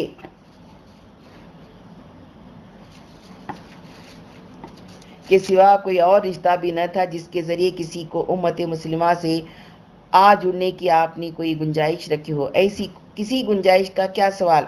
आप सल्लल्लाहु अलैहि वसल्लम ने तो बस इस तरह की इज्तमाहीत और जदबंदियों के ख़िलाफ़ इंतहाई सख्त अल्फाज कहे हैं। चुनानचा अलजमा यानी सही इस्लामी इज्तमाहीत से पूरी तरह वाबस्ता रहने की तलकिन के बाद ही आप सल्लल्लाहु अलैहि वसल्लम का इरशाद होता है। अहमद और तिरमेजी के हदीस के का मफहम है। और जिसने जाहिलियत की पुकार पर लोगों को बुलाया, उसका ठिकाना जहन्नम है। अगर चाह रोज़े रखता, नमाजें पढ़ता और अपने आप को मुसलमान समझता हो। जाहिलियत के माना है इस्लाम की ज़िद। ये इतनी वाजह हकीकत है जितनी ये बात के शिरक तोहहीद की ज़िद है। इसलिए हर वो पुकार जाहिलियत की पुकार होगी जो इस्लामी न हो जिसको कुरान हक की पुकार न तस्लीम करता हो, जिसे रसूल खुदा सल्लल्लाहु अलैहि वसल्लम की ज़बान से कभी बुलंद होते न सुना गया हो, और जिसे अल्लाह की दीन में जवाज़ की सनद हासिल न हो, इस्लाम ने एक मनज़म इज्तमाही ज़िंदगी बसर करने की तलकिन की है और गैर जमाती ज़िंदगी से सख्त बेजारी का इजहार किया है।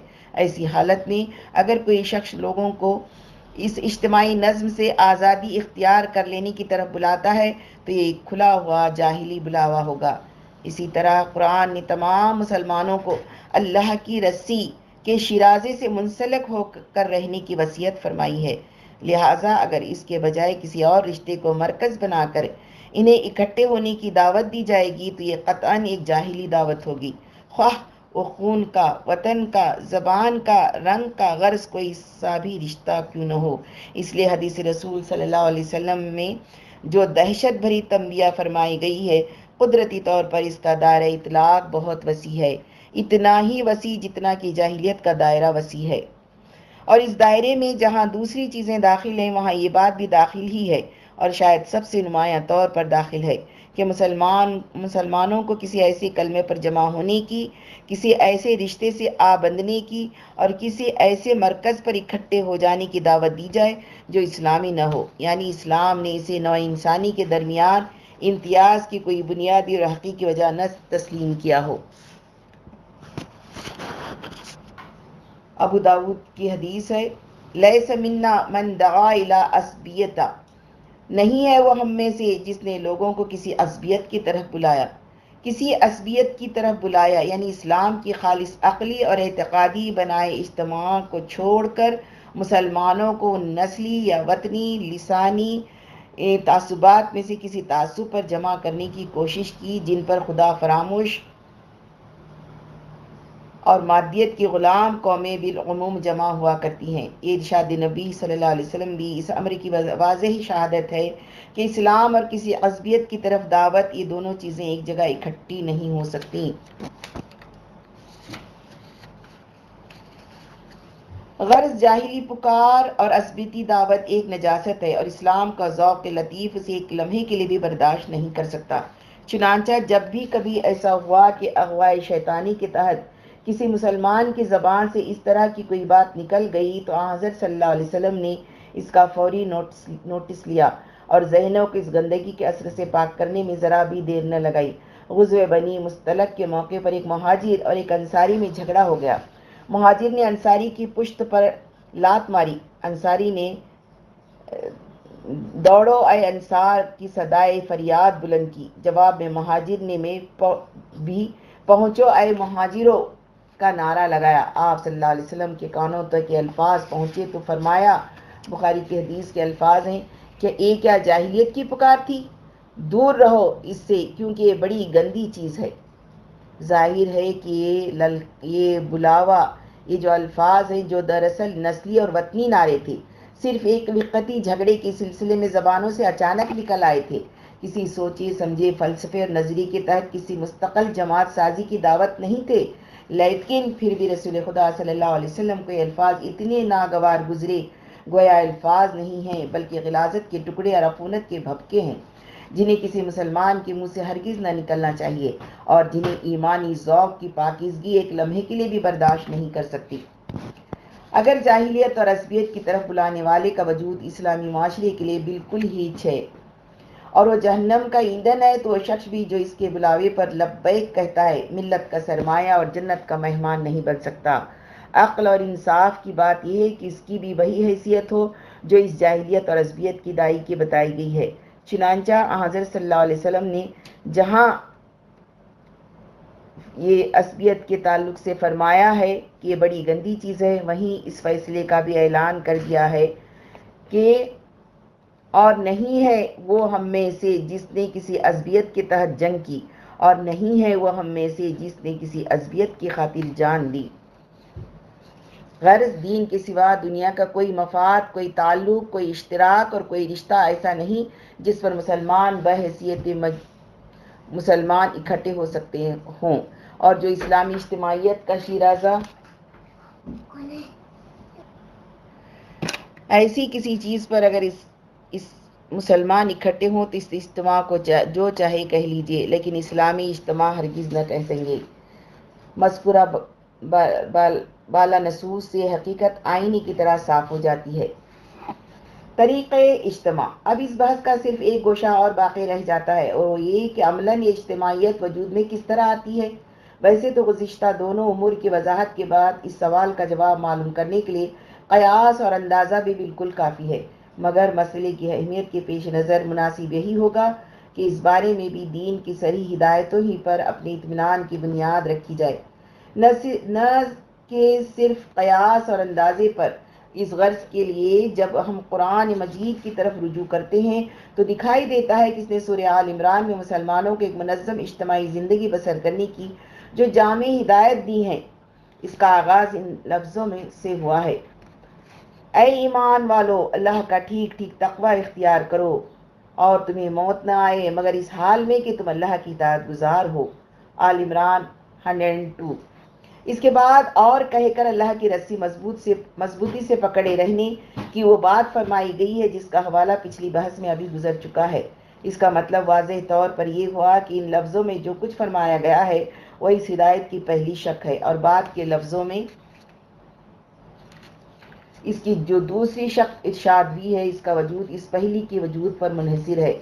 यानी जिस तरह इस्लामी इज्तमाहीत जहूर में नहीं आ सकती, जब तक कि अल्लाह का दीन ही उसका शिराजा न हो।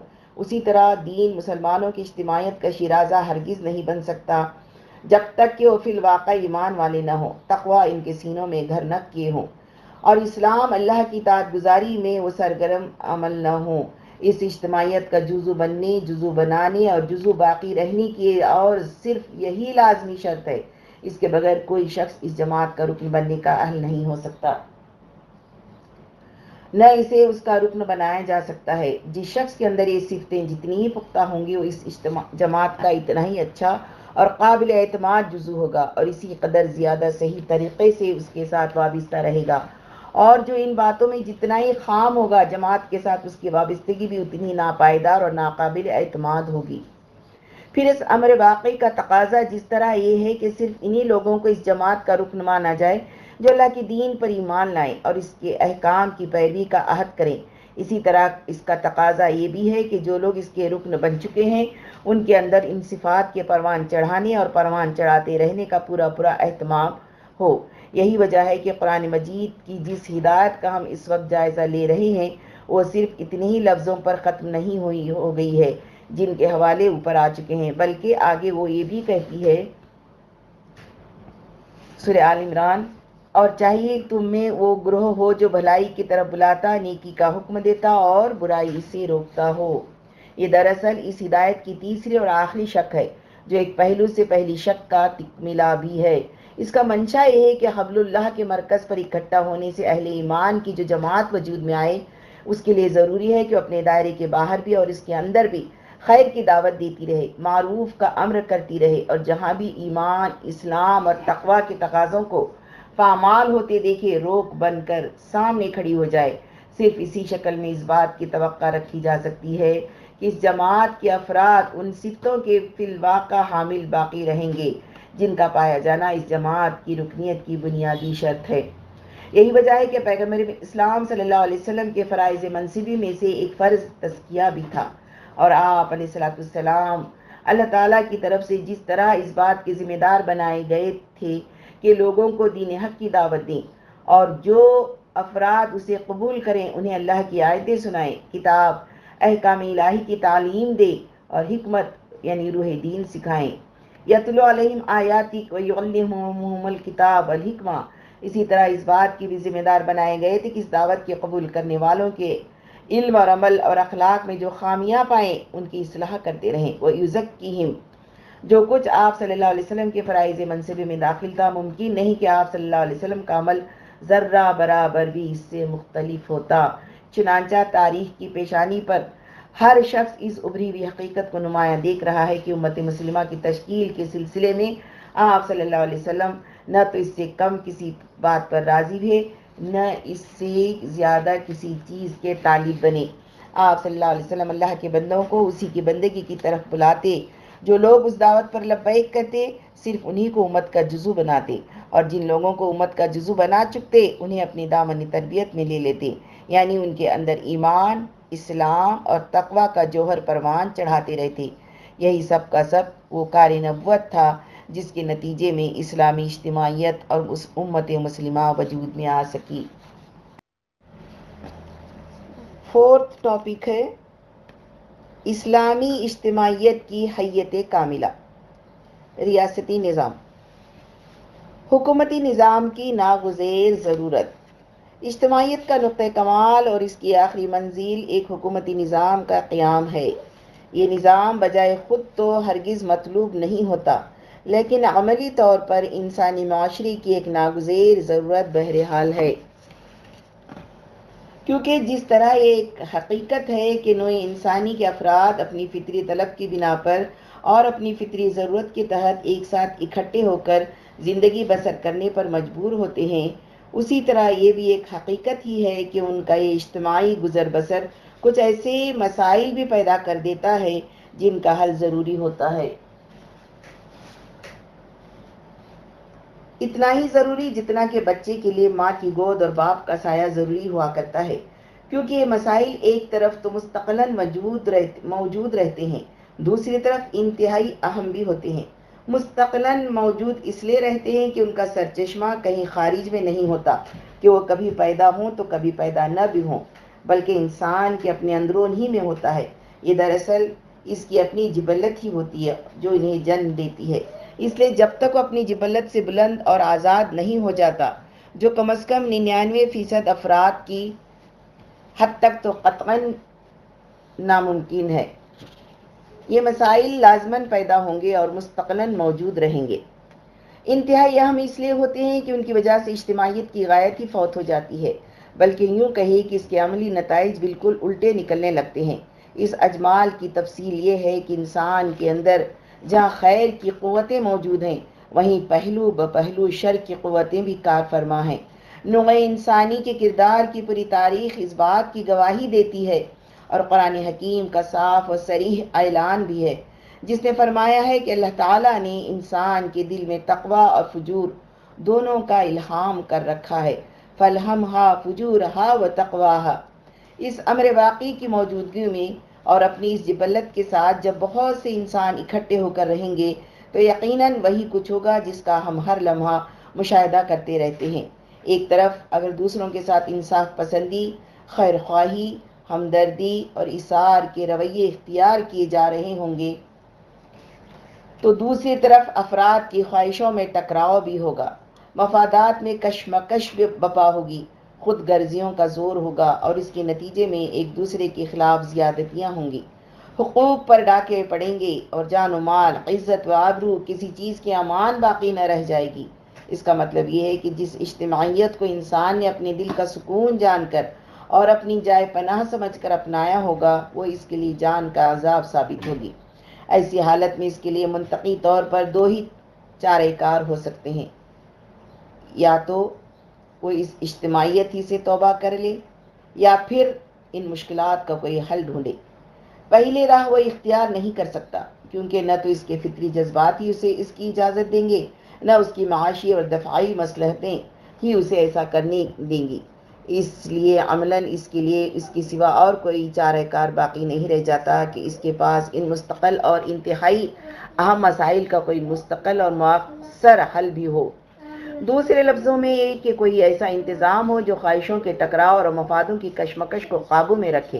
कोई ऐसी ताकत हो जो जुल्म पर आमदा हाथों को पकड़ ले, कमज़ोरों को महफूज रखे, मजलूमों की फरियाद रसी करे और हुकूक को वापस दिलाए। बगैर इस, बगैर किसी बहस और दलील के कहा जा सकता है कि हुकूमत इसी इंतज़ाम और इसी ताकत का दूसरा नाम है। यानी ये सिर्फ़ हुकूमती निज़ाम ही है जो किसी इज्तम के अंदर अमन इंसाफ की फ़िज़ा कायम रख, कर सकता और बरकरार रख सकता है। एक साफ़ और फितरी हकीकत है और इसका इनकार उस वक्त तक नहीं किया जा सकता जब तक कि इंसानी जबलत के रोशन तरीन हक़ की तरफ़ से आँखें न बंद कर ली जाए। इबन खलदून ने, इबन खलदून ने कोई मुबालगा नहीं किया था। जब ये कहा था कि इंसान जिस फितरी तौर पर इज्तमाहीत पसंद वाक़ हुआ है, उसी तरह आइन अपनी फितरती की बिना पर एक ऐसे वाज और हाकिम का ज़रूरतमंद भी है, जो इज्तम के मुख्तलिफ़ अफराद को एक दूसरे के ख़िलाफ़ दस्त दराजियाँ करने से रोके। फिर ये हुकूमती निज़ाम किसी इज्तम और माशरे की सिर्फ़ दाखिली ज़रूरत नहीं है। बल्कि उसकी खारजी ज़रूरत भी है। इसके बगैर वो अपने वजूद और अपने मफादात की ठीक ठीक हिफाजत बिल्कुल नहीं कर सकता। क्योंकि इंसानी जबलत की कमज़ोरियाँ जिस तरह एक इज्तमाही वहदत के अफराद को एक दूसरे के ख़िलाफ़ आमदाए जुल्म करती रहती हैं, इसी तरह मुख्तलिफ़ इज्तमाही वहदतों और कौमों को भी आपस में टकराया करती हैं। और कोई कौम अपने ख़िलाफ़ जारिहाना इकदाम की तरफ़ से कभी मुतमिन नहीं रहती।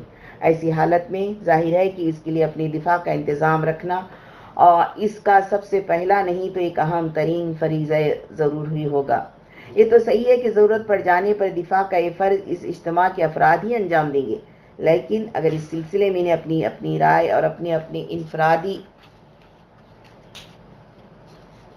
फैसलों पर छोड़ दिया गया कि जो शख्स जब चाहे और जिस तरह मुनासिब समझे अपने इस फ़र्ज़ को अंजाम दे तो कामयाबी की तो रखना अबस ही होगा। किसी बिन बिन सरी फौज ने आज तक किसी मनज़म हमले का मुकाबला नहीं किया है। इसलिए अफराद अपनी अपनी जगह चाहे कितनी फर, कितने ही फ़र्ज़ शनास बाहमियत और जा फरोश क्यों न हो। अगर वो किसी निज़ाम अमरतात के तहत न होंगे तो होने वाले हमलों का दिफा हरगिज़ न कर सकेंगे। दूसरे लफ्ज़ों में गोया हकीकत वही निकली कि हर इज्तम अपनी दफ़ा के लिए एक अपने दिफा के लिए एक हुकूमती नज्म नस्क का मोहताज है। याद होगा कि दिफाई मसलियत और ज़रूरत भी इन्हीं बुनियादी इसबाब में से एक है, जो इंसान के लिए इज्तमाहीत को लाजिम ठहराते हैं। इसलिए इस एहतियाज का मतलब ये हुआ कि हुकूमत का क़्याम खुद इज्तमाहीत के अपने मकसद वजूद की खातिर भी ज़रूरी है। इस्लाम और निज़ाम हुकूमत मुस्लिम माशरा भी इंसानी ही माशरा होता है और इन्हीं इंसानों से बनता है। जिनके अंदर खैर व शर दोनों की कुतें काम किया करती हैं और जिनके दिलों में फजूर और तकवा दोनों ही का इल्हाम फरमाया गया है। इसलिए मुमकिन नहीं कि वो शर फजूर के असर से बिल्कुल पाक रहे, क्योंकि अपनी तमाम तर खैर पसंदियों और तकवा शुआरियों के बावजूद मुसलमान भी इंसान ही रहते हैं। माफ़ाकुल इंसान नहीं हो जाते, इसलिए उनके माशरे में भी इंसानी जबलत की कमज़ोरियाँ हमेशा पाई जा सकती हैं, हमेशा पाई गई हैं और हमेशा पाई जाती रहेंगी।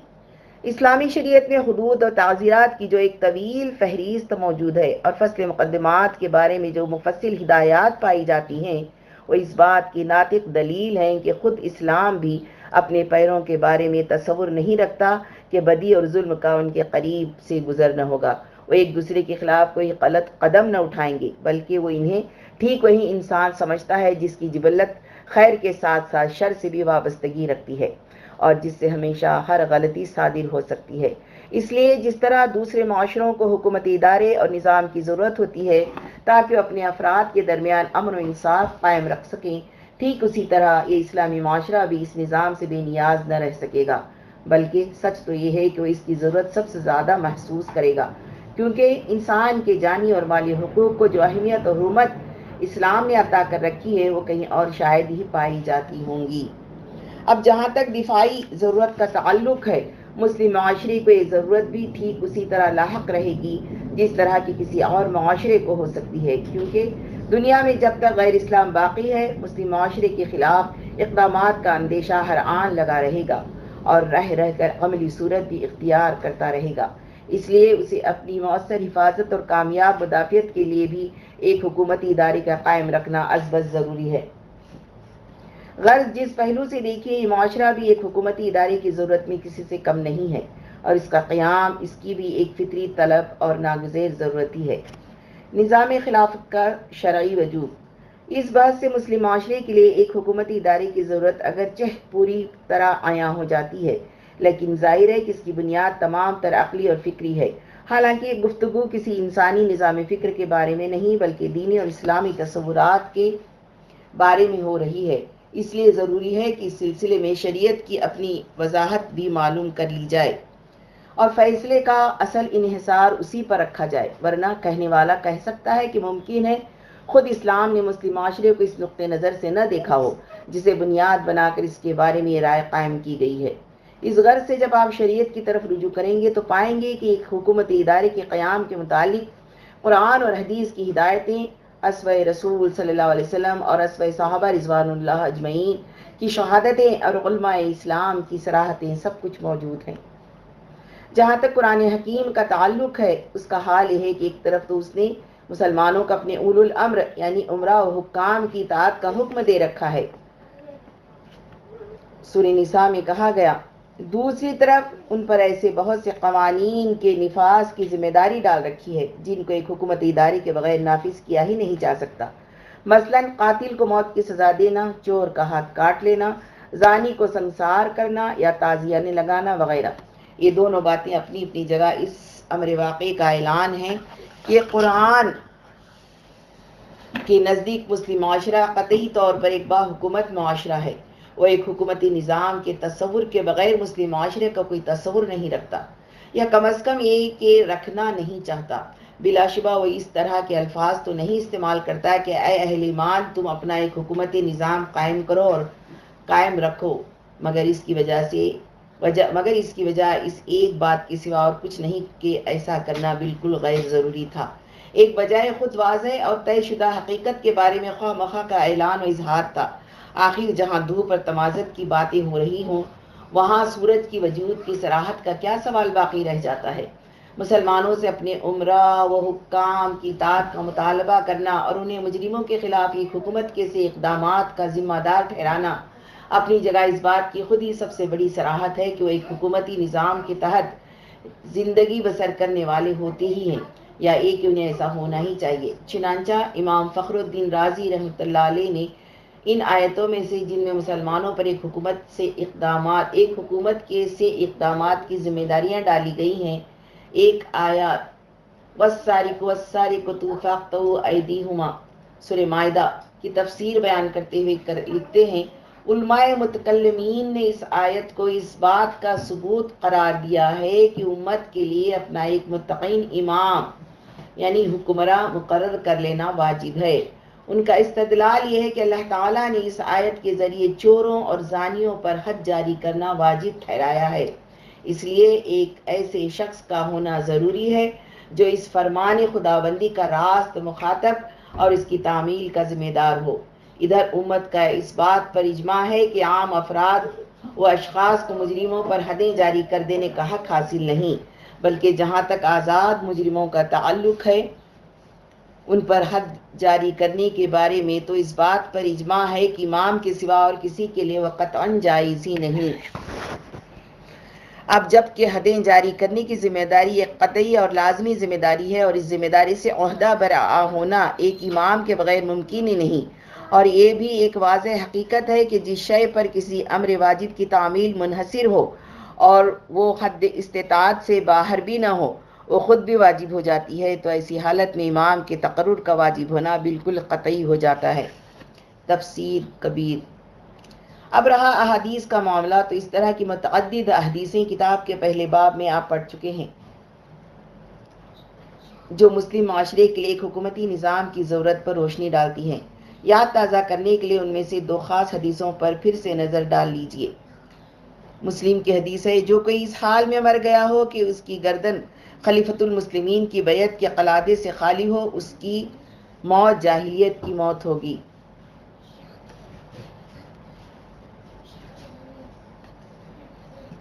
और अहमद और तिरमजी की हदीस है, मैं तुम्हें पाँच बातों का हुक्म देता हूँ।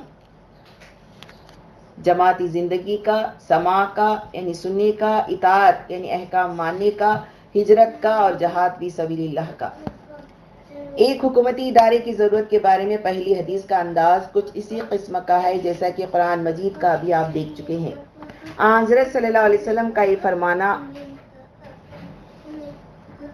कि बैत खिलाफत से महरूमी इंसान को जाहिलियत की हालत में पहुँचा देती है। सराहतन माना रखता है कि मुस्लिम माशरे निज़ाम खिलाफत के, मुस्लिम माशरा निज़ाम खिलाफत के बगैर होता ही नहीं।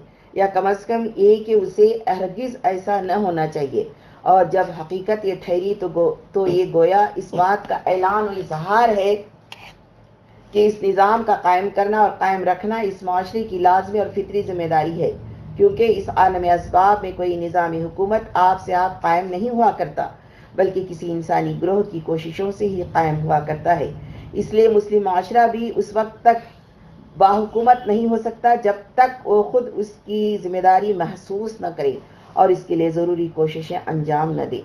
रही दूसरी हदीस तो हर शख्स देख सकता है कि इस बारे में इसकी वह हैसियत साफ़ तौर पर वाज और रास्त हिदायत की है, क्योंकि इसमें एक ऐसी इज्तमाही ज़िंदगी बसर करने का सही हुक्म दिया गया है जो कोई मामूली किस्म की नहीं, बल्कि समा और तात वाली इज्तमाही ज़िंदगी है। यानी एक ऐसी ज़िंदगी जिसमें अहकाम जारी हों जिसके अंदर कोई हुक्म देने वाला हो और लोग इसकी तात करने वाले हों। साफ़ लफ्ज़ों में एक जो एक एक निज़ाम अमर इतात या एक हुकूमती इदारा रखने वाली इज्तमाही ज़िंदगी हो, क्योंकि समा और तात का वजूद किसी न किसी तरह हुकूमत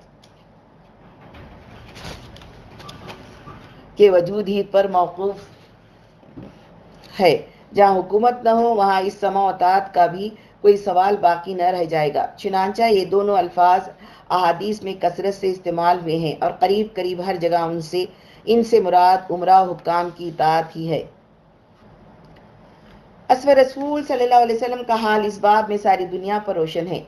आप मानन तो इब्तदाही से साहब अमर हुक्म थे, मगर हिजरत के बाद तो आप सल्लल्लाहु अलैहि वसल्लम की हैसियत ज़ाहिरी और इस्तेलाही तौर पर भी पूरी तरह नुमाया हो गई।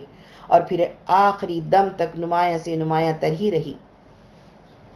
सारे अहलमान एक कौम, एक मिलत और एक जमात थे और आप सल्लल्लाहु अलैहि वसल्लम इसके क़ायद व सरबराह थे। पूरा इस्लामी ख़त अर्ज़ एक ममलिकत था और आप इस ममलिकत के हुक्मरान थे।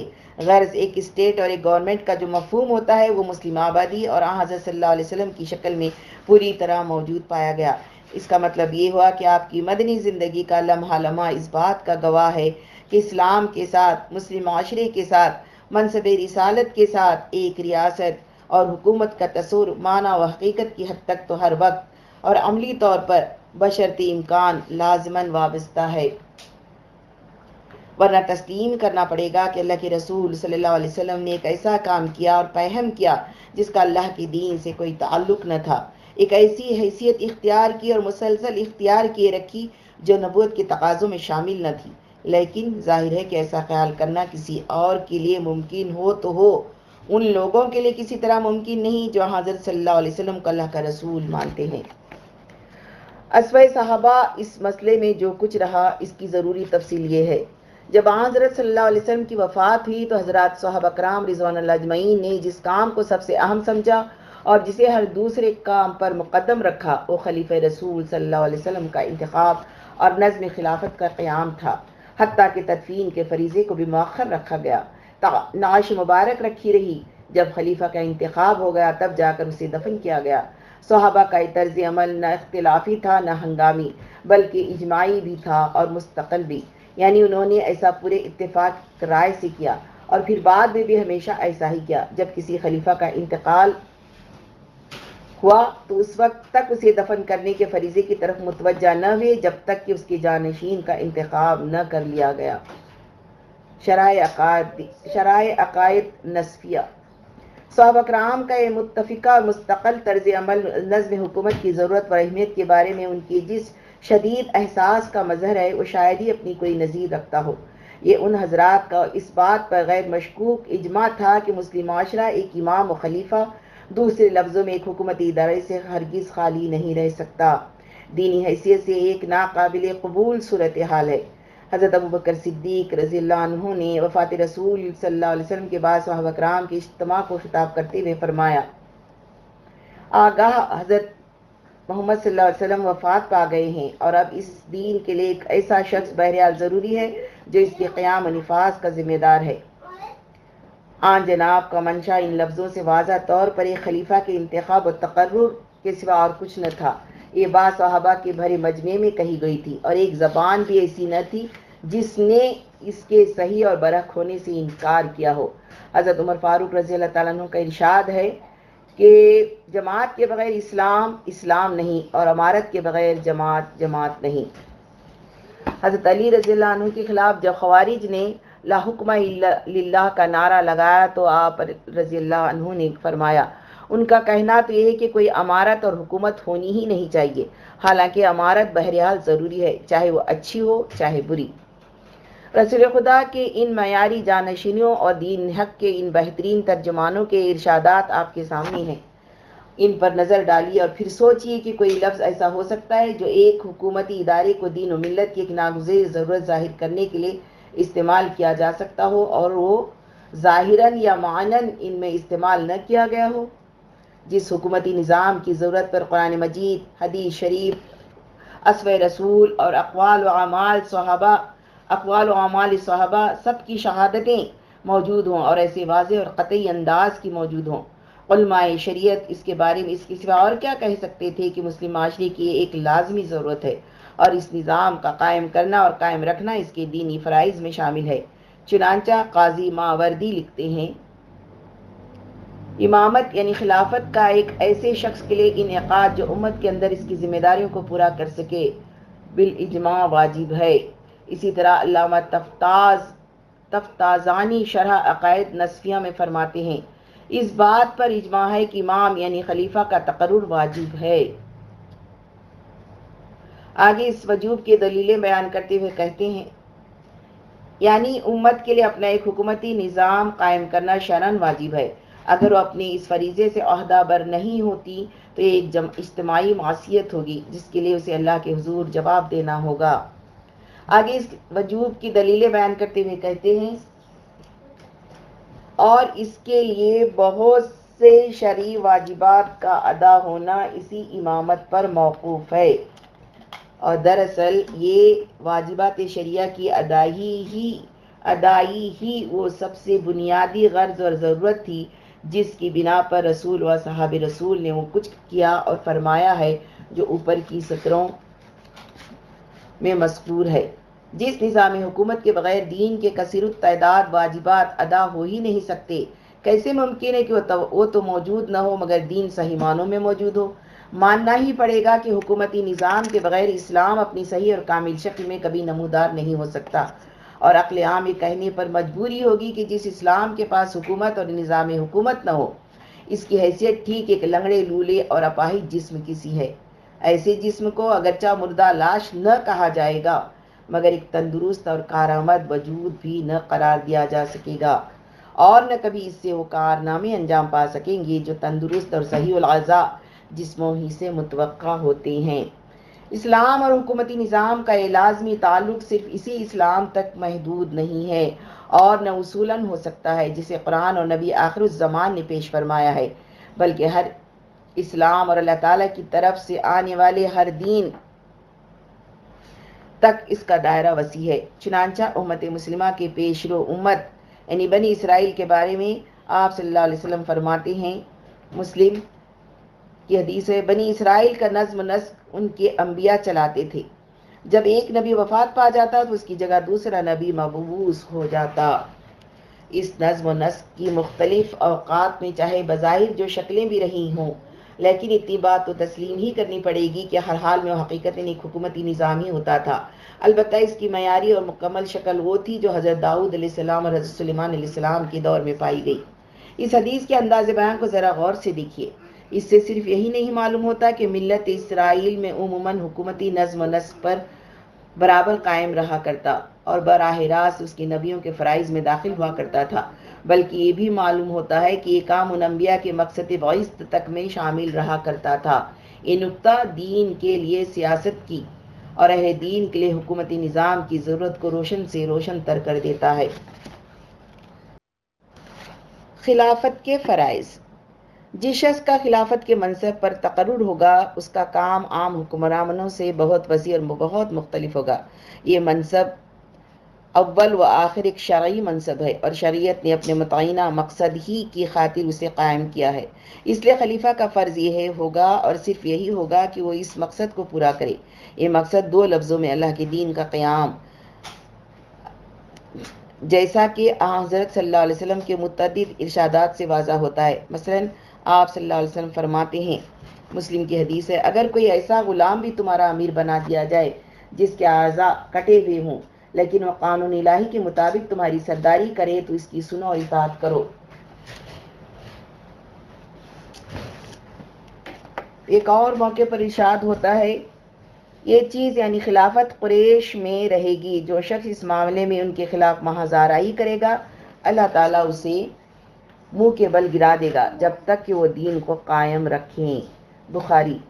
इन हदीसों के देखने के बाद इस हकीकत पर कोई पर्दा नहीं रह जाता कि कोई अमीर अवाम की फरमाबरदारी का और कोई खलीफा खिलाफत के इकतदार का वाकई हकदार उसी वक्त तक बाकी रहता है जब तक कि वह शरीयत के कवानी और मसाले के तहत अपने फ़राइज़ अंजाम दे और अल्लाह के दीन को कायम रखे।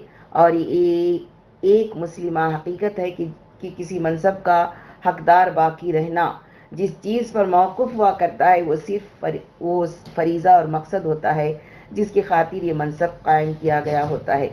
इसलिए हज़रत सल्लल्लाहु अलैहि वसल्लम की निशादात का खुला हुआ मतलब ये है ये हुआ कि मनसब खिलाफत के क़्याम की गर्ज वायत और खलीफे का मर्ज फ़र्ज़ मनसबी सिर्फ़ इकामती दीन है।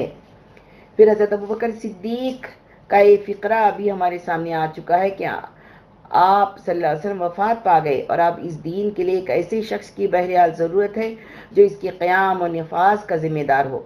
ये फ़िक्रा जो दरअसल सिर्फ़ एक हज़रत अबू बकर सिद्दीकी का नहीं, बल्कि पूरे गुरह सहाबा का फ़िक्रा था। इस बात का सही ऐलान है कि खलीफे का, खलीफा का वजूद अगर मतलूब है तो सिर्फ़ अल्लाह के दीन को कायम रखने के लिए।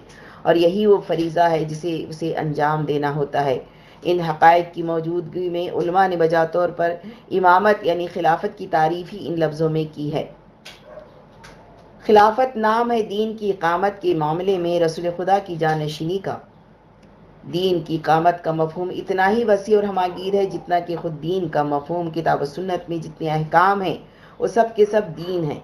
इसलिए दीन की इकामत का मतलब ये हुआ कि मुस्लिम माशरे से इस पूरे मजमू के तहत ज़िंदगी बसर कराई जाए।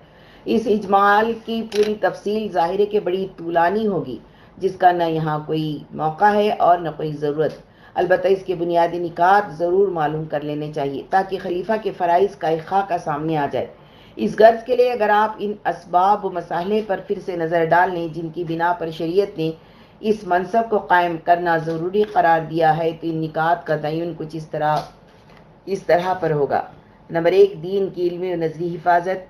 दीनी ूम की नशर इशात और मुसलमानों में दीनी यकीन की बका व तरक्की का अहतमाम नंबर दो, दीन की अमली बुनियादों, यानी नमाज़, ज़क़़त, रोज़ा और हज को कायम रखना और माशरे में इनकी तरफ़ से गफलत न पैदा होने देना। नंबर तीन, दीन व मिलत का दुश्मनों से दिफा करना और इस गर्ज के लिए जंग जिहाद की जुमला फ़राइज़ अंजाम देना। नंबर चार मामला का फ़ैसला और अदल का क़्याम।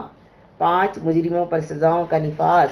छः अफराधी माशरे की जान माल और इज़्ज़त आबरू की हिफाजत और अमन अमान का क़्याम। सात कमज़ोर और हाजितमंदों की खबरगिरी। आठ, अंदरून माशरा भी और बैरून माशरा भी अमर बिलमारूफ और नहीं अनल मुनकर का पूरा पूरा अहतमाम। अगर आप चाहें तो मजीद निकात के भी नाम ले सकते हैं। चुनाचा बाज ने फ़राइज़ की खिलाफत की तदाद इससे, फ़राइज़ से खिलाफत की तदाद इससे ज़्यादा बताई है। मगर हक ये है कि इस ज़िमन में जिन दूसरी चीज़ों का नाम लिया जा सकता है, वो या तो इन्हीं आठों में से किसी के अंदर शामिल होंगे, या फिर उनकी नौीयत बुनियादी निकात की न होगी। खिलाफत के हकूक़ खिलाफत या खिलाफ खलीफतुलमसलिमीन के फ़रज़ जितने वसी और हमागीर हैं, इसके हकूक़ भी इतने अजीम हैं। दुनिया की कोई भी दूसरी हुकूमत और हुक्मरान शख्सियत वो हकूक़ नहीं रखती जो उसे हासिल होते हैं। इन हकूक़ की तफसील ये है। नंबर एक इतात सबसे पहले हक तो ये है कि इसके अहकाम सुने और माने जाएँ। अल्लाह तला का फरमान है ए ईमान वालो इतात करो अल्लाह और इतात करो उसके रसूल की, नज़ अपने में के असहाब अमर की। इस आयत में अजाब अमर की तात का जिनमें खलीफतुलमसलिमिन बदाहतन सर फहरिस्त है वाजा हुक्म दिया गया है और इसे अहल ईमान के लिए ज़रूरी ठहराया गया है। इस तरह ज़रूरी कि अल्लाह और रसूल की तात के हुक्म के पहलू ही में ये हुक्म भी जब्त कर दिया गया है। इस अंदाज कलाम का जो तकाजा है, वह अहल नज़र पर मख्फी नहीं रह सकता। नबी अक्रम सल्लल्लाहु ने इसी तकाजे की शरह फरमाई थी, जब ये इरशाद हुआ था कि मुस्लिम जिसने मेरा हुक्म माना, उसने दरअसल अल्लाह का हुक्म माना और जिसने मेरी नाफरमानी की, उसने दरअसल अल्लाह की नाफरमानी की। और जिसने अपने अमीर का हुक्म माना, उसने दरअसल मेरा हुक्म माना और जिसने अमीर की नाफरमानी की, उसने दरअसल मेरी नाफरमानी की। मुस्लिम, जो इतात फिलवाका अल्लाह और रसूल की इतात बन जाती हो वह अफराद की अपनी मर्ज़ी और सहूलत पर मौकूफ़ नहीं रह सकती। इसका तो हक होगा कि उसे अशखास की तबई आमादगियों से अक्सर बुलंद रखा जाए। चुनाचा ऐसा ही किया गया है। हज़रत उबादा बिन सामित रज़ील्ला फरमाते हैं, मुस्लिम की हदीस के अल्फाज है, हमें नबी अकरम सल्लल्लाहु ने बुलाया और आपसे हमने बैत की तो इन बातों में जिनका हमसे आपने अहद लिया, ये बात भी शामिल थी कि हम हर हाल में, चाहे हमें गवारा हो, चाहे नागवार, हम तंगी के आलम में हों या कुशादगी के आलम में, अपने उम्र के अहकाम सुनेंगे और उनकी इतात करेंगे। फिर सिर्फ़ यही नहीं कि तबीयत की नागवारी और तंगी और परेशान, हाली के वक्त भी समावतात एक मुसलमान का फ़र्ज़ है। बल्कि ये फ़र्ज़ उस वक्त भी अपनी जगह जूँ का तू बरकरार रहता है जब ये हुक्म देने वाले बद किरदारी के शिकार हों और हुकूक के मौके पर उन्हें अपनी ज़ात सबसे पहले याद आती हो। चुनाचा मस्कुरा हदीस इतात में आ, चुनाचा मस्कुरा हदीस इतात में आगे ये अल्फाज भी आते हैं। असरतिन अलैना और उस वक्त भी ऐसा ही करेंगे जब हमारे खिलाफ तरजीह बरती जा रही होगी। और बात अब भी अपनी हद तक को नहीं, हद को नहीं पहुँची। आज़र अलैहि वसल्लम ने का फरमाना तो यहाँ तक है, मुस्लिम की हदीस है, तुम्हें उम्र के हुकूमतों को, तुम्हें उम्र के हुक्मों को सुनना और मानना चाहिए। हती कि अगर तुम्हारी पीठ जख्मी कर दी जाए और तुम्हारा माल छीन लिया जाए तो भी सुनते और मानते रहना। ये और इसी तरह की मुतद हदीसें मुसलमानों को तलकीन करती हैं कि वो अपने ख़िलाफ़ सब कुछ झेलते रहें, मगर समावतात के दामन को हरगिज़ न छोड़ें। जब तक एक शख्स अमारत या खिलाफत के मनसब पर फायज है, इसकी इतात का हक नाकबिल इनकार है और मुसलमान का फ़र्ज़ है कि इस हक को बराबर तस्लीम करता रहे। इसकी बेकिरदारी और इसकी बेानसाफ़ी और सितम कोशी भी उसके हक को साख्त नहीं कर सकती।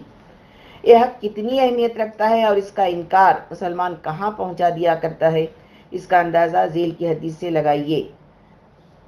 जिसने इतात से हाथ खींच लिया वह क़यामत के दिन अल्लाह ताला के सामने इस हाल में हाजिर होगा कि उसके पास अपनी रविश के हक होने पर कोई दलील न होगी। मालूम हुआ कि उम्र और खुलफा की नाफरमानी का मामला ऐसा नहीं है जो यहीं ख़त्म हो जाता है, बल्कि ऐसा है जो कल खुदा के हुजूर भी पेश होगा। और जब पेश होगा तो वहाँ उस, इस जुर्म की सफ़ाई में कोई बात नहीं कही जा सकेगी। आदमी को इकरारी मुजरिम बनने के लिए मजबूर होना पड़ेगा। एक और मौके पर इर्शाद होता है, बुखारी की हदीस है, जो कोई अपने अमीर के हाथों कोई नागवारी हरकत सर होते देखे, उसे चाहिए कि सब्र करे और उसकी वजह से उसकी इतात से मुँह मोड़ लेने की हरगिज न सोचे, क्योंकि जो शख्स बालिश बराबर भी जमात से अलग हो रहेगा, वो जाहिलियत की हालत में मरेगा। यह हदीस जहाँ एक तरफ़ उस हकीकत पर एक नई अंदाज से रोशनी डालती है जो पहली हदीस से मालूम ही थी, वहीं दूसरी तरफ़ ये भी बता देती है कि ऐसा क्यों होता है। ये कहती कि खलीफतुलमसलिमीन की हैसियत इस्लामी इज्तमाहीत और मिली तंजीम के निशान की होती है, इसलिए इसकी इतात से इनकार सिर्फ़ एक फ़र्द की इतात का इनकार नहीं होता, बल्कि दरअसल इस पूरी इज्तमाही तंजीम से अलहदगी का ऐलान होता है। और ये एक ऐसा ख़तरनाक इकदाम है जिसके बाद खुद मुसलमान बाकी रहने का दावा भी बेवजन होकर रह जाता है। आदमी अपनी तमाम तर दीनदारियों के बावजूद जब मर जाता है तो इस तरह की जाहिली मौत मरता है। बल्कि बाज़ अहादीस से तो ऐसा मालूम होता है कि शायद वो कुल्ली जाहिलियत की मौत मरता है। चुनाचा ये तंबिया हमारी नज़रों से गुज़र भी चुकी है कि मिशकवात की हदीस है। जो कोई जमात से बालिश तबर भी अलग हो रहा। उसने अपनी गर्दन से इस्लाम का हल्का निकाल फेंका। इल्ला एक वो जमात की तरफ़ फिर लौटाए नंबर दो, मोहब्बत। खिलाफत कहा कि भी है कि साहब अमर से मोहब्बत रखी जाए। जिस तरह ज़ाहिर में इसके अहकाम की तात हो, उसी तरह दिलों में इसकी ज़ात के लिए जगह मौजूद हो। आप सल्लल्लाहु अलैहि वसल्लम फरमाते हैं, मुस्लिम की हदीस है, तुम्हारे अच्छे खुलफा वो होंगे जिनसे तुमको मोहब्बत हो और तुमसे उन्हें मोहब्बत हो। और जिनके लिए तुम रहमत की दुआएँ करो और वो तुम्हारे लिए करें। उसी तरह तुम्हारे बुरे खुलफा होंगे, जिनसे तुम बगज़ रखो और वो तुमसे बगज़ रखें। और जिन पर तुम लानत भेजो और वो तुम पर लानत भेजें। अच्छे खुलफा वो होंगे, यानी एक खलीफा को ऐसा ही होना चाहिए। इसकी असल पोजीशन यही है कि लोग इसके लिए बेहतरीन जज्बात रखें। इसके दिल से खैर ख्वाह हों और उनकी निगाहों से उसकी मोहब्बत और अकीदत टपकी पड़ती हो। चुनाचा एक और हदीस में इस रवैये को दीनदारी का रास्ता तकाजा करार दिया गया है। मुस्लिम की हदीस है, दीन इखलासमंदी का नाम है। हमने यानी सहाबा ने पूछा, किसके तय इखलासमंदी का? इरशाद हुआ अल्लाह के, रसूल के, मुसलमानों के, खुलफा के और आम मुसलमानों के। यही वजह है कि खिलाफत की बैत को सिर्फ़ एक ज़ाहरी और रस्मी इजहार वफादारी नहीं कहा गया, बल्कि अपनी मताए कल्ब दे, देने से ताबीर किया गया है। मुस्लिम की हदीस है, जिसने खलीफा से बैत कर ली, उसके हाथ में अपना हाथ दे दिया और अपने मताए कल्ब उसके हवाले कर दी। उसे चाहिए कि अपने बस भर उसकी पूरी पूरी इतात करता रहे।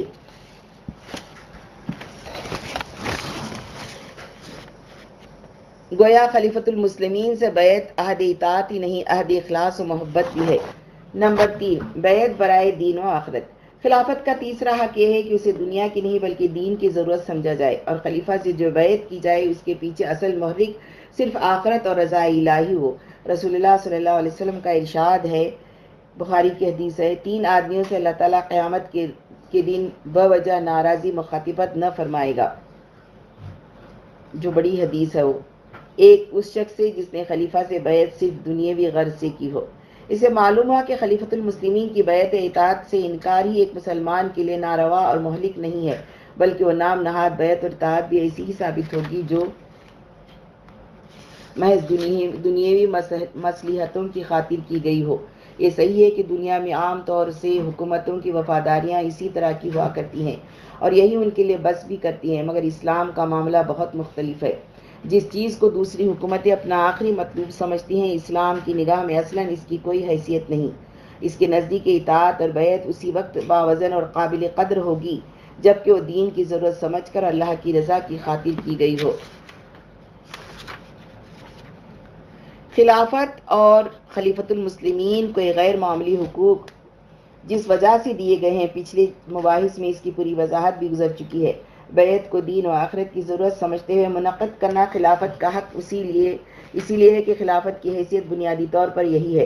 चुनानचा वाजा दलाइल की रोशनी में हम देख चुके हैं कि खिलाफत एक अहम तरीन दीनी ज़रूरत है और उसका क़्याम शरण वाजिब है। ज़ाहिर है कि जो मनसब बुनियादी तौर पर एक दीनी मनसब हो, उसका वही मानना वाकई मानना हो सकता है, जब उसे दीनी मनसब समझकर माना गया हो, वरना उसका मानना एक खुला हुआ फरेब होगा। आखिर जिस चीज़ की असल बुनियादी हैसियत ही किसी को तस्लीम न हो वो इसके तस्लीम करने का अगर दावा करता है तो उसके इस दावे को कौन सही बावर कर सकता है? रहा मोहब्बत इतात का, का हुकूक के खिलाफत में होना तो ये बात भी बड़ी आसानी से समझ में आ सकती है जो मनसब दीन जो मनसब दीन की खातिर कायम किया गया हो और जिसकी हैसियत सर तासर शगी हो उसे एक मुसलमान फितरी तौर पर मोहब्बत और अकीदत ही की नज़रों से देखेगा। और उसके साथ उसका अमली रवैया तात और फरमा बरदारी का होगा।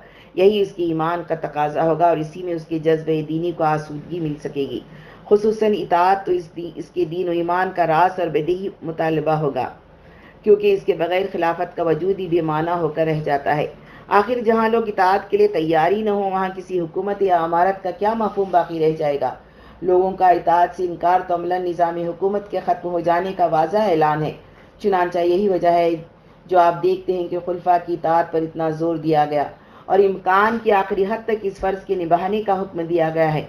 हती कि उस वक्त भी ये फ़र्ज़ फ़र्ज़ ही रहता है जब रियाया की पीठें उधर, उधड़ रही हूँ और उस वक्त भी उस हक के इतात को चैलेंज नहीं किया जा सकता जब जान माल तक की अमान बाकी न रह गई हो। इस्लाम के आइन में दफ़ा, ये दिफा सिर्फ़ इसलिए सख्त की गई है कि खलीफतुलमसलिमीन की तात का मामला फिलवाक़ा इसकी ज़ात की तात का मामला नहीं है, बल्कि अहकाम खुदा और रसूल की तात का और दीन के इज्तमाही निज़ाम की बका का मामला है। इसलिए वो अपनी ज़ात में नाकिस और बेकिरदार सही, मगर जब तक कोई खिलाफत के मनसब पर फायज है, उसी की फरमा रवाई से इस निज़ाम का अमली नफाज वाबस्ता है। उसी पर दीन के एक बड़े हिस्से की पैरवी मौकूफ़ है और इसके बगैर मुसलमानों की इज्तमाही ज़िंदगी इस्लामी बन ही नहीं सकती। यूँ कहिए कि इस ज़मीन पर दरअसल अल्लाह ताला की तशरीक़ी हकमियत का अमली मज़हर और इसकी इकतदार का ज़ाहरी निशान होता है। कोई शक नहीं कि मुसलमान सब कुछ सहेगा और हर बात गवारा कर लेगा, मगर इस मजहर को गायब और इस शान, निशान को मिटा हुआ नहीं दे सकता। वो वो ये तो ज़रूर बर्दाश्त कर लेगा कि इस्लाम के घर में भी मुसलमान को सलामती मैसर न हो। लेकिन ये कभी बर्दाश्त न करेगा कि इस्लाम का ये घर ढह जाए और दीन के इज्तमाही निज़ाम से वो महरूम हो रहे। और अगर कोई इसे बर्दाश्त करने के लिए तैयार है तो इसके माना यह है कि इसकी ईमान की नब्ज़ें छूट चुकी हैं, क्योंकि वो अपनी दुनिया के मफाद को दीनी निज़ाम की बका पर खुली भी तरजीह दे रहा है। और ये एक ऐसी बात है जो ईमान इस्लाम के साथ कभी इकट्ठी नहीं हो सकती।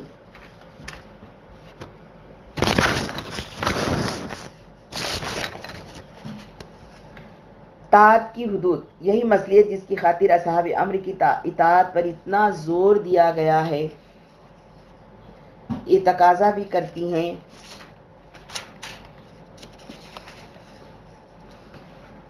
कि ये इतात गैर मामूली हद तक ज़रूरी तो हो, मगर हर हाल में ज़रूरी ना हो। बल्कि एक ख़ास हद के बाद उल्टा उसका इनकार ज़रूरी बन जाए। क्योंकि एक मुसलमान अपने अमीर की इतात में जो कुछ भी गवारा करता है वो सिर्फ़ इसीलिए तो करता है कि जहाँ तक हो सके इस निज़ाम पर ज़र्ब न लगने पाए जिस पर इज्तमाही ज़िंदगी में इसका यानी मुसलमान बाकी रहना मौकूफ़ है। लेकिन अगर खुदा नखास्ता मुतालबा किसी ऐसी इतात का यानी किसी ऐसी बात के, के सर्फ गवारा कर लेने का नहीं ऐसी बात कि सिर्फ़ गवारा कर लेने का नहीं बल्कि इसके कर डालने का हो रहा हो जिससे खुद इस निज़ाम का मकसद ही फौत हो जाता हो तो यकीनन वो इसी बात की मुस्तक होगी कि उसे दीवार पर दे मारा जाए। चुनानचा शरीयत ने जिस सरहत और ज़ोर के साथ इतात अमर की तलकीन की है, इसी सरहत और ज़ोर के साथ ये भी फरमा रखा है कि इतात गैर मशरूत हर चीज़ नहीं, बल्कि कतई मशरूत है और एक ख़ास हद के अंदर ही की जानी चाहिए। इस शर्त और हद का तयन इसने मनफी जहद से लफ्ज़ मासीत के ज़रिए और मुस्बत जहद से लफ्ज़ मारूफ के ज़रिए किया है। इर्शाद होता है, मुस्लिम की हदीस है। अल्लाह की मासीत के काम में किसी की इतात नहीं इतात सिर्फ़ मारूफ में होगी। यानी इतात की शर्त यह है कि हुक्म किसी मारूफ के दिया गया हो, न कि किसी मासीत का। मासीत का हुक्म लाजमन ठुकरा दिया जाएगा और इसकी तामील नहीं, बल्कि अदम तामील ज़रूरी होगी। ठीक वैसी ही ज़रूरी जैसे कि मारूफ के हुक्म के मौके पर उसकी तामील ज़रूरी होती है। इमाम नवी रहमत लिखते हैं, उल्मा का इस बात पर इजमा है कि सहाब अमर की तात ऐसे कामों में जो मासीत के न हों वाजिब है और ऐसे कामों में जो मासीत के हों, हराम है। मासीत के कामों में किसी भी साहब अमर की तात किसी किस हद तक ममनू और कैसी हराम है, इस बात का अंदाज़ा एक वाक़े से लगाइए। रसुल्ला सल्लल्लाहु वसल्लम ने एक अंसारी की सरकर्दगी में जहाद के लिए एक दस्ता रवाना फरमाया और हजब दस्तूर इसे हिदायत दे दी कि अपने अमीर की इतात करते रहना। दौरान सफ़र एक बार वो इनसे किसी बात पर नाराज़ हो गए। और इंतहाई गुस्से की आलम ने हुक्म दिया कि लकड़ियाँ इकट्ठी करें। जब लकड़ियाँ इकट्ठी की जा चुकी तो कहा, इन लकड़ियों को आग दे दो। जब आग दे दी गई तो इन्हें मुखातिब करके फरमाया, क्या रसुल्ला सल्लल्लाहु अलैहि वसल्लम ने तुम्हें इस बात की ताकीद नहीं फरमाई है कि मेरी सुनना और इतात करना? लोगों ने जवाब दिया हाँ फरमाई है। इस पर उन्होंने कहा अच्छा तो इस आग में फांद पड़ो। ये सुनकर लोग एक दूसरे की तरफ़ तकने लगे और कुछ लोग इस हुक्म की तामील पर तैयार भी हो गए। मगर और लोगों ने कहा हम तो आग ही, हम तो आग ही से बचने के लिए रसूलुल्लाह सल्लल्लाहु अलैहि वसल्लम की तरफ़ भाग कर आए थे। फिर अब ये कैसे हो सकता है कि इसमें अस खुद जा फांदे? गर्ज थोड़ी देर बहस व तकरार और शश व पंच की यही हालत रही। इस दौरान अमीर लश्कर का गुस्सा भी ठंडा पड़ गया और आग भी बुझ गई। फिर जब ये सब लोग अपनी मुहिम से फारिग होकर आप सल्लल्लाहु अलैहि वसल्लम की खिदमत में वापस पहुँचे तो वहाँ ये पूरा वाक़ बयान किया गया। आपने सुनने के बाद उन लोगों को खिताब करके जो हुक्म अमीर की इतात में आग के अंदर फांद पड़ने पर आमदा हो गए थे, फरमाया, अगर तुम आग में फांद पड़ते हो, पड़े होते तो फिर क़यामत तक इसी में पड़े होते, मुस्लिम। इसी, इस वाक़े और इस इर्शाद नबी से ये बात बिल्कुल वाजा हो जाती है कि अल्लाह ताला की नाफरमानी उस वक्त भी हराम रहती है, जबकि वो किसी अमीर के कहने पर की गई हो, और ठीक वैसी ही हराम रहती है, जैसे कि किसी और वक्त हो सकती है। तात अमर का फ़लसफ़ा इसे हरगिज़ काबिल माफ़ी नहीं बना दे सकता। जिस मारूफ में उम्र की तात ज़रूरी है, उसकी वसवतें कहाँ तक पहुँचती हैं? इसकी वजाहत इसी लफ्ज़ मासीत से हो जाती है, जो मसला इतात के मनफी पहलू को बयान करने के लिए मस्कुरा वाला हदीस और दूसरी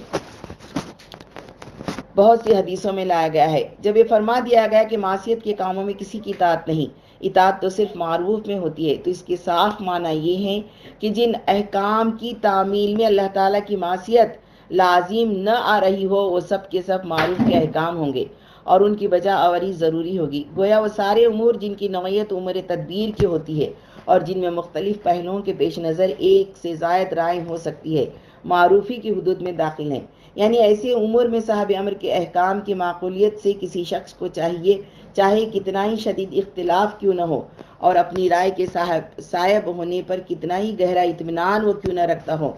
इन अहकाम को इसे तस्लीम करना ही पड़ेगा और ये इसका शर्य फरीज़ा होगा, क्योंकि इस तरह का हर हुक्म मारूफ का हुक्म है और मारूफ में अमीर की तात एक मुसलमान के लिए ज़रूरी है। यह आयन मुमकिन है कि एक शख्स को अपनी राय के सायब होने पर जो इतमान हो बिल्कुल सही बुनियादों पर हो और राय फिलवाका उसी की ठीक हो, मगर इसके बावजूद उसे यह हक हरगिज़ हासिल न होगा कि वह अमीर पर कम अंदेशी और बेतदबीरी का इल्ज़ाम लगाकर इतात से इनकार कर दे। इस इनकार का हक उसे न तो उसका अपना ज़ौक और वजदान दिला सकता है, न अपनी दूर अंदेशी और असाबत राय का यकीन, और न दुनिया की कोई और चीज़। यह हक उसे सिर्फ़ उसी वक्त मिल सकता है जबकि हुक्म मारूफ का नहीं, बल्कि अल्लाह की मासीत का दिया गया हो। ऐसी हालत में तो उसका ये हक ही नहीं बल्कि फ़र्ज़ होगा कि उसकी तात से साफ़ इनकार कर दे। खुलफा की माजूली। खुलफा और उम्र की इतात के बारे में शरीयत की इन मुख्तलिफ़ हिदायतों को पढ़ते हुए जहन में लाजमन ये सवाल उठ खड़ा होता है कि असहाब अम्र की मुमकिन, बेकिरदारियों और ज़्यादतियों के तकाजे आया सिर्फ़ यही कुछ हैं जो अभी बयान हुए हैं या उनके अलावा भी कुछ हैं? एक क्या शरीयत की हिदायत सिर्फ़ यहीं तक महदूद है कि अगर ये लोग जुल्म बरबरीत पर उतर आए तो उसे सब्र से बर्दाश्त किया जाता रहे। हती कि अगर मासीत का हुक्म दें, तब तो इसकी तामील न की जाए। लेकिन बाकी मामलात में उनकी इतात से फिर भी इनकार न किया जाए, या उसके आगे भी इसने कुछ फरमाया है। वाजह कर लफ्ज़ों में ये कि क्या बेकिरदारियों और ज़्यादतियों की किसी हद में दाखिल होनी हो जाने के बाद सिरे से अमारत और खिलाफत का इस्तेकाक भी ख़त्म हो जाता है या नहीं? और क्या फ़िक्र अमल का कोई बिगाड़ ऐसा भी है जिसमें मुबतला हो जाना मनसब खिलाफत से माजूल कर दिए जाने का सबब बन जाता है? इस सवाल का जवाब शरीयत ने इसबात में दिया है, जिसे समझने के लिए ज़रा तफसील में जाना होगा। यानी पहले उसूली तौर पर इस बात का जायज़ा लेना होगा कि खुलफा के फ़िक्र अमल में बिगाड़ किस किस नौीयत का पैदा हो सकता है।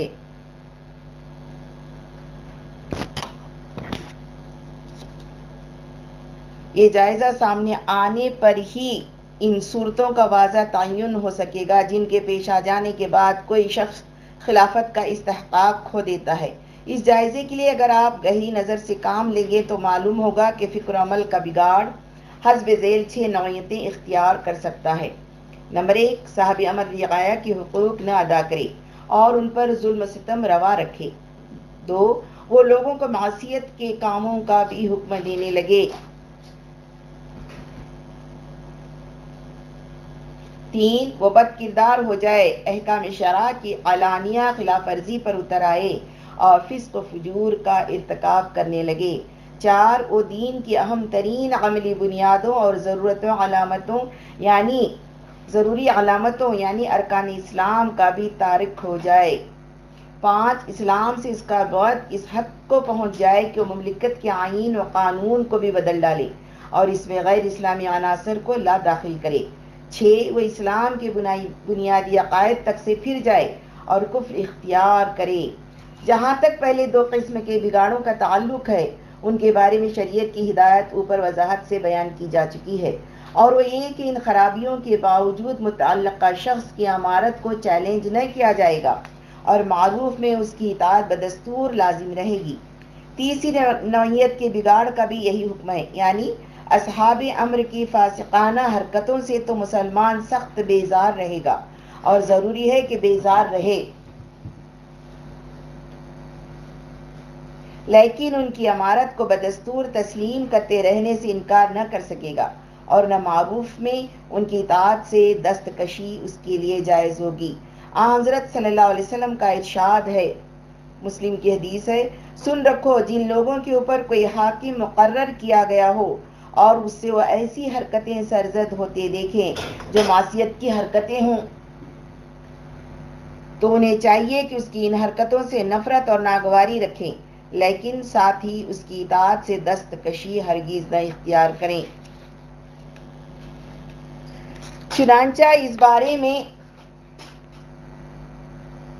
उलमा का इजमा है कि फिस के इरतकब से खलीफा माजूल नहीं हो जाया करता और महज इस फिस की बिना पर उसके खिलाफ बगावत करना सही नहीं, बल्कि हराम है। शरह मुस्लिम। अब चौथी नौीयत को लीजिए। इस किस्म के बिगाड़ में अगर साहब अमर मुबतला हो जाए तो इसके साथ मुसलमान किस तरह पेश आए? आया वो अब भी इसकी खिलाफत और अमारत को तस्लीम करते रहें और मारूफ में उसकी इतात को अपने लिए लाजिम समझें, या कोई और रवैया इख्तियार करें? इस सवाल का जवाब आपको इन हदीसों से मिलेगा। मुस्लिम की हदीस है तुम पर उम्र मुकर होंगे, जिनकी कुछ बातों को तुम पसंदीदा और अच्छी पाओगे और कुछ को नापसंदीदा और बुरी। साहबा ने पूछा तो आए अल्लाह के रसूल सल्लल्लाहु अलैहि वसल्लम, ऐसी हालत में हम उनसे जंग न करें। फरमाया, जब तक वो नमाज़ पढ़ें और उसके तारक न बने, ऐसा न करना। और एक हदीस के अल्फाज हैं, तुम्हारे बुरे खुलफा वो होंगे जिनसे तुम बगज रखो। और वो तुमसे बुगज रखें। पूछा गया अल्लाह के रसूल, सल्लल्लाहु अलैहि वसल्लम तो क्या हम ऐसे खुलफा के साथ तलवार का मामला न करें? इरशाद हुआ, नहीं, जब तक कि वो तुम्हारे अंदर नमाज़ कायम करते रहें, ऐसा न करना। इन हदीसों से नमाज़ की हद तक तो जो इस्लाम के अमली अरकान में सबसे पहला और सबसे अहम रुकन है, बात बिल्कुल साफ़ हो जाती है। यानी एक जो शख्स नमाज़ छोड़ बैठे, वो मुसलमानों का न कोई छोटा हाकिम रह सकता है, न बड़ा, न उसकी अमारत बरकरार रख रह सकती है, न इमामत और खिलाफत। उसने जहाँ नमाज़ से बेताल्लुकी इख्तियार की, मुसलमानों को इस बात का हक मिल जाएगा या उन पर यह ज़िम्मेदारी आयद हो जाएगी कि उसे माजूल कर दें। अगर वो मनसब छोड़ने से इनकार कर दे तो तलवार की नोक से हटा कर दूर फेंक दे। चुनाचा काजी अयाज फरमाते हैं कि इस बारे में का इजमा है शरह मुस्लिम के अल्फाज हैं। उलमा का इस बात पर इजमा है कि कोई काफिर खलीफा नहीं बनाया जा सकता और खलीफा मुंतखब होने के बाद मुतल शख्स कभी मुबतलाई कुफ्र हो जाए तो खिलाफत से फ़ौर माजूल हो जाएगा और ऐसा ही उस वक्त भी होगा जब वो नमाज़ का कायम करना और दूसरों को इसकी तलकीन व ताकीद करना छोड़ बैठे। अब रहा बाकी अरकान इस्लाम का मामला तो उनके सिलसिले में हमें इस तरह की कोई वाजह हिदायत, किताब सुन्नत के अंदर नहीं मिलती, जैसे कि नमाज़ के सिलसिले में मिलती है। अलबत्ता बाज़ उसूली किस्म के इर्शादात ऐसे ज़रूर मिलते हैं, जिनसे इस बारे में रहनमाई हासिल है। मसलन, हज़रत उबादा बिन सामित रज़ी अल्लाह रिवायत करते हैं, बुखारी की हदीस है, रसूलुल्लाह सल्लल्लाहु अलैहि वसल्लम ने हमसे बुलाकर बैत ली। इस बैत में आप सल्लल्लाहु अलैहि वसल्लम ने हमसे जिन बातों का अहद लिया, उनमें ये बातें दाखिल थी कि एक कि हम उम्र के अहकाम सुनेंगे और इनकी इतात करेंगे और एक के साहब हुकूमत से इकतदार के बारे में कशमकश न करेंगे। सिवाय उस वक्त के जबकि हम उससे खुला हुआ कुफ्र देख लें, जिसके कुफ्र होने पर हमें, हमारे पास अल्लाह ताला की तरफ़ से वाजह दलील मौजूद हो। इस हदीस में साहब हुकूमत के खिलाफ कदम उठाने की इजाज़त देने से शरीयत का सिर्फ़ उस वक्त तक का इनकार साबित होता है, जब तक कि उससे खुला हुआ कुफ्र सादिर न हो। इसका मतलब ये हुआ कि इससे जहाँ खुला हुआ कुफ्र सादिर होते देख लिया गया, उसका इस्तेकाक खिलाफत ख़त्म हो गया। यहाँ एक बात काबिल गौर और वजाहत तलब है, और वो ये कि यहाँ कुफ्र से मुराद क्या है क्या उससे मुराद सिर्फ़ एतकादी कुफ्र है या उसमें अमली कुफ्र भी शामिल है?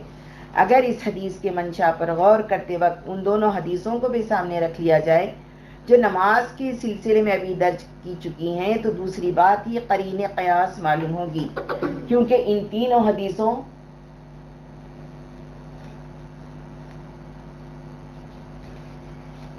में मसला एक ही बयान किया गया है और वो एक ही, वो कौन सी हालत है जिसके पैदा हो जाने के बाद मनसब खिलाफत का इस्तेकाक छिन जाता है? इस हालत को पहली दोनों हदीसों में तर्क नमाज़ की हालत फरमाया गया है, जबकि इस आखिरी हदीस में इसके इजहार बयान के लिए खुले हुए कुफ्र के अल्फाज लाए गए ज़ाहिर है कि जब एक ही हालत की तयन व तोज़ी के लिए मुख्तलिफ़ अल्फाज लाए जाएँ तो सिर्फ़ ज़ाहिर मुख्तलिफ़ होंगे, माना मुख्तलिफ़ न होंगे।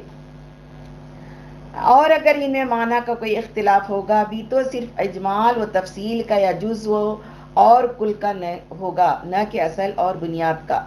इसलिए तस्लीम करना पड़ेगा कि आखिरी हदीस में कुफ्र बवाह से मुराद, एतकादी कुफ्र के अलावा अमली कुफ्र भी है।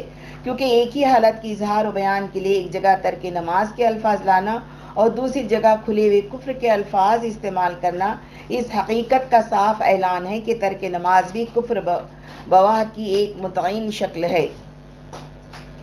फिर चूँकि नमाज़ पढ़ना एक अमल है, अकीदा नहीं है, इसलिए नमाज़ का कायम न करना एक फेल का तर्क है, किसी अकीदे का तर्क नहीं है।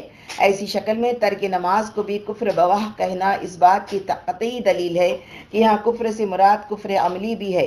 गालिबा यही वजह है कि इस कुफ्र बवाह के लिए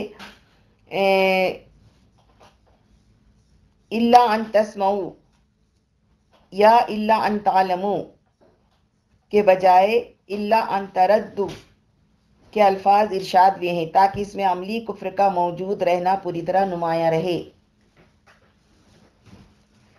जब ये बात वाजा हो चुकी कि इस हदीस में कुफ्र से मुराद कुफ्र अमली भी है तो अब गौर करने की बात सिर्फ़ ये रह जाती है कि क्या सिर्फ़ नमाज़ ही एक ऐसा अमल है जिसे छोड़ बैठने को अमली कुफ्र कहा जा सकता है? या दूसरे अरकान दीन को भी यही हैसियत हासिल है? इस मसले में दोनों ही राय हो सकती हैं हाँ की भी और नहीं की भी। हाँ की इसलिए कि कुरान और हदीस से इन अमाल के छोड़ बैठने को भी अमली कुफ्र समझा जा सकता है और समझा गया है।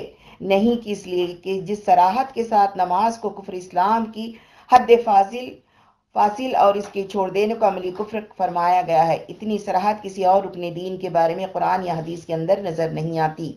अब पांचवी नौीयत के बिगाड़ को लीजिए। ममलिकत के इस्लामी किरदार का तहफ़ न करने वाले और इसके आइन व कानून में गैर इस्लामी अनासर ला दाखिल करने वाले खलीफा के साथ क्या बर्ताव होना चाहिए? इस बात का फैसला बुनियादी तौर पर यह आयत करती है सुर मायदा। जो लोग अल्लाह के नाजिल के वे कवानीन के मुताबिक फ़ैसला नहीं करते, सो वही काफिर हैं। कुरान मजीद की आयत सराहत करती है कि इस्लामी कवानीन छोड़कर गैर इस्लामी कवानीन के मुताबिक फ़ैसला करना अमली कुफ्र है।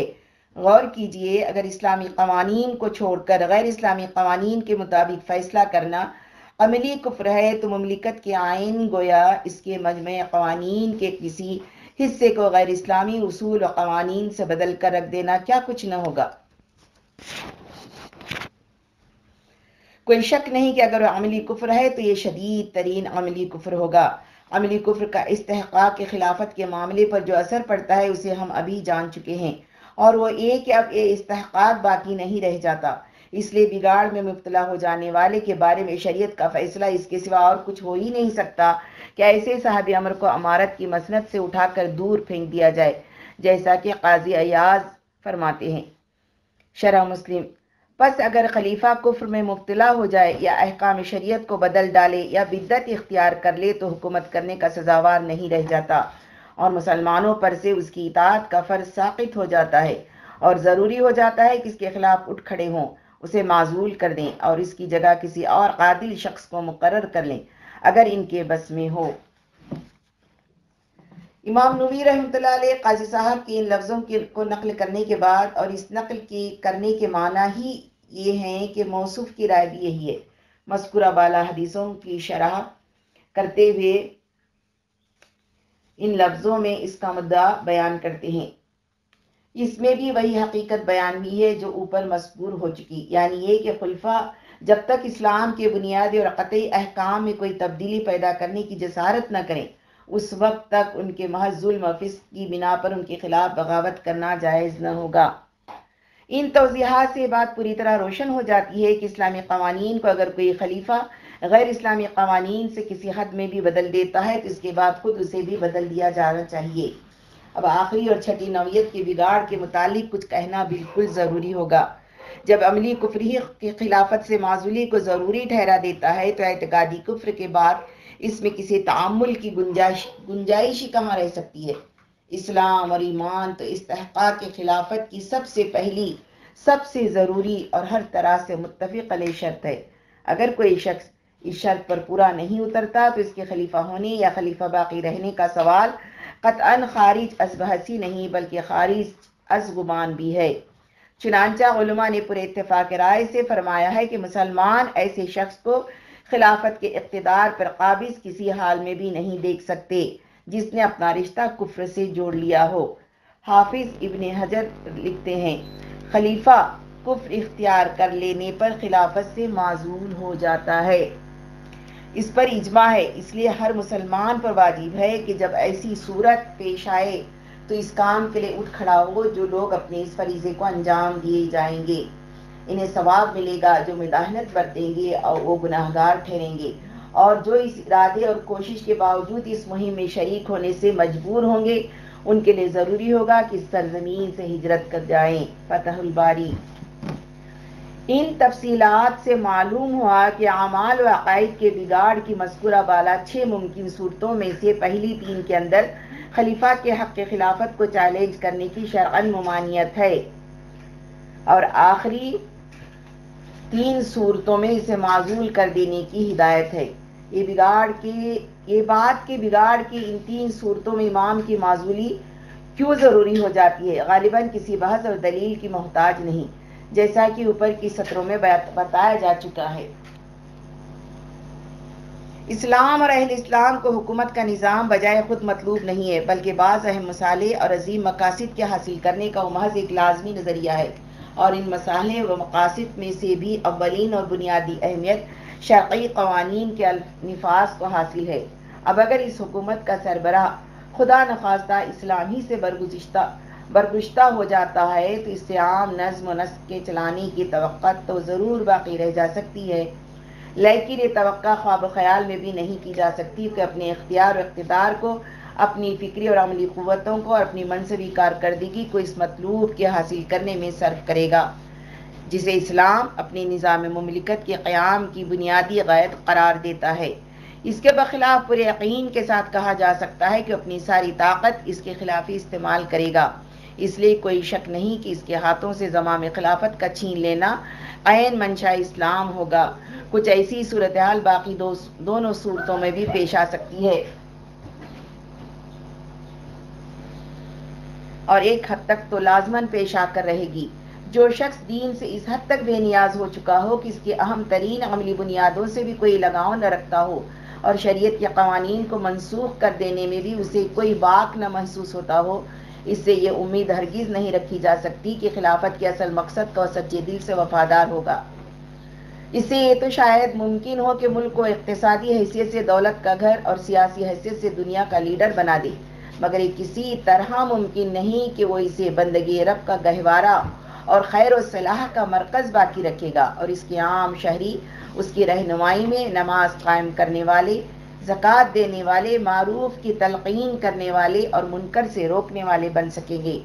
जब हकीकत यह है तो बिल्कुल वाजह बात है कि ऐसे शख्स को अपने इज्तमाही निज़ाम का बदस्तूर ज़िम्मेदार बनाए रखना बिल्कुल ऐसा ही होगा जैसे कि चोरों और डाकुओं को अमन हिफाजत की जिम्मेदारियाँ सौंप दी जाएँ।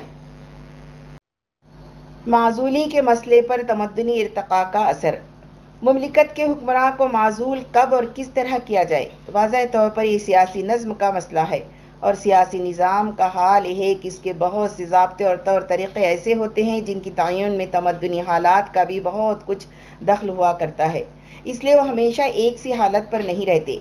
जब तक मुल्क का तमदन इब्तदाई मंजिल में होता है, उसका हुकूमती और सियासी निज़ाम भी बहुत मुख्तसर और सादा होता है और इस निज़ाम की असूल और जवाबित भी अपने अंदर बड़ी महदूदियत रखते हैं। फिर जो जो तमदन आगे बढ़ता जाता है, ज़िंदगी के दूसरे शोबों की तरह सियासत के जबते और तौर तरीक़े भी बदलते जाते हैं। और ममलिकत का निज़ाम ज़्यादा उसूल पसंदाना, ज़्यादा तरक्की याफ्ता, ज़्यादा वसी और ज़्यादा मंजवित होता जाता है।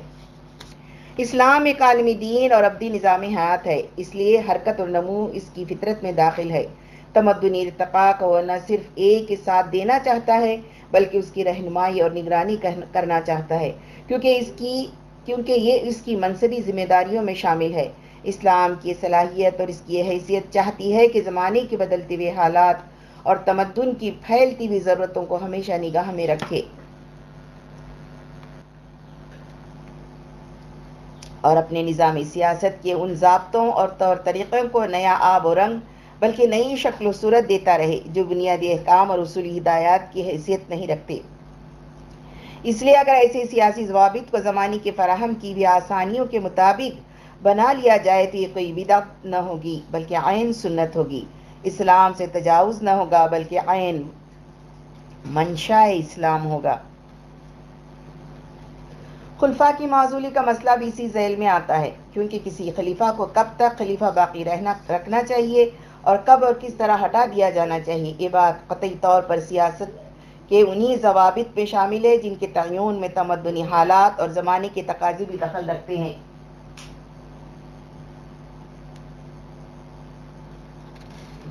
और जिनको दीनी निज़ाम में उसूल की हैसियत हासिल नहीं है, कि उनमें कभी कोई तगैर हो ही न सके। इसलिए जबकि दुनिया तमदन दुनिया के तमदन और इज्तमाही हालात बारह तेरह सदी पहले के मुकाबले में काफ़ी बदल चुके और आगे बढ़ चुके हैं और हुकूमत की तब्दीली में बड़ी आसानियाँ पैदा हो चुकी हैं।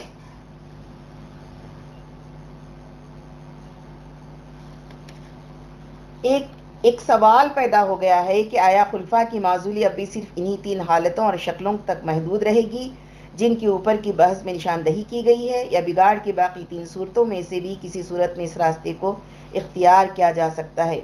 इस सवाल का जवाब, एक और सवाल के जवाब पर मौकूफ़ है और वो ये कि क्या लोगों की जान माल का तहफ़ और उनके हकूक़ की निगहदाश्त इस्लामी रियासत के मकासद में शामिल है या नहीं? और क्या हुक्मराह शख्सियत की सीरत व किरदार और उसकी ईमानी हया का भी रियाया की जहनी तरबियत पर नए रियासत के मकासद बर आने पर कोई असर पड़ कर, पड़ा करता है या नहीं? इस सवाल का जवाब यकीनन इसबात ही में होगा और इस बारे में हर किस कोई दूसरी राय नहीं हो सकती। इस हकीकत के सामने आ जाने के बाद पहले सवाल का जवाब भी पर्दे में न रह जाएगा और वो आपसे आप मालूम हो जाएगा।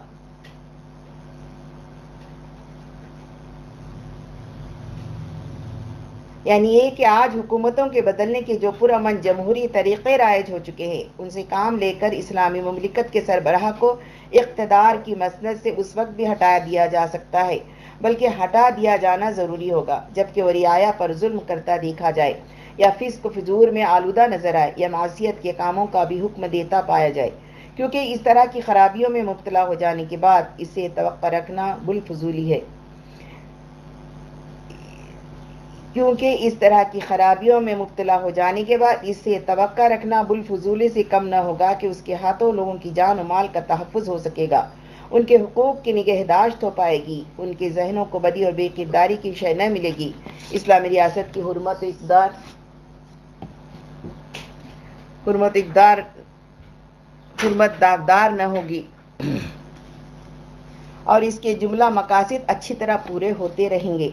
फिर ऐसे शख्स को माजूल कर देने और इसके शर से दीन और मिलत को महफूज कर लेने की ताकत और सहूलत रखने के बावजूद खिलाफत की जिम्मेदारियाँ बदस्तूर, उसी के सुपुर्द रखना कोई माकूल बात कैसे हो सकती है? क्या शरीयत के बारे में एक लम्हे के लिए भी गुमान रवा रखा जा सकता है कि निज़ाम खिलाफत के मकासद को तो नुकसान पर नुकसान पहुँच रहा हो? मगर वो अपने पैरों को इस सूरत हाल की जाली की राह इख्तियार करने से रोकते रहेगी, हालाँकि वो साफ़ खुली दिखाई दे रही हो। इस सिलसिले में इन हदीसों के अल्फाज से कोई उलझन या गलत फहमी ना होनी चाहिए, जिनमें से बाज, जिनमें से बाज के हवाले ऊपर गुजर चुके हैं। और जो इस अमर की वाज हिदायत देती नज़र आती हैं कि जब तक खलीफा तर्क नमाज़ का एक खुले कुफ्र का मरतकब ना हो, उसके खिलाफ कदम उठाना ममनू है। बिलाशबा इन से हमें यही हिदायत मिलती है लेकिन ये हिदायत जिस मसलियत की बिना पर दी गई है, इसे नज़रअंदाज करके इन अहादीस का असल मंशा और ालिम फासिक उम्र के बारे में शरीयत का हकीकी नुक़ नज़र पूरी तरह हरगिज़ न समझा जा सकेगा। इसलिए ज़रूरी है कि पहले इस मसलियत को मालूम कर लिया जाए। इस गर्ज के लिए इमाम नवी रहमत का वाजह बयान बिल्कुल काफ़ी होगा। शरह मुस्लिम से है। अहल सुन्नत का इस बात पर इजमा है कि हुक्मरान फिस की बिना पर माजूल नहीं हो जाता। उल्मा फरमाते हैं कि इस माजूल न हो जाने और ऐसे हुक्मरान के खिलाफ किसी बगावत के हराम होने की वजह, वो फितना, फसाद, व खून खराबा और बाहमी कशाकश है, जो इस इकदाम के नतीजे में बर्फा होती है। क्योंकि इसके माजूल कर देने की जिद्दोजहद के नतीजे में पैदा हो जाने वाली खराबी इसके खलीफा बाकी रहने की खराबी से बढ़ जाती है। ये तो फासिक उमरा का मसला रहा। ठीक इसी तरह की बात उलमा ने ालिम अमीरों के बारे में भी फरमाई है। और हक ये है कि जो शख्स भी इस्लाम से वाकिफ़ होगा वो इसके सिवा और कोई मसलियत इस ममानियत की सोच ही नहीं सकता।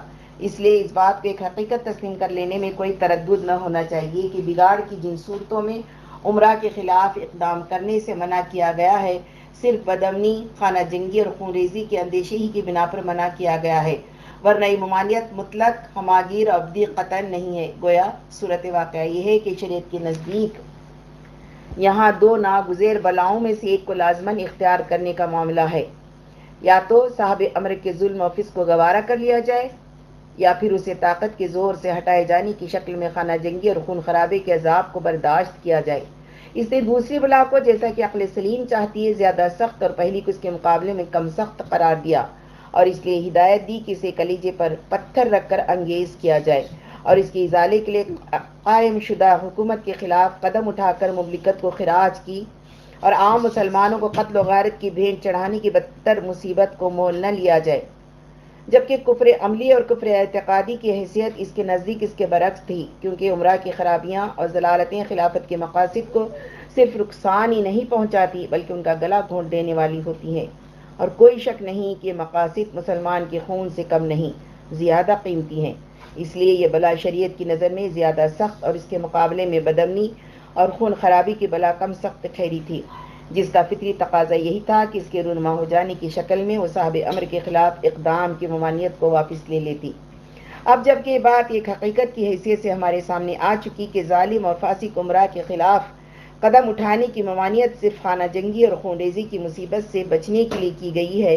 तो इसे भी एक हकीकत ही मानना पड़ेगा कि जहाँ अमलन इस मुसीबत के बर्पा हो जाने का अंदेशा मौजूद न हो, वहाँ ममानियत भी बाकी न रह जाएगी।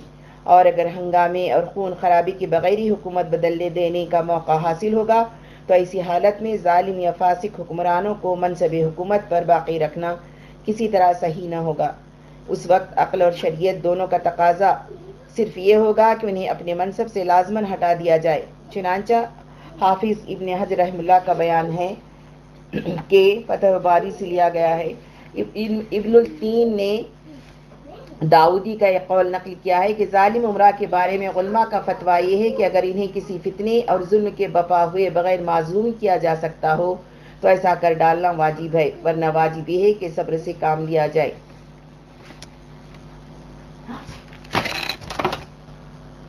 इसी तरह इमाम नवी इमाम मोदी रहमान बाज़ दूसरे उलमा की वजाहत नकल करते हैं कि रहा हज़रत सल्लल्लाहु अलैहि वसल्लम का इरशाद के सब्र से काम लो तो इसका ताल्लुक ऐसे हालात से है कि जब अमीर के खिलाफ इस इकदाम से खुरेजी या फितना फसाद या इसी तरह की कोई और बलाए आम फूट पड़ने वाली हो, मुस्लिम। गर्ज ालिम और फासिक उमरा की माजूली के बारे में इस्लाम का जैसा कि चाहिए आम ख्याल यही है, बिलाशुबा आज से बा, हज़ार बारह सौ बरस पहले क्या किया। अभी माजी करीब तक के ज़मानों में भी सूरत हाल बिल में यही थी कि हुकूमतों की जबरी तब्दीली आसान नहीं हुआ करती थी, बल्कि उस वक्त इस तरह की कोशिशें मुल्क की अमन अमान को आग लगा देने के हमाना थी। इसीलिए रसोल्ला अलैहि वसल्लम ने ालिम और फासी हुक्मरानों के मामले में तलकीन भी की। कुदरती तौर पर सब्र तहमुल से काम लेने की फरमाई। लेकिन इस वक्त अगर ये सूरत हाल बाकी नहीं रही गई है तो तस्लीम करना चाहिए कि इस तलकिन और हिदायत पर अमल करने का मौका महल भी बाकी नहीं रह गया है। इसका मतलब ये हुआ कि मौजूदा ज़माने में वोटों के ज़रिए हुकूमत के सरबराह मंतखब करने का और फिर बवक्त ज़रूरत माजूल कर देने का जो जमहूरी तरीक़ा राइज हो चुका है, इससे काम लेना आयन फितरती इस्लाम, आयन तरीके इस्लाम और आयन तकाजा इस्लाम होगा। जहाँ भी इस तरीके से काम लेने की आसानियाँ हो। मुसलमानों के अहल, हल व कद का ये फ़र्ज़ होगा कि इससे ज़रूर काम लें। जब भी इनका अमीर मनसब खिलाफत की जिम्मेदारियाँ सही तरीके से पूरी करने में नाकाम साबित हो, उसे अलहदा कर दे और उसकी जगह किसी अहल शख्स को ला ला मुकर करें, क्योंकि इस तरीके से हुकूमत को बदलने में फितनी और खून क्योंकि इस तरीके से हुकूमत को बदलने में फितने, बदमनी और खून रेजी का कोई अंदेशा नहीं है। दूसरे लफ्ज़ों में यहाँ दो बलाओं जालिम और फासिक हुक्मरान को गवारा करते रहने की बला या खाना जंगी और खून खराबी की बला में से किसी एक को लाजमन इख्तियार करने का मामला है ही नहीं कि खून खराबी की बला के मुकाबले में ालिम हुक्मरान के वजूद की बला को अंगेज करते रहने का सवाल पैदा हो। फिर ज़रूरत सिर्फ़ इसी बात की नहीं कि खलीफा जब किसी गलतकारी का मुजाहरा करे तो पार्लियामेंट्री तरीक़ पर उसे अमारत के मनसब से हटा दिया जाए। बल्कि इस बात की भी है कि चाहे उसकी तरफ़ से किसी जुल्म या किसी फिस्क या किसी तरह की किसी और अहम गलतकारी का मुजाहरा न हुआ हो, फिर भी उसके इस सिलसिले, फिर भी उसके सिलसिले अमारत के जारी रहने या न रहने के बारे में एक माकूल मुद्दत के बाद लोगों की राय मालूम की जाती रहें। क्योंकि हो सकता है कि मौजूदा अमीर से चाहे कोई काबिल लिहाज को तई सरजद न हुई हो कि उसका हटा दिया जाना ज़रूरी हो। मगर बहुत मुमकिन है कि इस मुद्दत में मिलत के अंदर से कोई और शख्सियत उभर कर सतह पर आ गई हो, जिसकी सलाहियतों पर लोगों को नस्बता ज़्यादा अतमाद हो। और इन्हें तो हो कि अगर मौजूदा अमीर की जगह इस शख्स को खिलाफत की जिम्मेदारियाँ सौंप दी जाएँ तो इन्हें ज़्यादा बेहतर तरीक़े पर अंजाम दे सकेगा। ऐसी हालत में कोई वजह नहीं कि हुकूमत को बदल न दिया जाए, और महज इस बिना पर कि एक शख्स को इस मनसब के लिए मंतखब किया जा चुका है।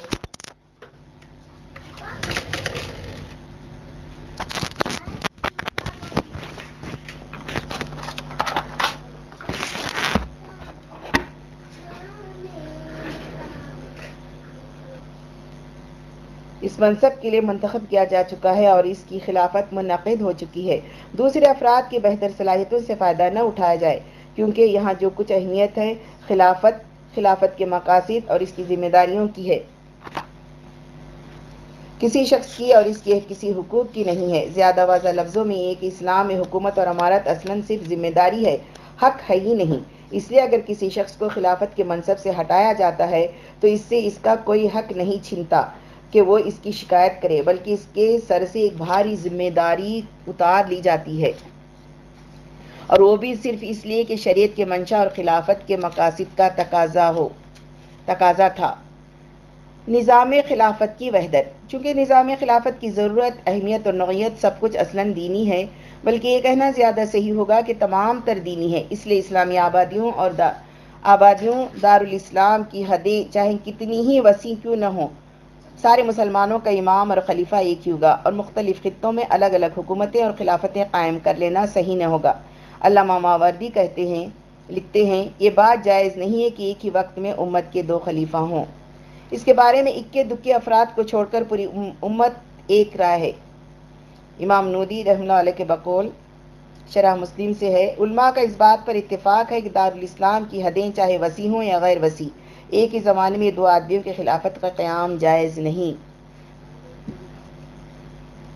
शरीयत ने इस उसूल को बड़ी अहमियत दे रखी है। इसके नज़दीक वो शख्स गर्दन दजनी है, जिसके हाथों पर एक खलीफा के होते हुए खिलाफत की मुतवाजी बैत कर ली गई हो। आप सल्लल्लाहु अलैहि वसल्लम का सरी इर्शाद है। मुस्लिम, अगर खिलाफत की बैत दो आदमियों के हाथों पर कर ली जाए तो बाद वाले शख्स को कत्ल कर दो, अगर इसकी नाम नहाद खिलाफत का फितना किसी तरह ख़त्म न हो सके। गर्ज वहदत इस्लामी निज़ामी सियासत का एक मुस्लिम और बड़ा अहम असूल है।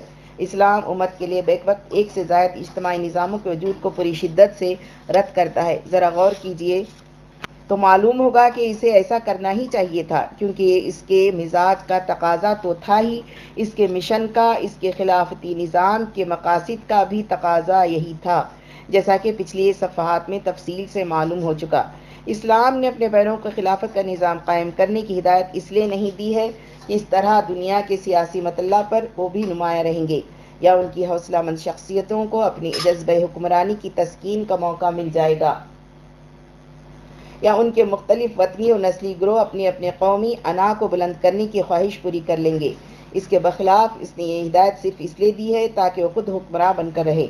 इंसानी ज़िंदगी पर इसके कवानीन का नफाज हो, इसके मिशन को दुनिया के गोशे गोशे तक पहुँचाया जा सके।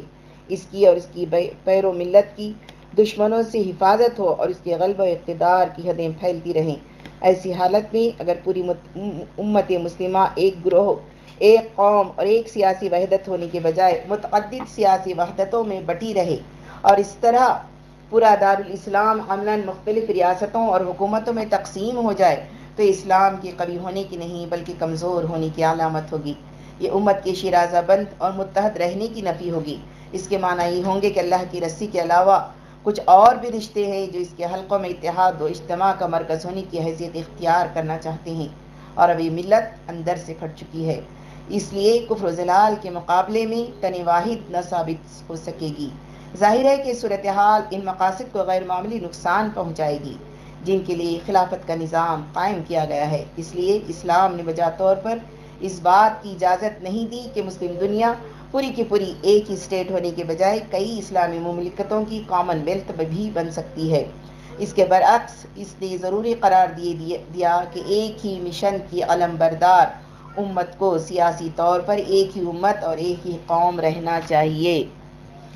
रहा सवाल कि पूरी उम्मत के सियासी तौर पर भी एक ही उम्मत और एक ही कौम बनकर रहने की इंतज़ामी शक्ल क्या होगी? यानी इसका हुकूमती निज़ाम वहदानी किस्म का होगा या दिफाती? तो इस बारे में दीन का आम मिजाज, इसकी इज्तमी हिदायत का रुख, मकासद खिलाफत का मफाद और खैरकरून का तर्ज अमल सब के सब वहदानी तर्ज हुकूमती का फ़ैसला देते हैं। लेकिन इसी के साथ हम इस अमर वाक़ को नज़रअंदाज भी नहीं कर सकते कि इस फैसले का ताल्लुक लाजमन एक ऐसी सूरत हाल से है जबकि सारे मुस्लिम इलाके जोग्राफियाई तौर पर आपस में मिले हों और इनका सियासी इकतदार भी मुसलमानों के अपने ही हाथों में हो, या जोग्राफियाई तौर पर आपस में मिले हुए न होने के बावजूद इनके एक ही हुकूमती नज्म नस्क के तहत रहने में कोई रुकावट पेश न आती हो।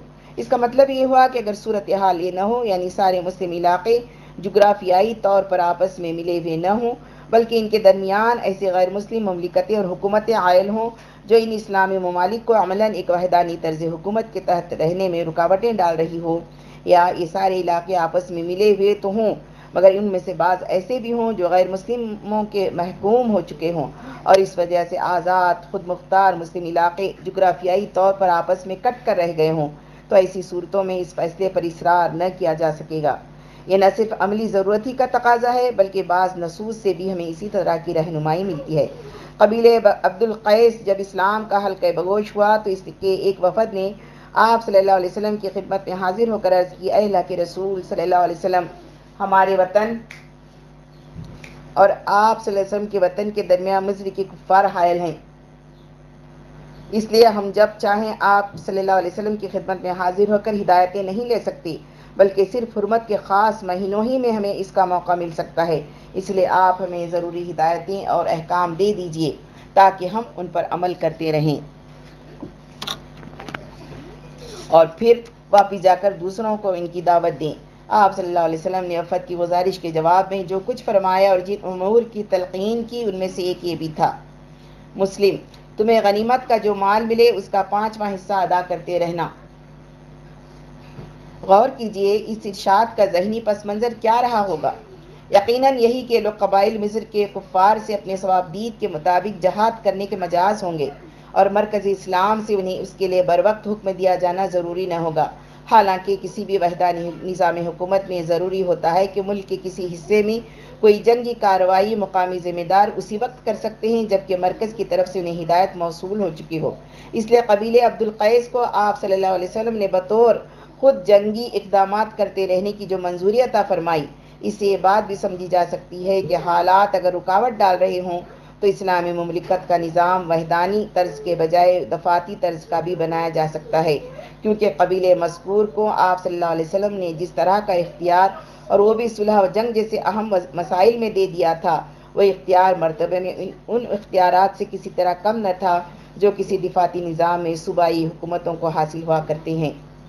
इस बहस का हासिल ये है कि असल और मैारी तर्ज हुकूमत तो वहदानी तर्ज ही तर्ज ही है, लेकिन मसाले के पेश नज़र दिफाती तर्ज को भी अपनाया जा सकता है। फहरिस्त मजामी का फिफ्त मजमून है मिली इंतशार के दीनी तकाजे। नज्म इज्तमाही की बहाली की ज़रूरत। उम्मत मुसलिमा के लिए एक मनज़म इज्तमाही ज़िंदगी जिस हद तक ज़रूरी है और जिस लिए ज़रूरी है, पिछले मुबाइस ने हम पर यह बात पूरी पूरी तरह वाजह कर दी है। लेकिन इस दुनिया में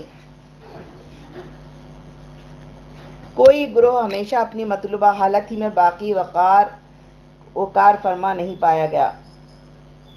इसलिए मिलत भी ऐसे हालात से दो चार हो सकती है, जब वो अपनी मर्ज़ी, ज़रूरी हैत इज्तमाहीत से महरूम हो चुकी हो। जब वो एक मनज़म और मुनजबीत जमात रहने के बजाय अफराद की बस एक भीड़ बन गई हो। जिसमें न कोई शिराजा बंदी हो, न कोई इज्तमाही हरकत हो। और इसलिए अमला इसका वो मकसद भी बाकी न रह गया, जिसके लिए वजूद में आई है। ऐसी सूरत, जैसा कि आज एक मुद्दत से इसका यही हाल फिलवाक़ा हो भी चुका है। ऐसी सूरत हाल के बारे में कहना कि इस्लाम के नज़दीक व सख्त नापसंदीदा बल्कि नाकबिल बर्दाश्त है। एक गैर ज़रूरी बात होगी, क्योंकि एक ऐसी हकीकत है जिसका कोई भी इनकार नहीं कर सकता। लेकिन इसी सूरत हाल के बारे में ये बात कि फिर इस शक्ल में अफराद मिलत को क्या करना चाहिए? इतनी वाज और वह रोशन नहीं है। इसलिए नजरी और अमली हर हैसियत से ज़रूरी है कि इस अहम तरीन सवाल का सही जवाब मालूम किया जाए। पहले इस सवाल का अकली जवाब मुतन कीजिए। ऊपर के सारे मबाहिस हमारे सामने हैं। इन मबाहिस में हम देखते हैं कि इज्तमाहीत, इंतहाई ठोस मनज़म और मुनजबित इज्तमाहीत। इस्लाम के लिए फितरत मतलूब और अमला नागुजेर है। इसके बगैर न उम्मत मुस्लिमा उम्मत मुस्लिमा बनकर रह सकती है, न इस्लाम, न इंसानी को सब कुछ दे सकता है, जिसे देने के लिए वो आया है। इसके बेशुमार अहकाम, जिनका ताल्लुक इंसानी ज़िंदगी के अहम तरीन मसाइल तक से है, सिर्फ़ किताबत और तिलावत के लिए वक्त होकर रह जाते हैं और अमली दुनिया में उनके नाफिज और काबिल इतबा होने की कोई शक्ल बन ही नहीं सकती। ये सब कुछ हम वाजह और कतई दलाइल के रोशनी में देख चुके हैं। अब गौर कीजिए कि अक्ल इन सारी बातों का तकाजा क्या ठहराती है। या यही यही या इसके सिवा कुछ और कि ये मिलत भेड़िए से, भीड़ से फिर जमात बने ऐसी जमात जिसमें नज्म इतिहाद हो एक रंगी हो एक हरकती हो और जिसे अलजमा कह सके और जो अपने मकसद वजूद को पूरा करने के काबिल हो सके। कोई शक नहीं कि अक्ल का फैसला और तकाज़ों इसके सिवा और कुछ नहीं हो सकता। इसके बाद इस सवाल का शरई जवाब मालूम कीजिए और यही जवाब फिलवाक का असल जवाब होगा। इस गर्ज से हम जब किताब लाही और सुनत रसूल सल्लल्लाहु अलैहि वसल्लम की तरफ़ रुजू करते हैं तो हमारे सामने सबसे पहले कुरान हकीम की हिदायतें आती हैं। सूरतुलबकरा की और आल इमरान की। पहले आल इमरान की ए ईमान वालो, अल्लाह की रस्सी को तुम सब के सब मज़बूत पकड़ लो और अलहदा अलहदा न रहो। फिर सूरत बकरा की ए ईमान वालो, अल्लाह और रसूल की तात में तुम सब के सब दाखिल रहो। पहली आयत का मंशा जेर बहस मसले के खसूस में बिल्कुल वाजा है। वो बरह रास्त यही हिदायत देती है कि सारे मुसलमानों को मुतहत और मुनज़म रहना चाहिए और ज़रूरी है कि अल्लाह की रस्सी उन्हें बाह मजबूती से जोड़े हुए हो। रही दूसरी आयत तो बिलवास्ता वो भी इस फरीज़े की तलकीन कर रही है क्योंकि एक एक फ़र्द मुस्लिम का अल्लाह और रसूल की कुली और गैर मशरूत इतात में अपने आप को दे देना इस बात का कोई इम्कान ही बाकी नहीं रहने दे, दे सकता कि मिलत फिर भी गैर मुनज़म हालत में रह जाए। सारे के सारे मुसलमान अगर दीन हक को अपनी ज़िंदियाँ हवाले कर दें अपनी ज़िंदगियाँ हवाला कर दें इस दीन हक को, जो माशरे के लिए एक मनज़म जमाती ज़िंदगी गुजारना ज़रूरी करार देता और इसके लिए समा अतात के तफसीली अहकाम देता है। तो इसका असल हासिल लाजमन यही होगा कि मुस्लिम माशरा सीसा पिलाई हुई दीवार बन जाए। इसलिए आयत का मंशा बिलवास्ता ये भी है कि मिलत अगर पूरी तरह मुतहत व एक रंग ना हो तो लाजमन मुतहत व एक रंग हो जाएगी। ये हिदायतें आम और हमागीर हिदायतें हैं। ये किसी ख़ास हालत या किसी ख़ास वक्त या किसी ख़ास मुकाम और माहौल के लिए किसी तरह भी मखसूस नहीं। जब भी और जहाँ कहीं भी मुसलमानों का कोई छोटा या बड़ा ग्रोह मौजूद होगा, वह इन हिदायत का मुखातब होगा और ज़रूरी होगा कि वह इन्हीं सुने और अपने मकदूर पर इन पर अमल करे।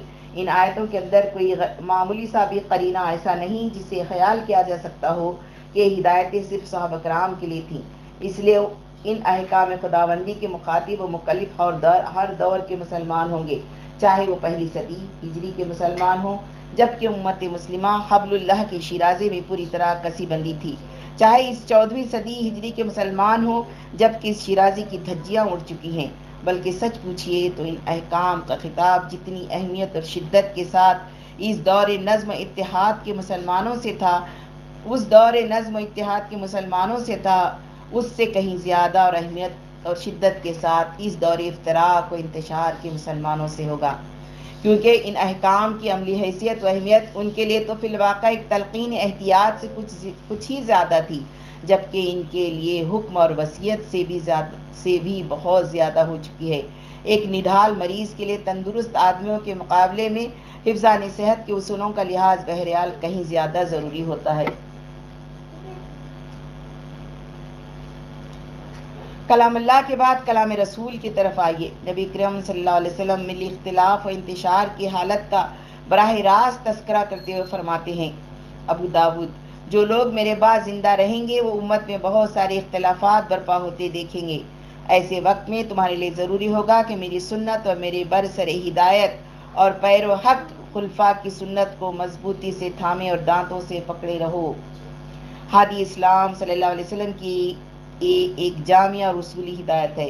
एक, ए एक एक मुसलमान का शाना पकड़ कर तलकीन करती है कि देखो, उम्मत में जब भी और जिस तरह का भी कोई इख्तिलाफ रूनमा हुआ, रूनमा हो, उस वक्त रसूल खुदा की सुन्नत और खुलफा राशदीन की सुन्नत पर मजबूती से जम जाना, वरना इसके सिवा कोई रविश न होगी जो तुम्हारे लिए सही ईमानी रविश कही जा सकी। इस हदीस में सुन्नत के लफ्ज़ का मफहूम क्या है? पहले इस बात को अच्छी तरह समझ लेना चाहिए।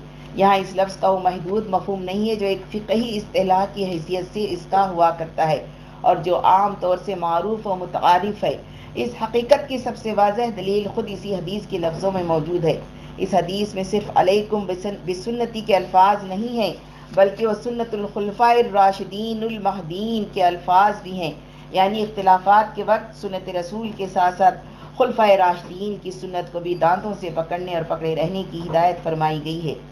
ज़ाहिर है कि फ़िकी असलाह में जिस चीज़ को सुन्नत कहते हैं, इसका इतलाक सिर्फ़ इन्हीं बातों पर हो सकता है, जिनका ताल्लुक रसूल खुदा सल्लल्लाहु अलैहि वसल्लम के अकवाल व अमाल से हो, न कि उन बातों पर भी जिनका ताल्लुक असलन खुलफा राशदीन या किसी और सहाबी के अकवाल व अमाल और इश्तहादात से हो। इसलिए इस हदीस में सुन्नत का वही मसीह मफहूम है जो अजर लगत इस लफ्ज़ का होना चाहिए, यानी तरीक़ा और रविश। जैसा कि बेशुमार हदीसों में यही मफहूम इस लफ्ज़ का लिया गया है। हक तो यह है कि नबी करम वसल्लम ने अपने इशादात में जब भी इस लफ्ज़ को इस्तेमाल फरमाया है, अक्सर व बेशतर इसी माना व मफहूम में इस्तेमाल फरमाया है। इस मफहूम के एतबार से देखिए तो मालूम होगा कि नबी करीम सल्लल्लाहु अलैहि वसल्लम ने बहसीत नबी के और खुलफा राशदीन ने बहसीत खुलफा राशदीन के ज़िंदगी के जिस मामले में जो, में भी जो कुछ किया है वो सब आप सल्लल्लाहु अलैहि वसल्लम की हज़रत हजरात खुलफा राशदीन की सुन्नत है। ख्वाह इसका ताल्लुक इबादती उमूर, माशरती आदाब और तमदनी तौर तरीक़ों से हो। ख्वाह सियासत व इज्तम के वसी तर मसाइल से। इस वजाहत की रोशनी में इर्शाद नबी सल्लल्लाहु अलैहि वसल्लम का मुद्दा यही करार पाएगा कि मैं तुम्हारे सामने दीन की तहरीर और इसके जुमला तकाज़ों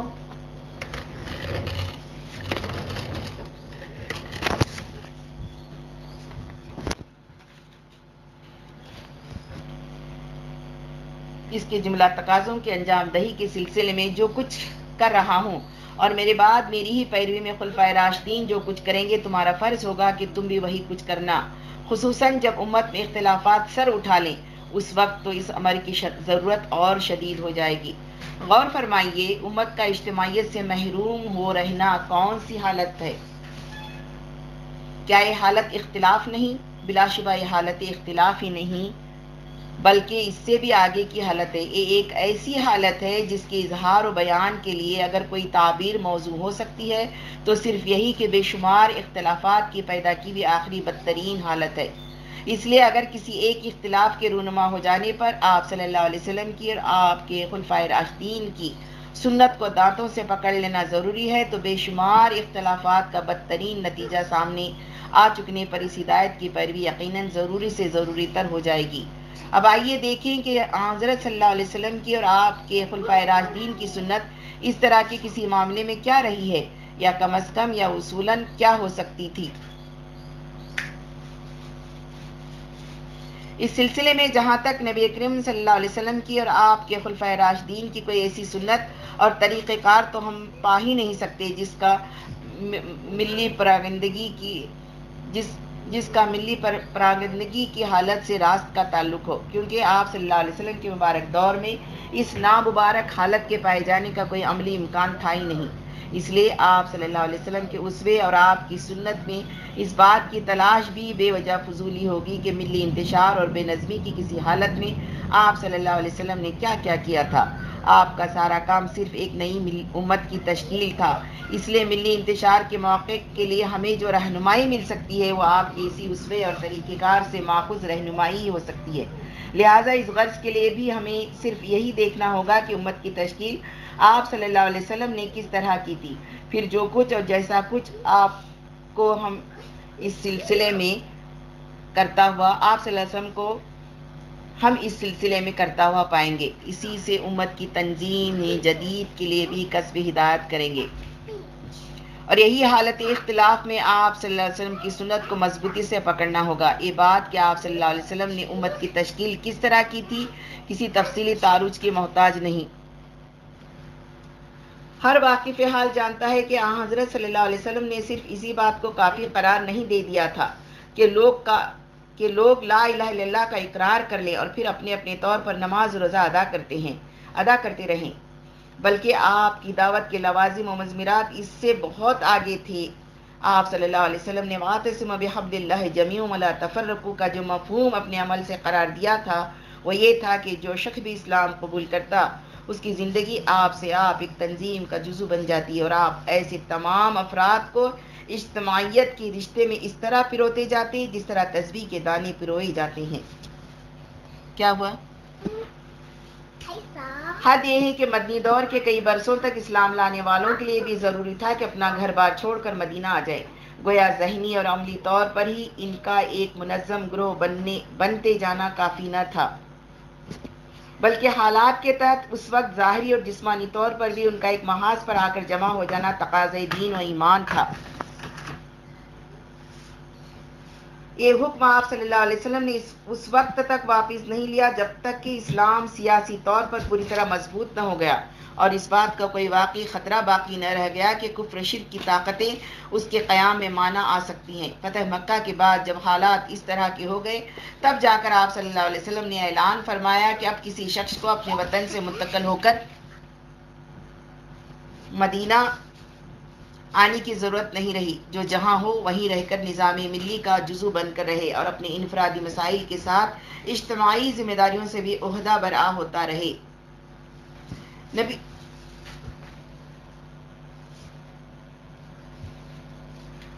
नबी सल्लल्लाहु अलैहि वसल्लम के इस तरीक़ेकार को सामने रखकर क़यास यही किया जा सकता है कि अगर आपको मिली इफ्तरा को इंतशार की किसी हालत से सबका पेश आया होता तो आप सल्लल्लाहु अलैहि वसल्लम की सुन्नत उस वक्त भी यही होती। यानी आप इस हालत इंतशार को हालत नज़म इतिहाद से बदल डालने की किसी मुमकिन और मौजूद कोशिश से कभी न थकते। इसलिए आप सल्लल्लाहु अलैहि वसल्लम की तरीक़ार का इफ्तज़ा यही होगा कि मिलत इस्लामिया जब भी इख्तलाफ इंतशार से दो चार हो, उसकी अहम तरीन ज़िम्मेदारी होगी कि अपनी इस हालत को इतिहाद तंजीम की हालत से लाजमन बदल डाले। सुनत रसूल के बाद सुनत खुलफा राशिदीन की तरफ़ आइए। चूँकि दौर खिलाफत का मामला, दौर नबूत के मामले से फितरी तौर पर मुख्तलिफ़ था और इसमें मिली इख्तलाफ इंतशार का पैदा हो जाना अमला मुमकिन था। चुनाचा एक हद तक वो पैदा हुआ भी, इसलिए खुलफा राजदीन की सुन्नत से हमें इस मसले में रास्त रहनुमाई मिल सकती है। सिलसिले खिलाफत की सबसे पहली कड़ी हज़रत अबू बकर सिद्दीक रज़ी अल्लाह है। और न सिर्फ़ एक कि वो इस सिलसिले की सबसे पहली कड़ी है, बल्कि आप सल्लल्लाहु अलैहि वसल्लम ही की सुन्नत हमें सबसे ज़्यादा वाजा रहनुमाई भी इन्हीं से मुहैया करती है। इसीलिए इसका जायज़ा लेना इस सिलसिले में सबसे ज़्यादा मुनासिब और मुफीद रहेगा।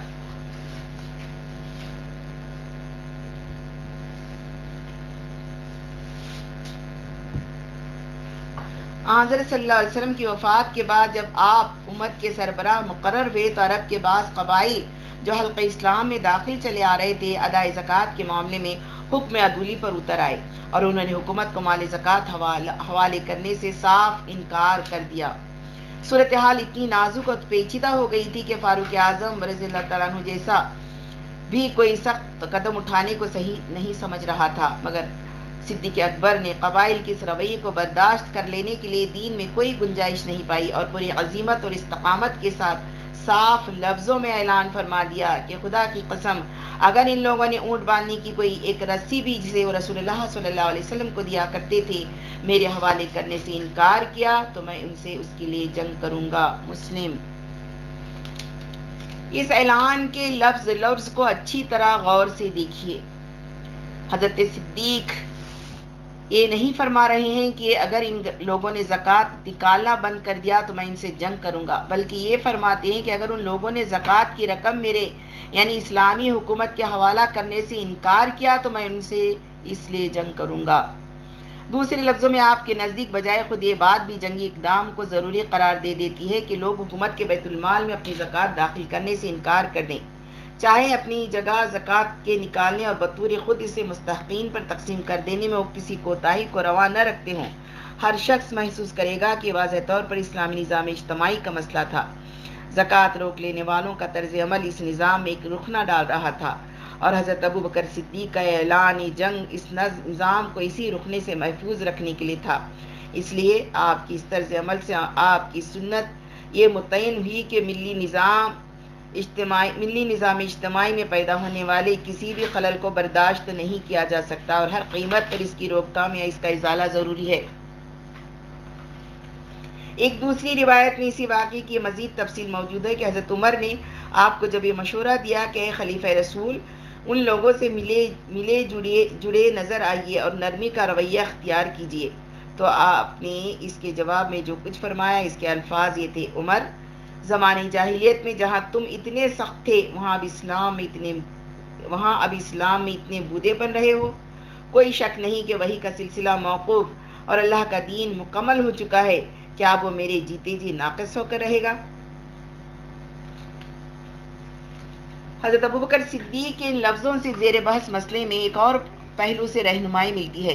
आपके अल्फाज इस बात का खुला ऐलान है कि दीन के मुतालबात में से अगर कोई एक मुतालबा भी पूरा करने से इनकार किया जा रहा हो तो आपके नज़दीक एक दरअसल दीन का जो अल्लाह ताला की तरफ़ से मुकम्मल किया जा चुके हैं।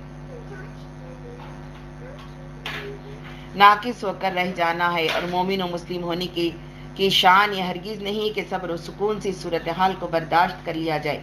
बल्कि ज़रूरी है कि इस दीनी मुतालबे पर अमल करने, अमल कराने और दीन कामिल को नाकिस होकर रहने के ख़तरे से महफूज कर लेने को वक्त का अहम तरीन फरीज़ा बना लिया जाए। गोया दीन को नाकिस बनाए जाते वक्त या इसके नाकिस बना दिए जाने की शक्ल में खलीफा रसूल की सुन्नत ये हुई कि इसकी असल हालत हालत कमाल पर बाकी रखने या उसकी तरफ़ वापस ले जाने की हर मुमकिन कोशिश की जाए। अब सोचिए शीराज मिलत का बिखर जाना और वातसम बिहबल्ला जमी वाला तफर्रकू, जैसे बुनियादी मुतालबा। दीन का फरामोश हो, होकर रह जाना, दीन के नाकस हो रहने की बात होगी या नहीं? ज़ाहिर है कि सवाल का एक ही जवाब हो सकता है, और वो ये कि अगर चंद कबाइल का हुकूमत को ज़क़़त अदा करने से इनकार करना दीन के नाकस हो रहने के हम माना है तो पूरी उम्मत का सिरे से बे इमाम और बे निज़ाम बन जाना और बेशुमार अहकाम शरीयत का मअतल हो रहना, यकीनन दीन के नाकस ही नहीं। बल्कि नाकिस्तर और बाहिज बन जाने के हम माना होगा। अगर हकीकत यह है तो इसकी मौजूदगी में आज जनाब वसल्लम की सुन्नत की पैरवी सिर्फ़ यही हो सकती है कि मिलत को फिर से शीराजबंद किया जाए और इसकी खोई खोई भी मुनज़म ज़िंदगी उसे वापस दिलाई जाए। नंबर दो, एक दूसरा इरशाद नबी मुलाजा हो। दीन का आगाज़ गुर्बत के आलम में हुआ था और एक वक्त चलकर वो फिर इसी आलम में लौट जाएगा। तिरमजी तो मुबारकी हो उन गुरबा के लिए जो उस वक्त मेरी सुन्नत में की उन चीज़ों को फिर से दुरुस्त करेंगे जिन्हें लोगों ने बिगाड़ रखा होगा। इस हदीस में उम्मत की आइंदा बिगड़ी हुई हालत की खबर देते हुए लोगों, खबर देते हुए जिन लोगों को खुशबक और काबिल मुबारकबाद फरमाया गया है गौर कीजिए वो कौन और किन सिफात के लोग हैं। ये वो लोग हैं जो रसूल खुदा सल्लल्लाहु अलैहि वसल्लम की सुन्नत और तरीके के उन अज्जा को फिर से ठीक ठाक करेंगे।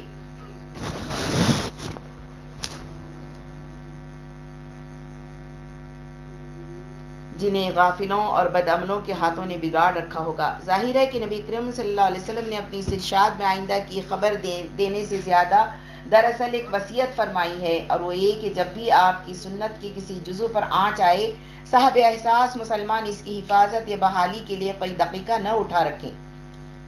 दुनिया में ज़िंदगी बसर करने और अल्लाह का बंदा बनकर रहने का जो तरीक़ा आप छोड़ गए हैं, इसके किसी एक हिस्से को भी बेपरवाही के साथ हवादी से ज़माने की नज़र हो जाने, दुनिया, हो जाने देना ईमान की मौत है। चाहे कानून, फ़िकह की निगाह में इसकी अहमियत छोटी सी छोटी क्यों न हो।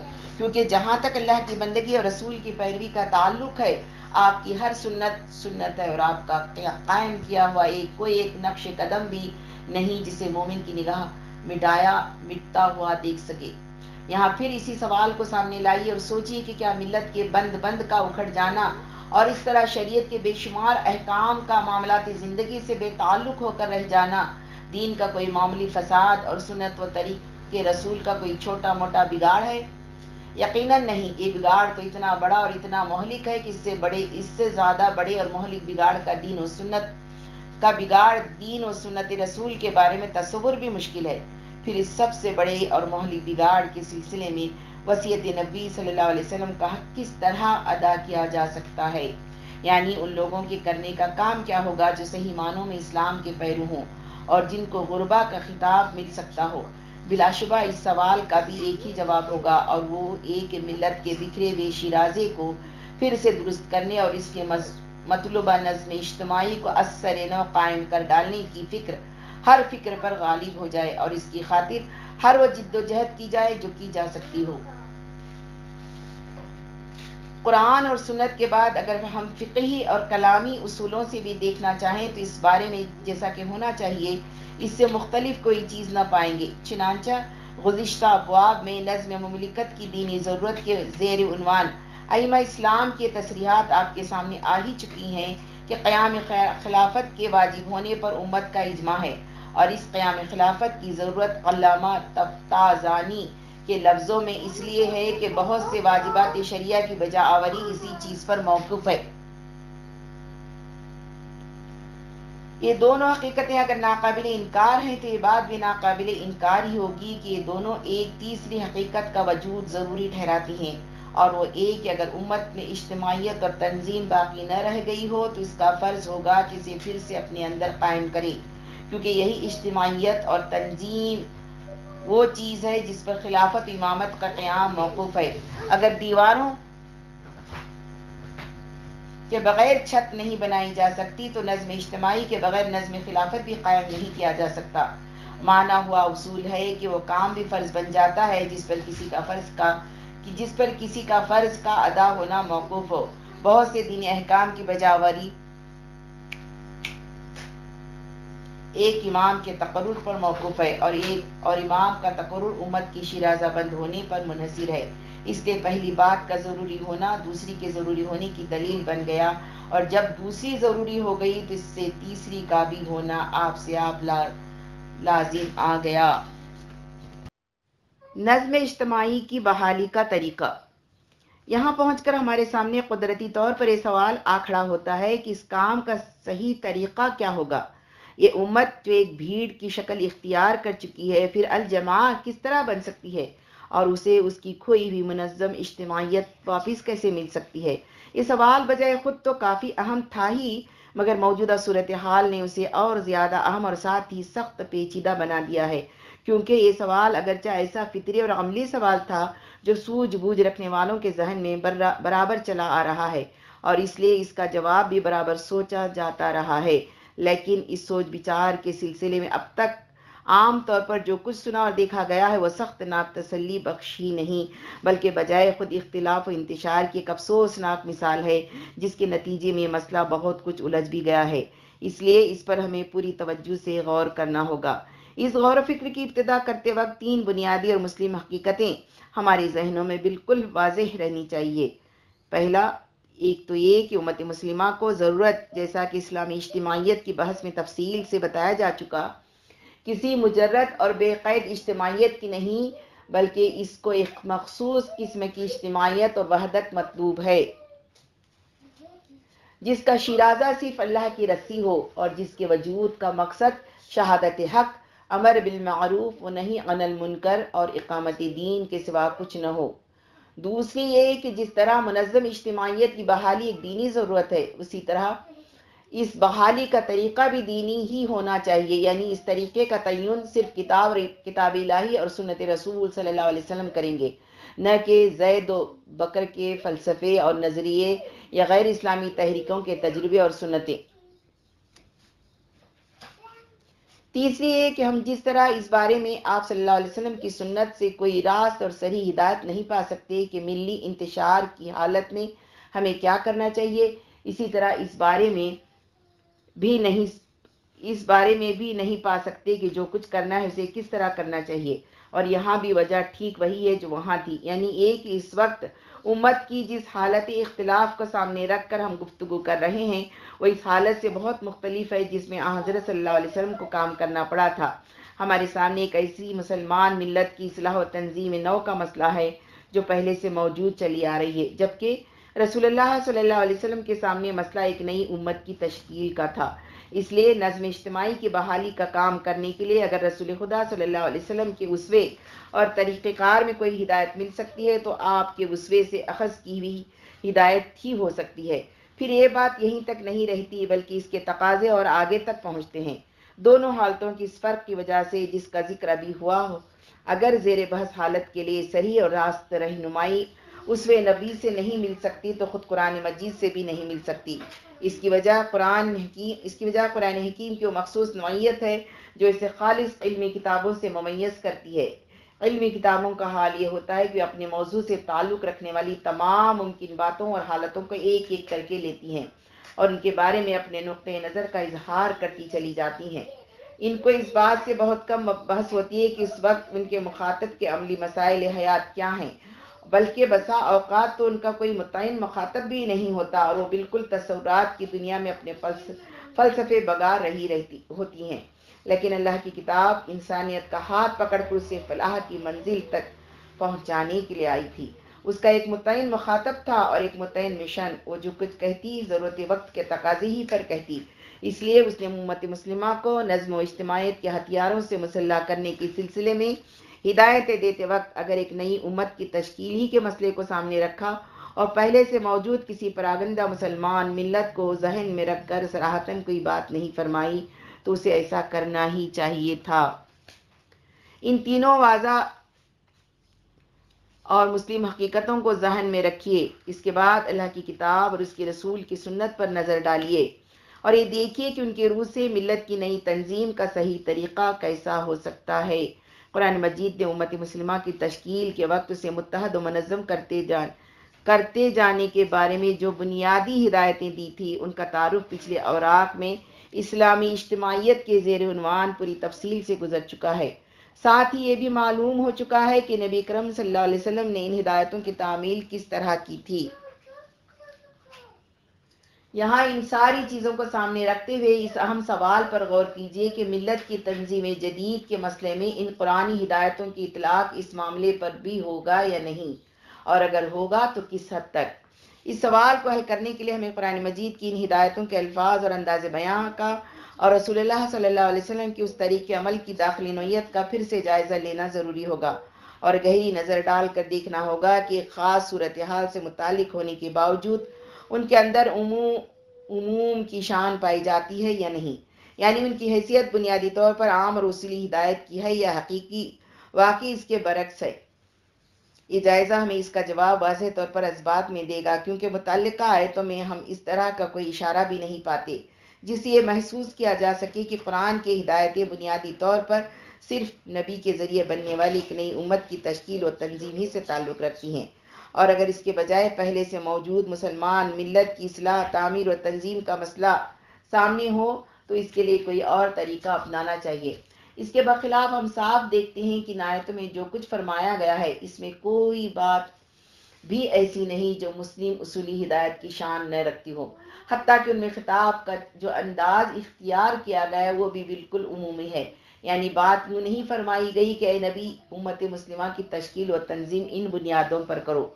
या या साहब नबी, तुम्हें इन खतूत पर अपने को संवारना और मनज़म करना चाहिए। बल्कि यूँ फरमाई गई कि ए अहल ईमान, अल्लाह का ठीक ठीक तकवा इख्तियार करो और तुम सब अल्लाह की रस्सी को मज़बूत पकड़ लो। क्या यह इस हकीकत का वाजा करीना नहीं कि अहल ईमान को अपनी तंजीम का फरीज़ा हमेशा इन्हीं खतूत पर अंजाम देना चाहिए?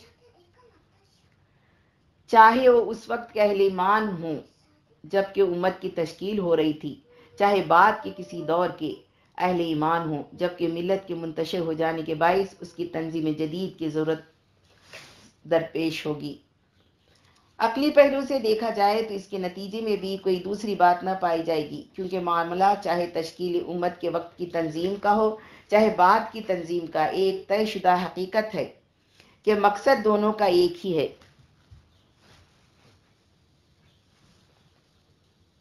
जब मकसद एक एक है तो सिर्फ़ इतनी सी बात कि एक के अरकान बाहर से छांट छांट कर इकट्ठे किए जाते हैं और दूसरी के अंदर ही से बुलाए जाते हैं। काम के तरीक़ों में कौन सा बुनियादी फ़र्क पड़ सकता है? हाँ जहाँ तक अफराद के अखलाकी, माशरती और मजहबी हकूक़ का ताल्लुक है, इस अंदर और बाहर की बिना पर फ़र्क ज़रूर वाक़ हो जाएगा और ये गैर मुस्लिम के मुकाबले में एक बेअमल मुसलमान के हकूक़ भी बहरहाल कहीं ज़्यादा होंगे। ख्वाह इस दावत तंजीम के जवाब में इसका रवैया मानदाना ही क्यों न हो? बस यही एक फ़र्क है जो दोनों के दरमियान पाया जाता है। बिलाशुबा ये फ़र्क अपनी जगह बड़ा अजीम फ़र्क है। लेकिन इसमें भी कोई शुबा नहीं कि तंजीम मिलत के बुनियादी असूलों पर वो किसी तरह असरानंदाज नहीं होता। असरानंदाज होना तो अलग रहा। इस फ़र्क का इस मसले से कोई ताल्लुक ही दिखाई नहीं पड़ता। गर्ज जिस पहलू से भी देखिए मिलत की तंजीम जदीद का तरीका भी बुनियादी तौर पर वही होगा, जो मिलत जो उम्मत मुस्लिमा की तश्कील के मुतालिक कुरान हकीम और उसवे रसूल सल्लल्लाहु अलैहि वसल्लम में पाया जाता है और वो इन निकात पर मुश्तमिल होगा। नंबर एक, काम की इब्तदा रुजू हक की दावत आम से की जाए।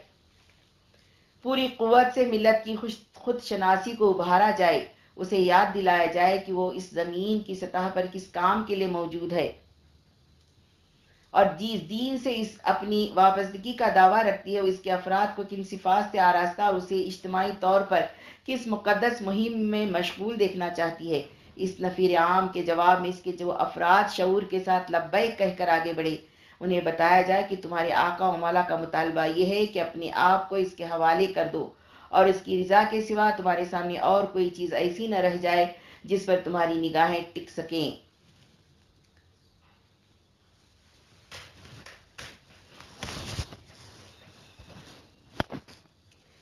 नंबर दो, जो लोग रुजीर लहक की इस दावत को फिक्री तौर पर इतमान कल्ब के साथ कबूल करने और अमली तौर पर अपने आप को अल्लाह के हवाले करने पर तैयार हो जाएँ।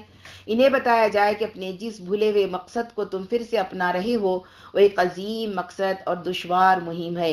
तुम इसे सर करने के काबिल उस वक्त तक हरगिज़ नहीं बन सकते जब तक कि तुम सब एक तंजीम, एक वहदत और एक बुनियान मरसूस न बन जाओ।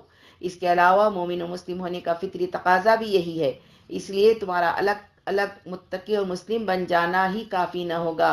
बल्कि ज़रूरी है कि तुम सब मिलकर एक ऐसी मुनज़म जमात बन जाओ जो अपने इज्तमाही वजूद में बजाय खुद भी एक मोमिन, मुत्तकी और मुस्लिम वजूद हो। इस तरह जो लोग एक मुनज़म जमात की शक्ल इख्तियार कर लेने के लिए तैयार हों और अगर वो अपने रुजो हक के फ़ैसले में मुखलिस होंगे तो कोई वजह नहीं कि इसके लिए तैयार न हो। इन्हें इस तंजीम का जुज़ तरकीबी बनाने वाली चीज़ हबल्ला यानी अल्लाह के दीन और दख, और दखुल फिल यानी कामिल इतिहाद के सिवा और कुछ न होना चाहिए। किसी ऐसे शख्स को इस तंजीम में हरगिज़ न लिया जाए जिसे कोई और रिश्ता लाकर जोड़ रहा हो जिसका हकीकी महरिक अल्लाह की रज़ा और आखरत की कामयाबी के सिवा और कुछ हो।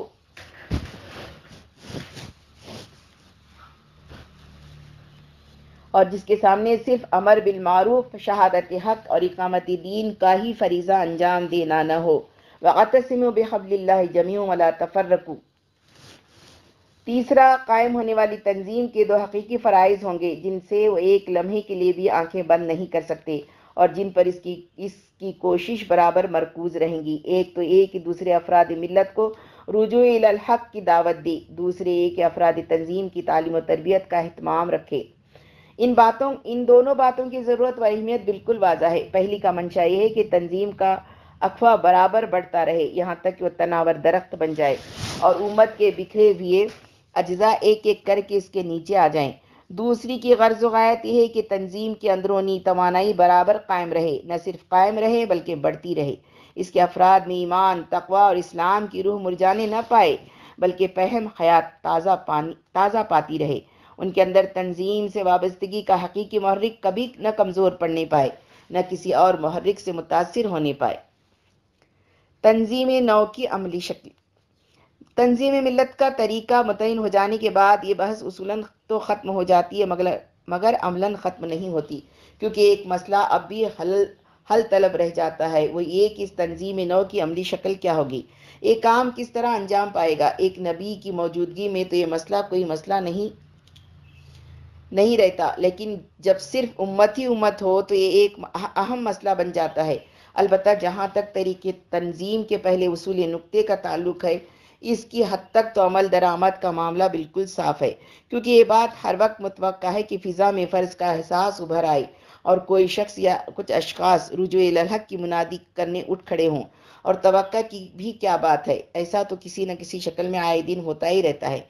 लेकिन फिर बाद में क्या हो? कार तंजीम के बाकी दोनों उसूली नुकतों पर अमल कैसे हो? आगे कदम किस तरह बढ़े? इस उभरे हुए एहसास फ़र्ज़ को और रुजू हक कि इस इब्तदाई मुनादी को मतलूबा तंजीम की आखिरी मंजिल तक पहुँचा देने का प्रोग्राम क्या होगा? ये मसला साफ़ और वाजा बिल्कुल नहीं है, इसलिए वो अपना हल चाहता है, गौर करना चाहिए कि इसका असल सही हल क्या होगा। ज़ाहिर है कि इस हल को तलाश करने के लिए भी हमें किसी और चीज़ से नहीं, बल्कि किताब और सुन्नति से रहनुमाई हासिल करनी पड़ती है। हासिल करना ही चाहिए। यह रहनुमाई हमें जिन आयतों और हदीसों से मिल सकेगी, उनमें से किसी एक किताब के इब्तदाई मुबाहिस में नकल भी की जा चुकी हैं। एक बार उन पर नज़र डाल लीजिए इसके बाद सोचिए, जो दीन हर काम को हत्तुल वसी बाहम मिलकर एक इमाम, एक या अमीर की क़्यादत में अंजाम देना ज़रूरी है, कम अज़ कम एक पसंदीदा करार देता हो। जो नमाज़ जैसी बज़ाहिर मुकम्मल अलहदगी और तनहाई चाहने वाली इबादत के लिए जमात का मिसाली अहतमाम और एक इमाम की मैारी इब्तदा वाजिब करार देता हो, जो ज़क़़त, हज और रोज़े की इबादतों को भी मुमकिन हद तक इज्तमाही शक्ल ही में अदा करने का हुक्म देता हो। जो इस बात तक को जायज़ न समझता होगा हो कि जंगल में सफ़र करने वाले तीन आदमी भी अपने में से एक को अपना अमीर न बनाए हुए हों। क्या ऐसा दीन इस बात को पसंद कर सकता है कि तंजीम मिलत जैसी अजीम शान मुहिम किसी नज्म क़्यादत के बगैर अंजाम दी जाए? और क्या तंजीम का यह तरीका इसकी इन हिदायतों से आहंग और इसकी मिजाज के मुताबिक होगा? अक्ल सलीम इस सवाल का जवाब यकीन नफ़ी ही में देगा। बिलाशुबा मक्की दौर में हम जमात और अमीर, नज़म और इतात के अल्फाज बोले जाते नहीं सुनते। मगर ये निगाह का धोखा कम होगा। मगर ये निगाह का धोखा होगा अगर हम इससे ये ख्याल कर लें कि वहाँ इन अल्फाज के माना भी मौजूद न थे। जिस जाति गिरामी पर इसके फिदाकार साथी अपनी जानें छिड़कते थे, जो इस आसमान के नीचे उनकी सबसे महबूब बता थी, जिसके इशारे भी उनके लिए बड़े से बड़े आमिरों और शहनशाहों के फरामीन से बढ़कर वाजिब तामील और काबिल एहतराम थे। वो कब इस बात की ज़रूरतमंद थी कि इनके सामने अपनी क़्यादत और अमारत का कानूनी लफ्ज़ों में ऐलान करे और उनसे अपनी इतात के अहदनामे लिखवाए, चुनाचा इस पूरे दौर में एक वाक़ा भी ऐसा नहीं पाया जा सकता। जो इस बात का सबूत हो कि वहाँ मानन भी नज़म इज्तमाही और नज़म इतात मौजूद न था। फिर ये भी याद रहे कि अहल ईमान की शान में वामरहम शुरा बैनहम के अल्फाज मक्के ही में नाजिल हुए थे।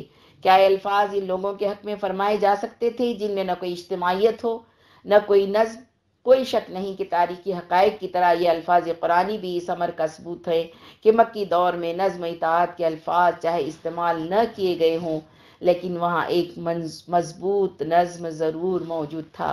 एक जानदार इज्तमाहीत यकीनन कार फरमाती दावत और उम्मत के अहम मामला में सर जोड़कर बहरहाल बैठा जाता था। गौर बहस के बाद फैसले होते थे और इन फैसलों के मुताबिक ही पूरा ग्रोह मोमिन अमल, अमल पैरा होता था। और नबी करम सल्लल्लाहु अलैहि वसल्लम की इज़्न के बगैर कोई बात अंजाम न पाती थी। बेहतर होगा कि इस जगह एक उसूली हकीकत समझ ली जाए। बात दरअसल ये है कि जब तक दावत हक को कबूल करने वाले अफराद इस तरह के लोग होते हैं, जिस तरह के लोग मक्की दौर के अहल ईमान थे, और उनका दाई और रहनुमा इस तरह की शख्सियत होती है, जिस तरह की शख्सियत उनके दरमियान वहाँ मौजूद थी। उस वक्त तक जमात और अमारत, नज्म और इतात के अल्फाज बोले जाने की सिरे से कोई ज़रूरत ही नहीं होती। बल्कि यूँ कहना चाहिए कि उस वक्त इन अल्फाज का बोला जाना उस शख्सियत के, के मकाम मकाम अजमत व महबूबियत पर भी हर्फ लाना है। और इसके मुखलिस पैरवियों के जज्बे मोहब्बत व ताज़ीम की भी एक गो नगो तोहन है। ये अल्फाज तो सिर्फ़ उसी वक्त बोले जा सकते हैं जब ये दोनों बातें या इनमें से कोई एक मौजूद न पाई जाती हो। चुनाचा यही वजह है कि मक्के में जहाँ अतसिम बिल्लाह की तलकिन काफ़ी थी, वहाँ मदीने में हब बेहबल्ला की सराहत ही नहीं, बल्कि इसके साथ साथ वला तफर्रकू की खुली हिदायत भी ज़रूरी हो गई। इस तरह मक्की दौर में नज्म इतात का ज़ाहिर लफ्ज़ों में कोई ज़िक्र नहीं किया गया, मगर मदनी दौर शुरू होती अतीवर रसूल के अल्फाज इस्तेमाल किए जाने लगे। ऐसा सिर्फ़ इसलिए हुआ कि मदीने में पहली बात मौजूद न रह गई थी। यानी उस वक्त के अहले ईमान बिला इस्तना सब के सब वैसी मुखलिस, फिदाकार और सरापा इतात नहीं रह गए थे जैसे कि मक्की दौर के थे। बल्कि उनमें एक खासी तदाद कुछ कच्चे मुसलमानों की और मुनाफिकों की भी आग घुसी थी। जिनका ईमानी ज़ौफ़ या निफाक उन्हें दीनी मुतालबों के ख़िलाफ़ वर्जियाँ कर जाने पर उकसा दिया करता था। इसलिए अब नागुजेर हो गया कि ममिन को एक मुतहद ग्रोह बन, ग्रोह बने रहने का। और अल्लाह और रसूल और उलूल अम्र की इतात का सही लफ्ज़ों में भी हुक्म दिया जाए। ये तो ये ये तो इस सूरत हाल की मिसाल थी जबकि दाई और रहनुमा की शख्सियत मैारी और मिसाली किस्म की हो। मगर इसके पैरों तमाम के तमाम मैारी और मिसाली किस्म के न हों। रही इसकी उल्टी सूरत हाल की बात तो इसकी मिसाल मिसाल से तारीख इस्लाम मिसालों से तारीख इस्लाम भरी पड़ी है जहाँ हर शख्स देख सकता है कि जब भी कुछ मुसलमान किसी ज़रूरत की बिना पर नबी करम सल्लल्लाहु अलैहि वसल्लम की सोहबत व क़्यादत से कुछ दिनों के लिए अलग होते तो एक अमीर के बगैर अपने कदम न उठाते। मदनी दौर में आए दिन वफूद भेजे जाते और उन, उन्हें और मुँह में रवाना की जाती थी मगर कोई वफद या कोई दस्ता ऐसा नहीं होता जिसका एक अमीर न हो। मक्की दौर में अगरचे इस तरह की सूरतें पेश आने के हालात मौके न होने के बराबर थे। लेकिन अगर कभी ऐसी सूरत पेश आई तो उस वक्त भी कोई दूसरा तरीक़ेकार इख्तियार नहीं किया गया। चुनाचा हिजरत हफ्शा के मौके पर जब कुछ मुसलमान आपकी सोहबत से अलग हो रहे थे तो ऐसा नहीं हुआ कि हर शख्स ने अपनी तौर पर अपनी राह ली, बल्कि सबने एक जमात बनकर और एक क़्यादत के तहत हिजरत की थी। सबसे पहला काफिला महाजरीन काफिला महाजरीन दस आदमियों पर मुश्तमिल था और हज़रत उस्मान बिन मजून रज़ी को आप सल्लल्लाहु अलैहि वसल्लम ने इस काफिले का सरबराह मुकर फरमाया था, सीरत इबन हशाम। गर्ज मक्की दौर की ज़ाहरी सूरत हाल को देख कर गुमान कर बैठना सही न होगा कि वहाँ फिलवाका भी कोई इज्तमाही नज्म का फरमा न था। इस बहस से मिलत के तरीके तंजीम के बारे में दीन का तकाजा और शरीयत का नुक़ नज़र पूरी तरह वाजा हो जाता है। नबी सल्लल्लाहु अलैहि वसल्लम का उसवा और किताब और सुन्नत की आम इज्तमाहियाँ, इज्तमाही हिदायतें भी यही तलकीन करती हैं कि मिलत के मिलत की सलाह व तंजीम जदीद का फरीज़ा भी इज्तमाही तौर पर एक नज़म क़्यादत के तहत अंजाम पाना चाहिए। शर्य नुक़ नज़र, शरी नुक़ निगाह के बाद अगर अकली और तजुर्बाती पहलुओं से देखिए तो भी बात यही निकलेगी। तारीख के वसी ज़ख़ीरे में इस बात की कोई एक मिसाल भी नहीं पाई जा सकती कि दुनिया का कोई इज्तमाही इनकलाब किसी इज्तमाही और मनज़म सही जहद व जद्दोजहद के बग़ैर बर्पा हो। इस दुनिया में काम करने वाले कवानीन कहते हैं कि ऐसा कभी, ऐसा न कभी हुआ है और न कभी हो सकता है।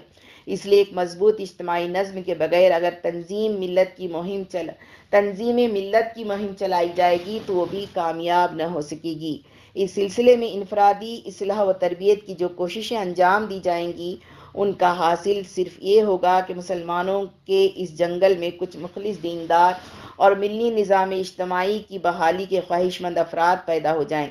हो सकता है कि ऐसे अफराद की तादाद कुछ के बजाय बहुत हो, मगर जब तक इस मुतफ़ा इज्तमाही नजबुलैन को पा लेने का जज्बा उन सबको एक ही शराजे में मजबूती से बांधे हुए भी न हो और इस गर्ज के लिए इज्तमाही निज़ाम और क़्यादत मौजूद न हो मिलत इस इज्तमाही से क़्यादत, क़्यामत तक बहरावर नहीं हो सकती। जो अल्लाह के दीन को मतलूब है और जिसके बगैर बकौल सैदा उमर रज़ी इस्लाम इस्लाम नहीं रहता।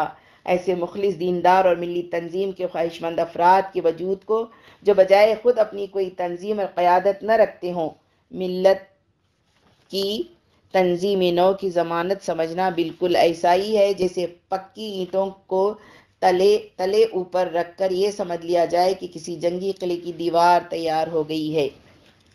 यकीनन ये बड़ी ही अजीब बात होगी कि मुसलमानों के और सारे काम तो मनजबी तौर पर एक नज़म और क़्यादत के तहत अंजाम पाएँ। उनका दीन उनसे यही चाहता हो, मगर ठीक वही मुहिम इस तरह के नज़म इंजबात से बेबहरा हो, जो मिलत को एक मज़बूत इज्तमाहीत और नज़म से बहरावर करने ही के लिए जारी की गई हो। क्या इसी सूरत में ये मुहिम अपनी मुखालिफ खुद आप ही ना होगी? और क्या इसके नाकाम हो जाने का यकीन दिलाने के लिए खुद यही बात काफ़ी ना होगी कि नज़म इज्तमाहीत की इस मुतलाशी जद्दोजहद में कुछ, सब कुछ है, मगर मगर एक नज़म इज्तमाहीत ही नहीं है। गर्ज, जिस पहलू से भी देखिए, मिली तंजीम के बाकी दोनों उसूली निकात को बुरोकार लाने की शक्ल अमला यही करार पाएगी कि जो लोग इस मकसद से शूरी तौर पर वाबस्ता हो जाएँ वह एक जमाती नज़म कायम कर लें और अपने में से एक ऐसे फ़र्द को इस नज़म का सरबराह मंतखब कर लें जो इस मकसद की सबसे ज़्यादा अच्छी खिदमत अंजाम दे सकता हो।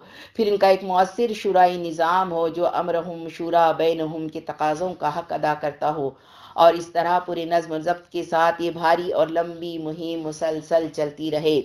यह हकीकत किसी इजहार और बयान की मोहताज नहीं कि जमात बजाय खुद अलजमा न होगी, न ये तंजीम, मिली तंजीम का बदल होगी, बल्कि उसे वजूद में लाने के लिए होगी। सुनत रसूल सल्लल्लाहु अलैहि वसल्लम और सुनत खुलफ़ाए राशदीन के हाथों में इसकी जमाम कार रहेगी।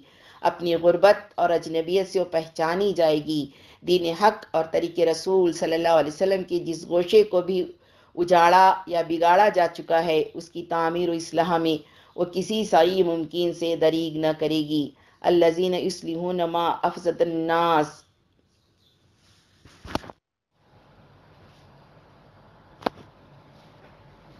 इस फहरिस्त का आखिरी उनवान है गोशागिरी।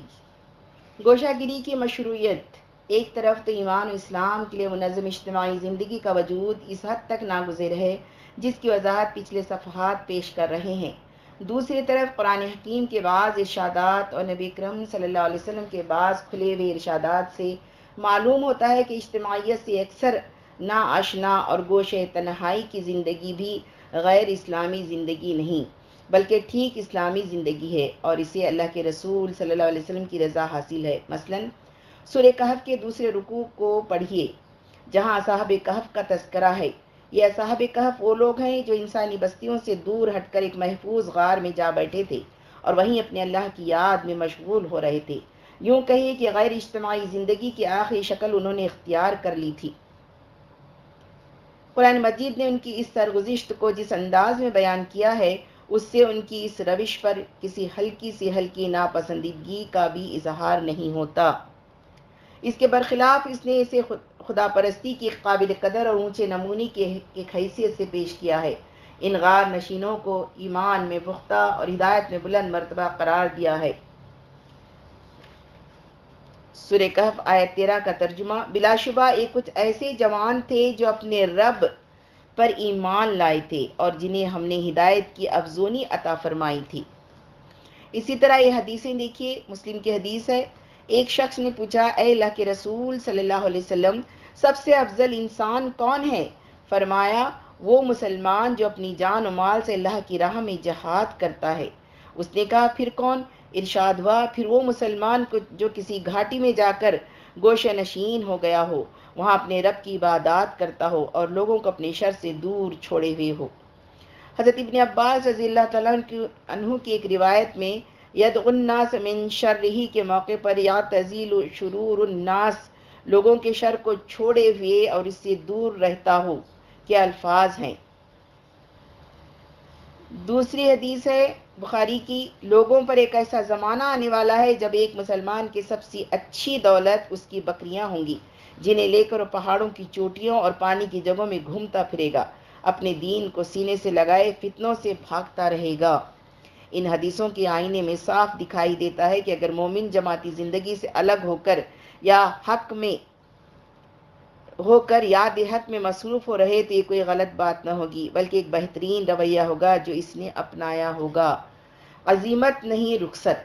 बिलाशुबा इस तरह की बातें और हिदायतें भी कुरान और हदीस में मौजूद हैं।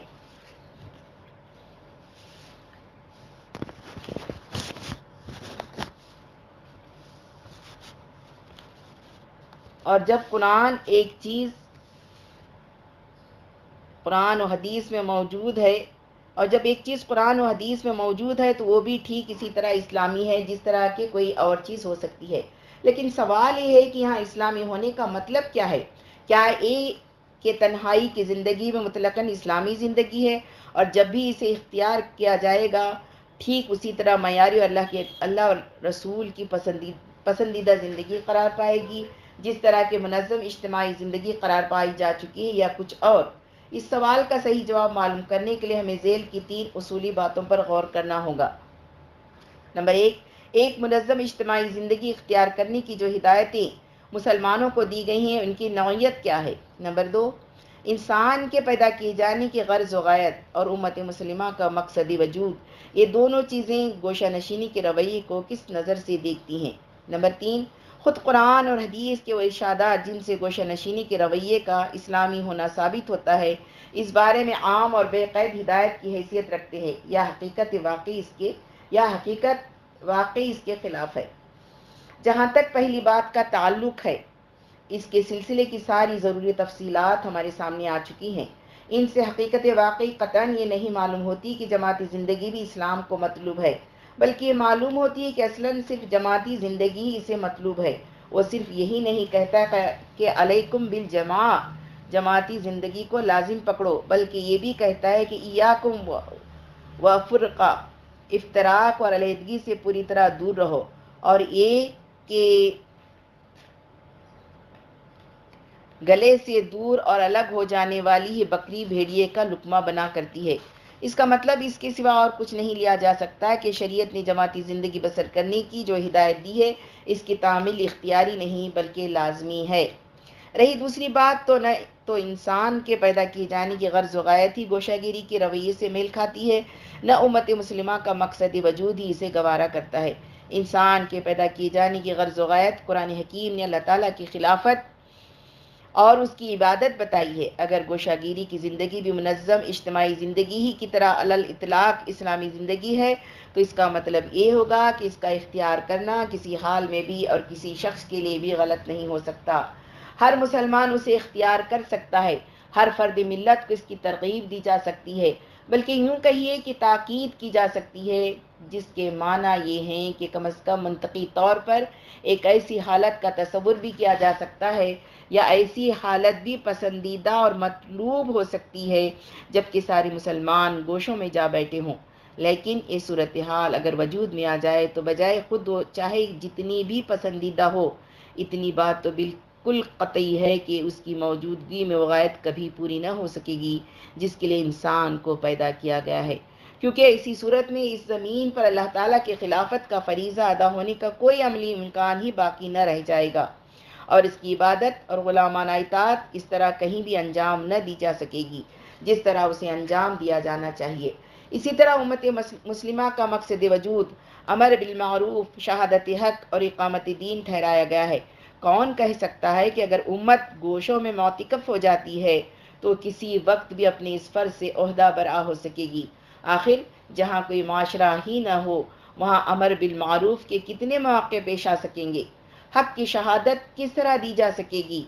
अल्लाह का दीन कहाँ और किन लोगों पर कायम किया जा सकेगा?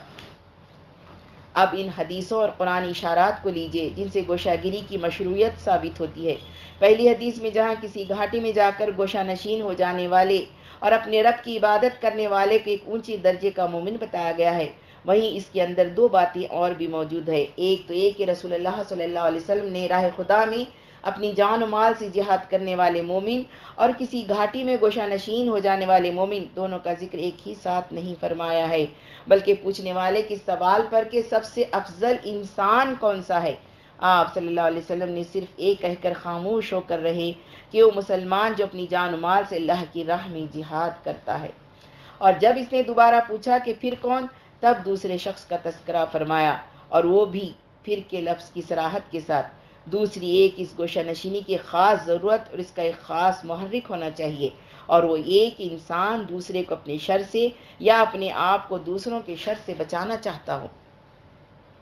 यही हाल दूसरी हदीस का भी है। इसमें भी गोशागिरी की तरकीब के साथ दो अहम बातें इर्शाद भी हैं। एक तो ये कि लोगों पर एक ऐसा ज़माना आने वाला है, दूसरे लफ्ज़ों में एक या कोई गैर मामूली ज़माना होगा जिसके कुछ ख़ास हालात होंगे।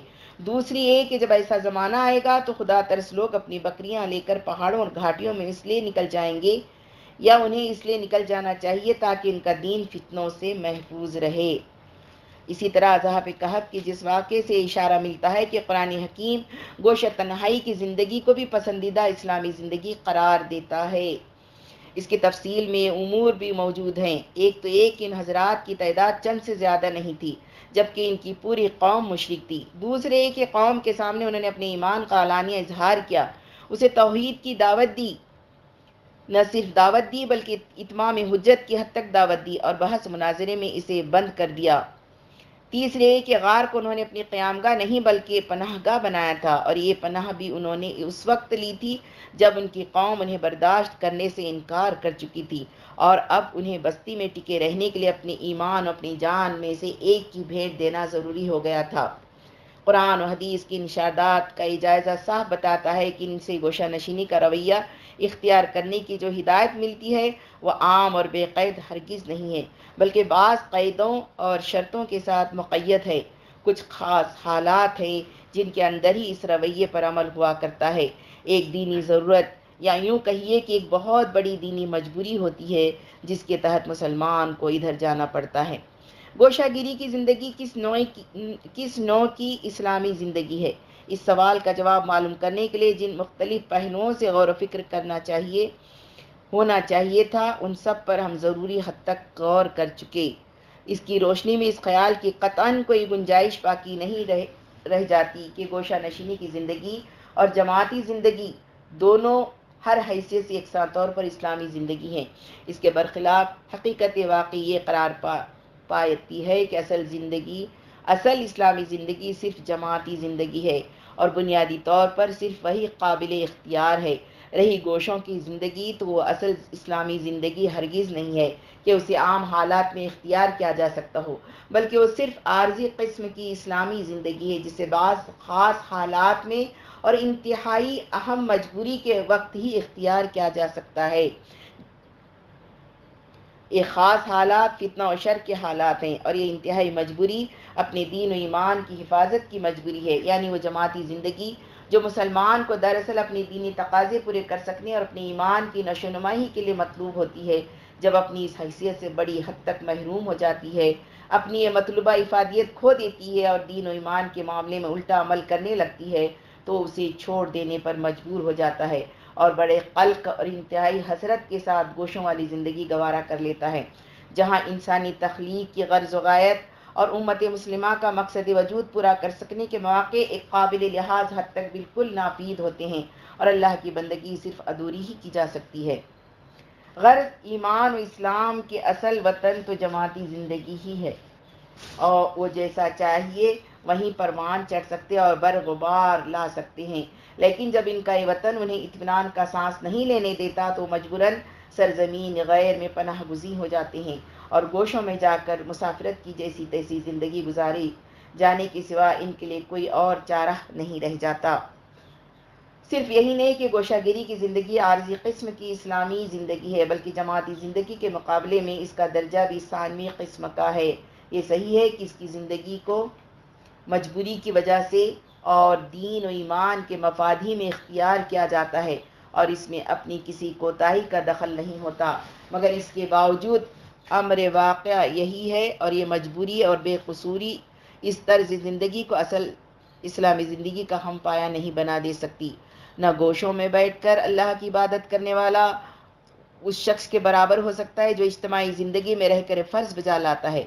इस फ़र्क के मुरातिब की वजह बिल्कुल खुली हुई है। पहले शख्स की इबादत, नमाज़, रोज़े वगैरह चंद इनफरादी अमाल ज़िंदगी तक महदूद महदूद रहती है, जबकि दूसरे की इबादत उन इनफरादी अमाल से शुरू होकर जानी और माली जहाद फ़ी सबील्लाह जैसी आखिरी हदूद बंदगी तक वसी होती है। इसलिए हक यही है कि पहले का मरतबा दूसरे से फरोतर हो। ये सिर्फ़ अक्ल क़यास ही का फ़ैसला नहीं बल्कि आ हज़रत अलैहि वसल्लम के मस्कुरा बाला इर्शादात में भी इसका सबूत मौजूद है।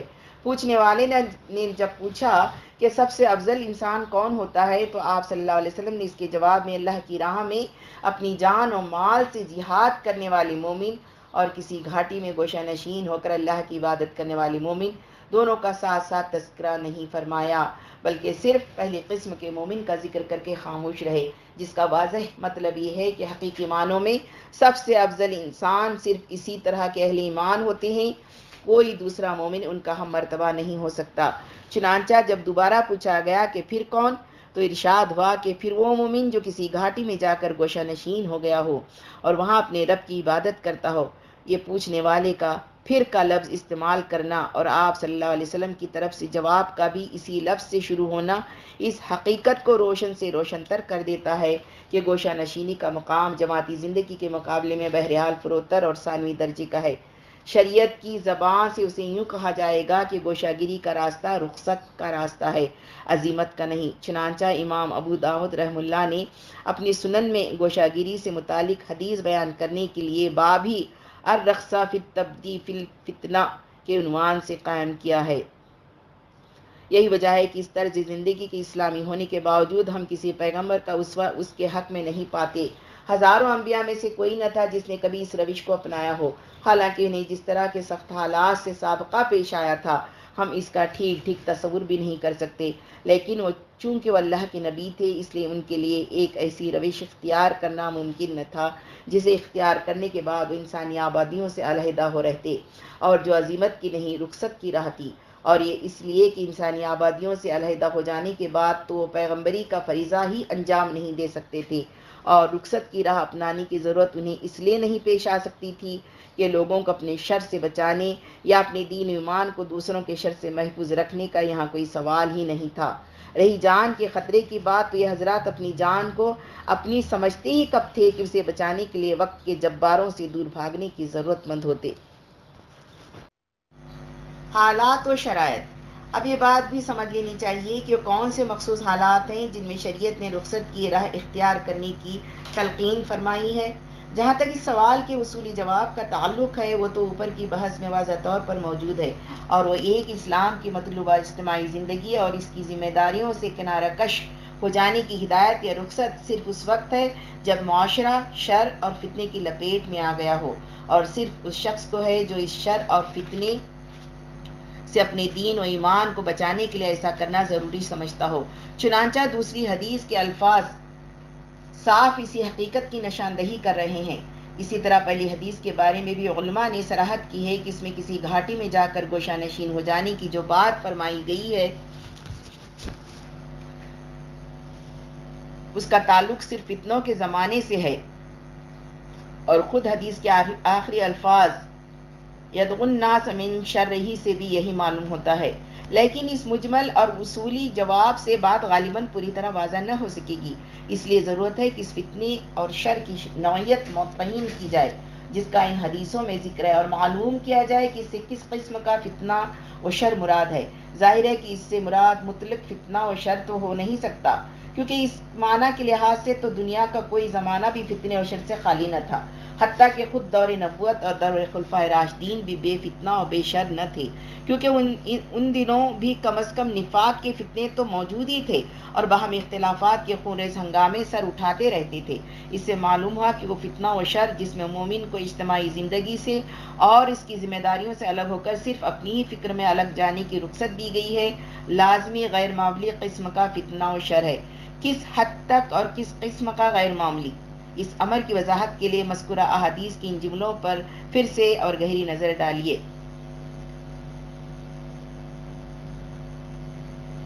यफिर बिदीनती मिनल फतनी यतजिल शुरूर नास यदगुन्नास मिन शर्रिही। ये अल्फाज बताते हैं कि शर और फितने से मुराद माशरे के ऐसे सख्त अबतर हालात हैं जिनके अंदर मुसलमान अपनी सारी हिफाजती तदबीरों के बावजूद अपने दीन और ईमान को महफूज न पाता हो और शुरूर और शर बातिल के बढ़ते हुए ज़बरदस्त दबाव में उनका मुस्तबिल उसे तारीख दिखाई देता हो।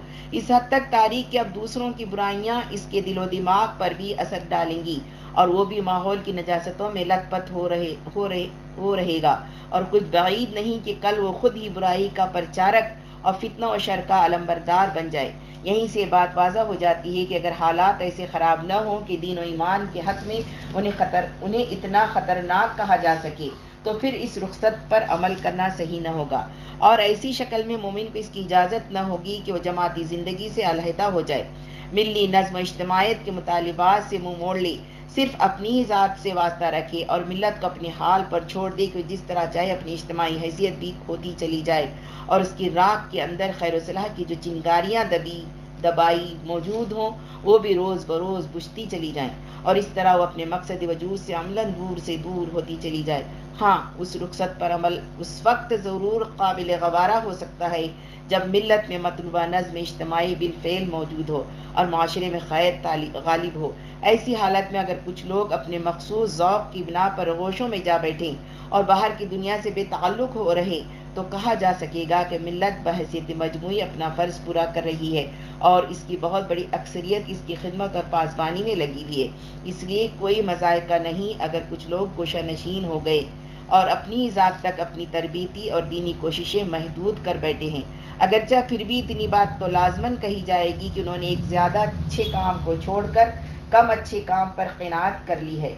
लेकिन अगर मिलत इस हाल में न हो, अगर वो अपना जमाती नज्म खोती जा रही हो, अगर मोमिन अलजमात से भीड़ बनते जा रहे हों, अगर मुस्लिम माशरे का इज्तमा इज्तमाही रुख इस्लाम के बजाय किसी और तरफ़ हो चला हो मुख्तसर ये कि सही इस्लामी निज़ामी इज्तमाही अगर कार फरमा बाकी न रह गया हो तो किसी वाकई ख़तरे दीन के बगैर गोशागीर हो जाना और मिलत की इज्तमाही ज़िंदगी को सिसकता छोड़ देना हरगिज़ इस्लामी तर्ज ज़िंदगी नहीं, तर्ज बंदगी और दीनी तरीके ज़िंदगी नहीं। अमल की सूरतें। आखिर में एक और मसला वजाहत तलब रह जाता है और वो ये कि गोशागिरी की अमली शक्ल क्या होगी? और एतजाल, यानी इज्तमाही ज़िंदगी से अलहदगी की जिस रविश के इख्तियार करने की रुख्सत शरीयत ने दी है, इसकी हदूद क्या है? इस सवाल के जवाब में किसी एक ही सूरत का नाम नहीं लिया जा सकता, क्योंकि इसका इहसार तमाम तर हालात पर है, जो हर शख्स के लिए और हर ज़माने में एकसा नहीं। एक सा नहीं हो सकती। इसका मतलब ये हुआ कि किसी शख्स के दीन ईमान के लिए हालात जिस हद तक नासाजगार और ख़तरनाक होंगे, उसी की मुनासिबत से इसे गोश नशीनी और एतज़ाल की शक्ल भी इख्तियार करनी होगी। मसलन, ये हालात अगर खुदा न खास्ता अबतरी की उस हद को पहुँच गए हों कि दीन के बुनियादी असूलों पर भी कायम रहना दुशवार हो चुका हो और उसकी बुनियादी तालीमत का ऐलान और इजहार भी बर्दाश्त न किया जाता हो तो उस वक्त गोशागिरी के इंतहाई मफहूम और उसकी आखिरी शक्ल को इख्तियार किया जाएगा, जिसकी मिसाल असहाबी कहब के उसवे में मौजूद है। उन्होंने मुकम्मल अलाहदगी और गार नशीनी उस वक्त इख्तियार की थी, जब उनके लिए अपनी बस्ती के अंदर कल में हक कहने की इजाज़त बाकी न रह गई थी। और उन्हें यकीन सा हो गया था कि अब दावत हक लोगों के सामने हमारी ज़बानों से नहीं निकली। हमारी ज़बानों से निकली नहीं कि हम पर पत्थरों की बारिश हो जाएगी। और अगर हालात इतनी ख़तरनाक न हुए हों तो उस वक्त गोशागिरी और अलाहदगी की जो शक्ल अपनाई जाएगी, वह ऐसी न होगी, बल्कि इससे बहरहाल कम दर्जे की होगी। यानी कुछ इस तरह के इंसान आबादी को एक कलम तो न छोड़िए, मगर आम इज्तमाही मामला से अलग हो जाए। फितने के अलमबरदानों को अपने हाल पर छोड़ दे और उनकी भड़काई, और उनकी भड़काई हुई आग को बुझाने के लिए हाथ और जबान की कोशिशों के बजाय दिल, बजाय सिर्फ़ दिल से बुरा मानने पर इक्तफा करे। बस अपनी नागुजेर ज़रूरियात ज़िंदगी के लिए कोई जायज़ ज़रिया माश जो बहरहाल मामूली किस्म ही का हो सकता है, इख्तियार कर ले और अपने आप की फ़िक्र में लग जाए। नमाज़ और रोज़े, हज और ज़क़़त का अहतमाम रखे और आम इंसानों के जो हुकूक उस पर आयद होते हैं, उन्हें अदा करते रहे। जहाँ तक आम अंदाजे का ताल्लुक है, एक बदतर से बदतर मुस्लिम माशरे में भी जिस खराब सूरत हाल का अंदेशा किया जा सकता है, वो बस इसी किस्म की चुनाचा खुद इन हदीसों में, जिनके अंदर इस एतजाल और गोशा नशीनी की ज़िंदगी बसर करने की रुख्सत या हिदायत दी गई है, नमाज़ की इकामत और अल्लाह की इबादत के साथ अदाय ज़क़़त का हुक्म भी मौजूद है। ये हुक्म साफ़ तौर से इसी हकीकत की तरफ़ इशारा कर रहा है क्योंकि ज़क़़त की अदाई उसी वक्त अमल में आ सकती है जब दूसरे इंसानों से रब्त ताल्लुक कुछ न कुछ बाकी हो। गारों और गुफा, गुफाओं में तो इसकी कोई अमली शक्ल मुमकिन न रहेगी। फैसले में है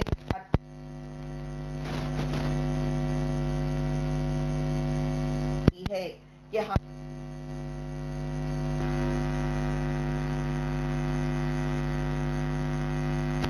बेलाग जायजी से काम लेना चाहिए। क्योंकि इंसानी फितरत के दो, दो रुझान इस मामले में सही फैसले पहुँचने में ज़बरदस्त रोक सकते हैं और बनते रहे हैं।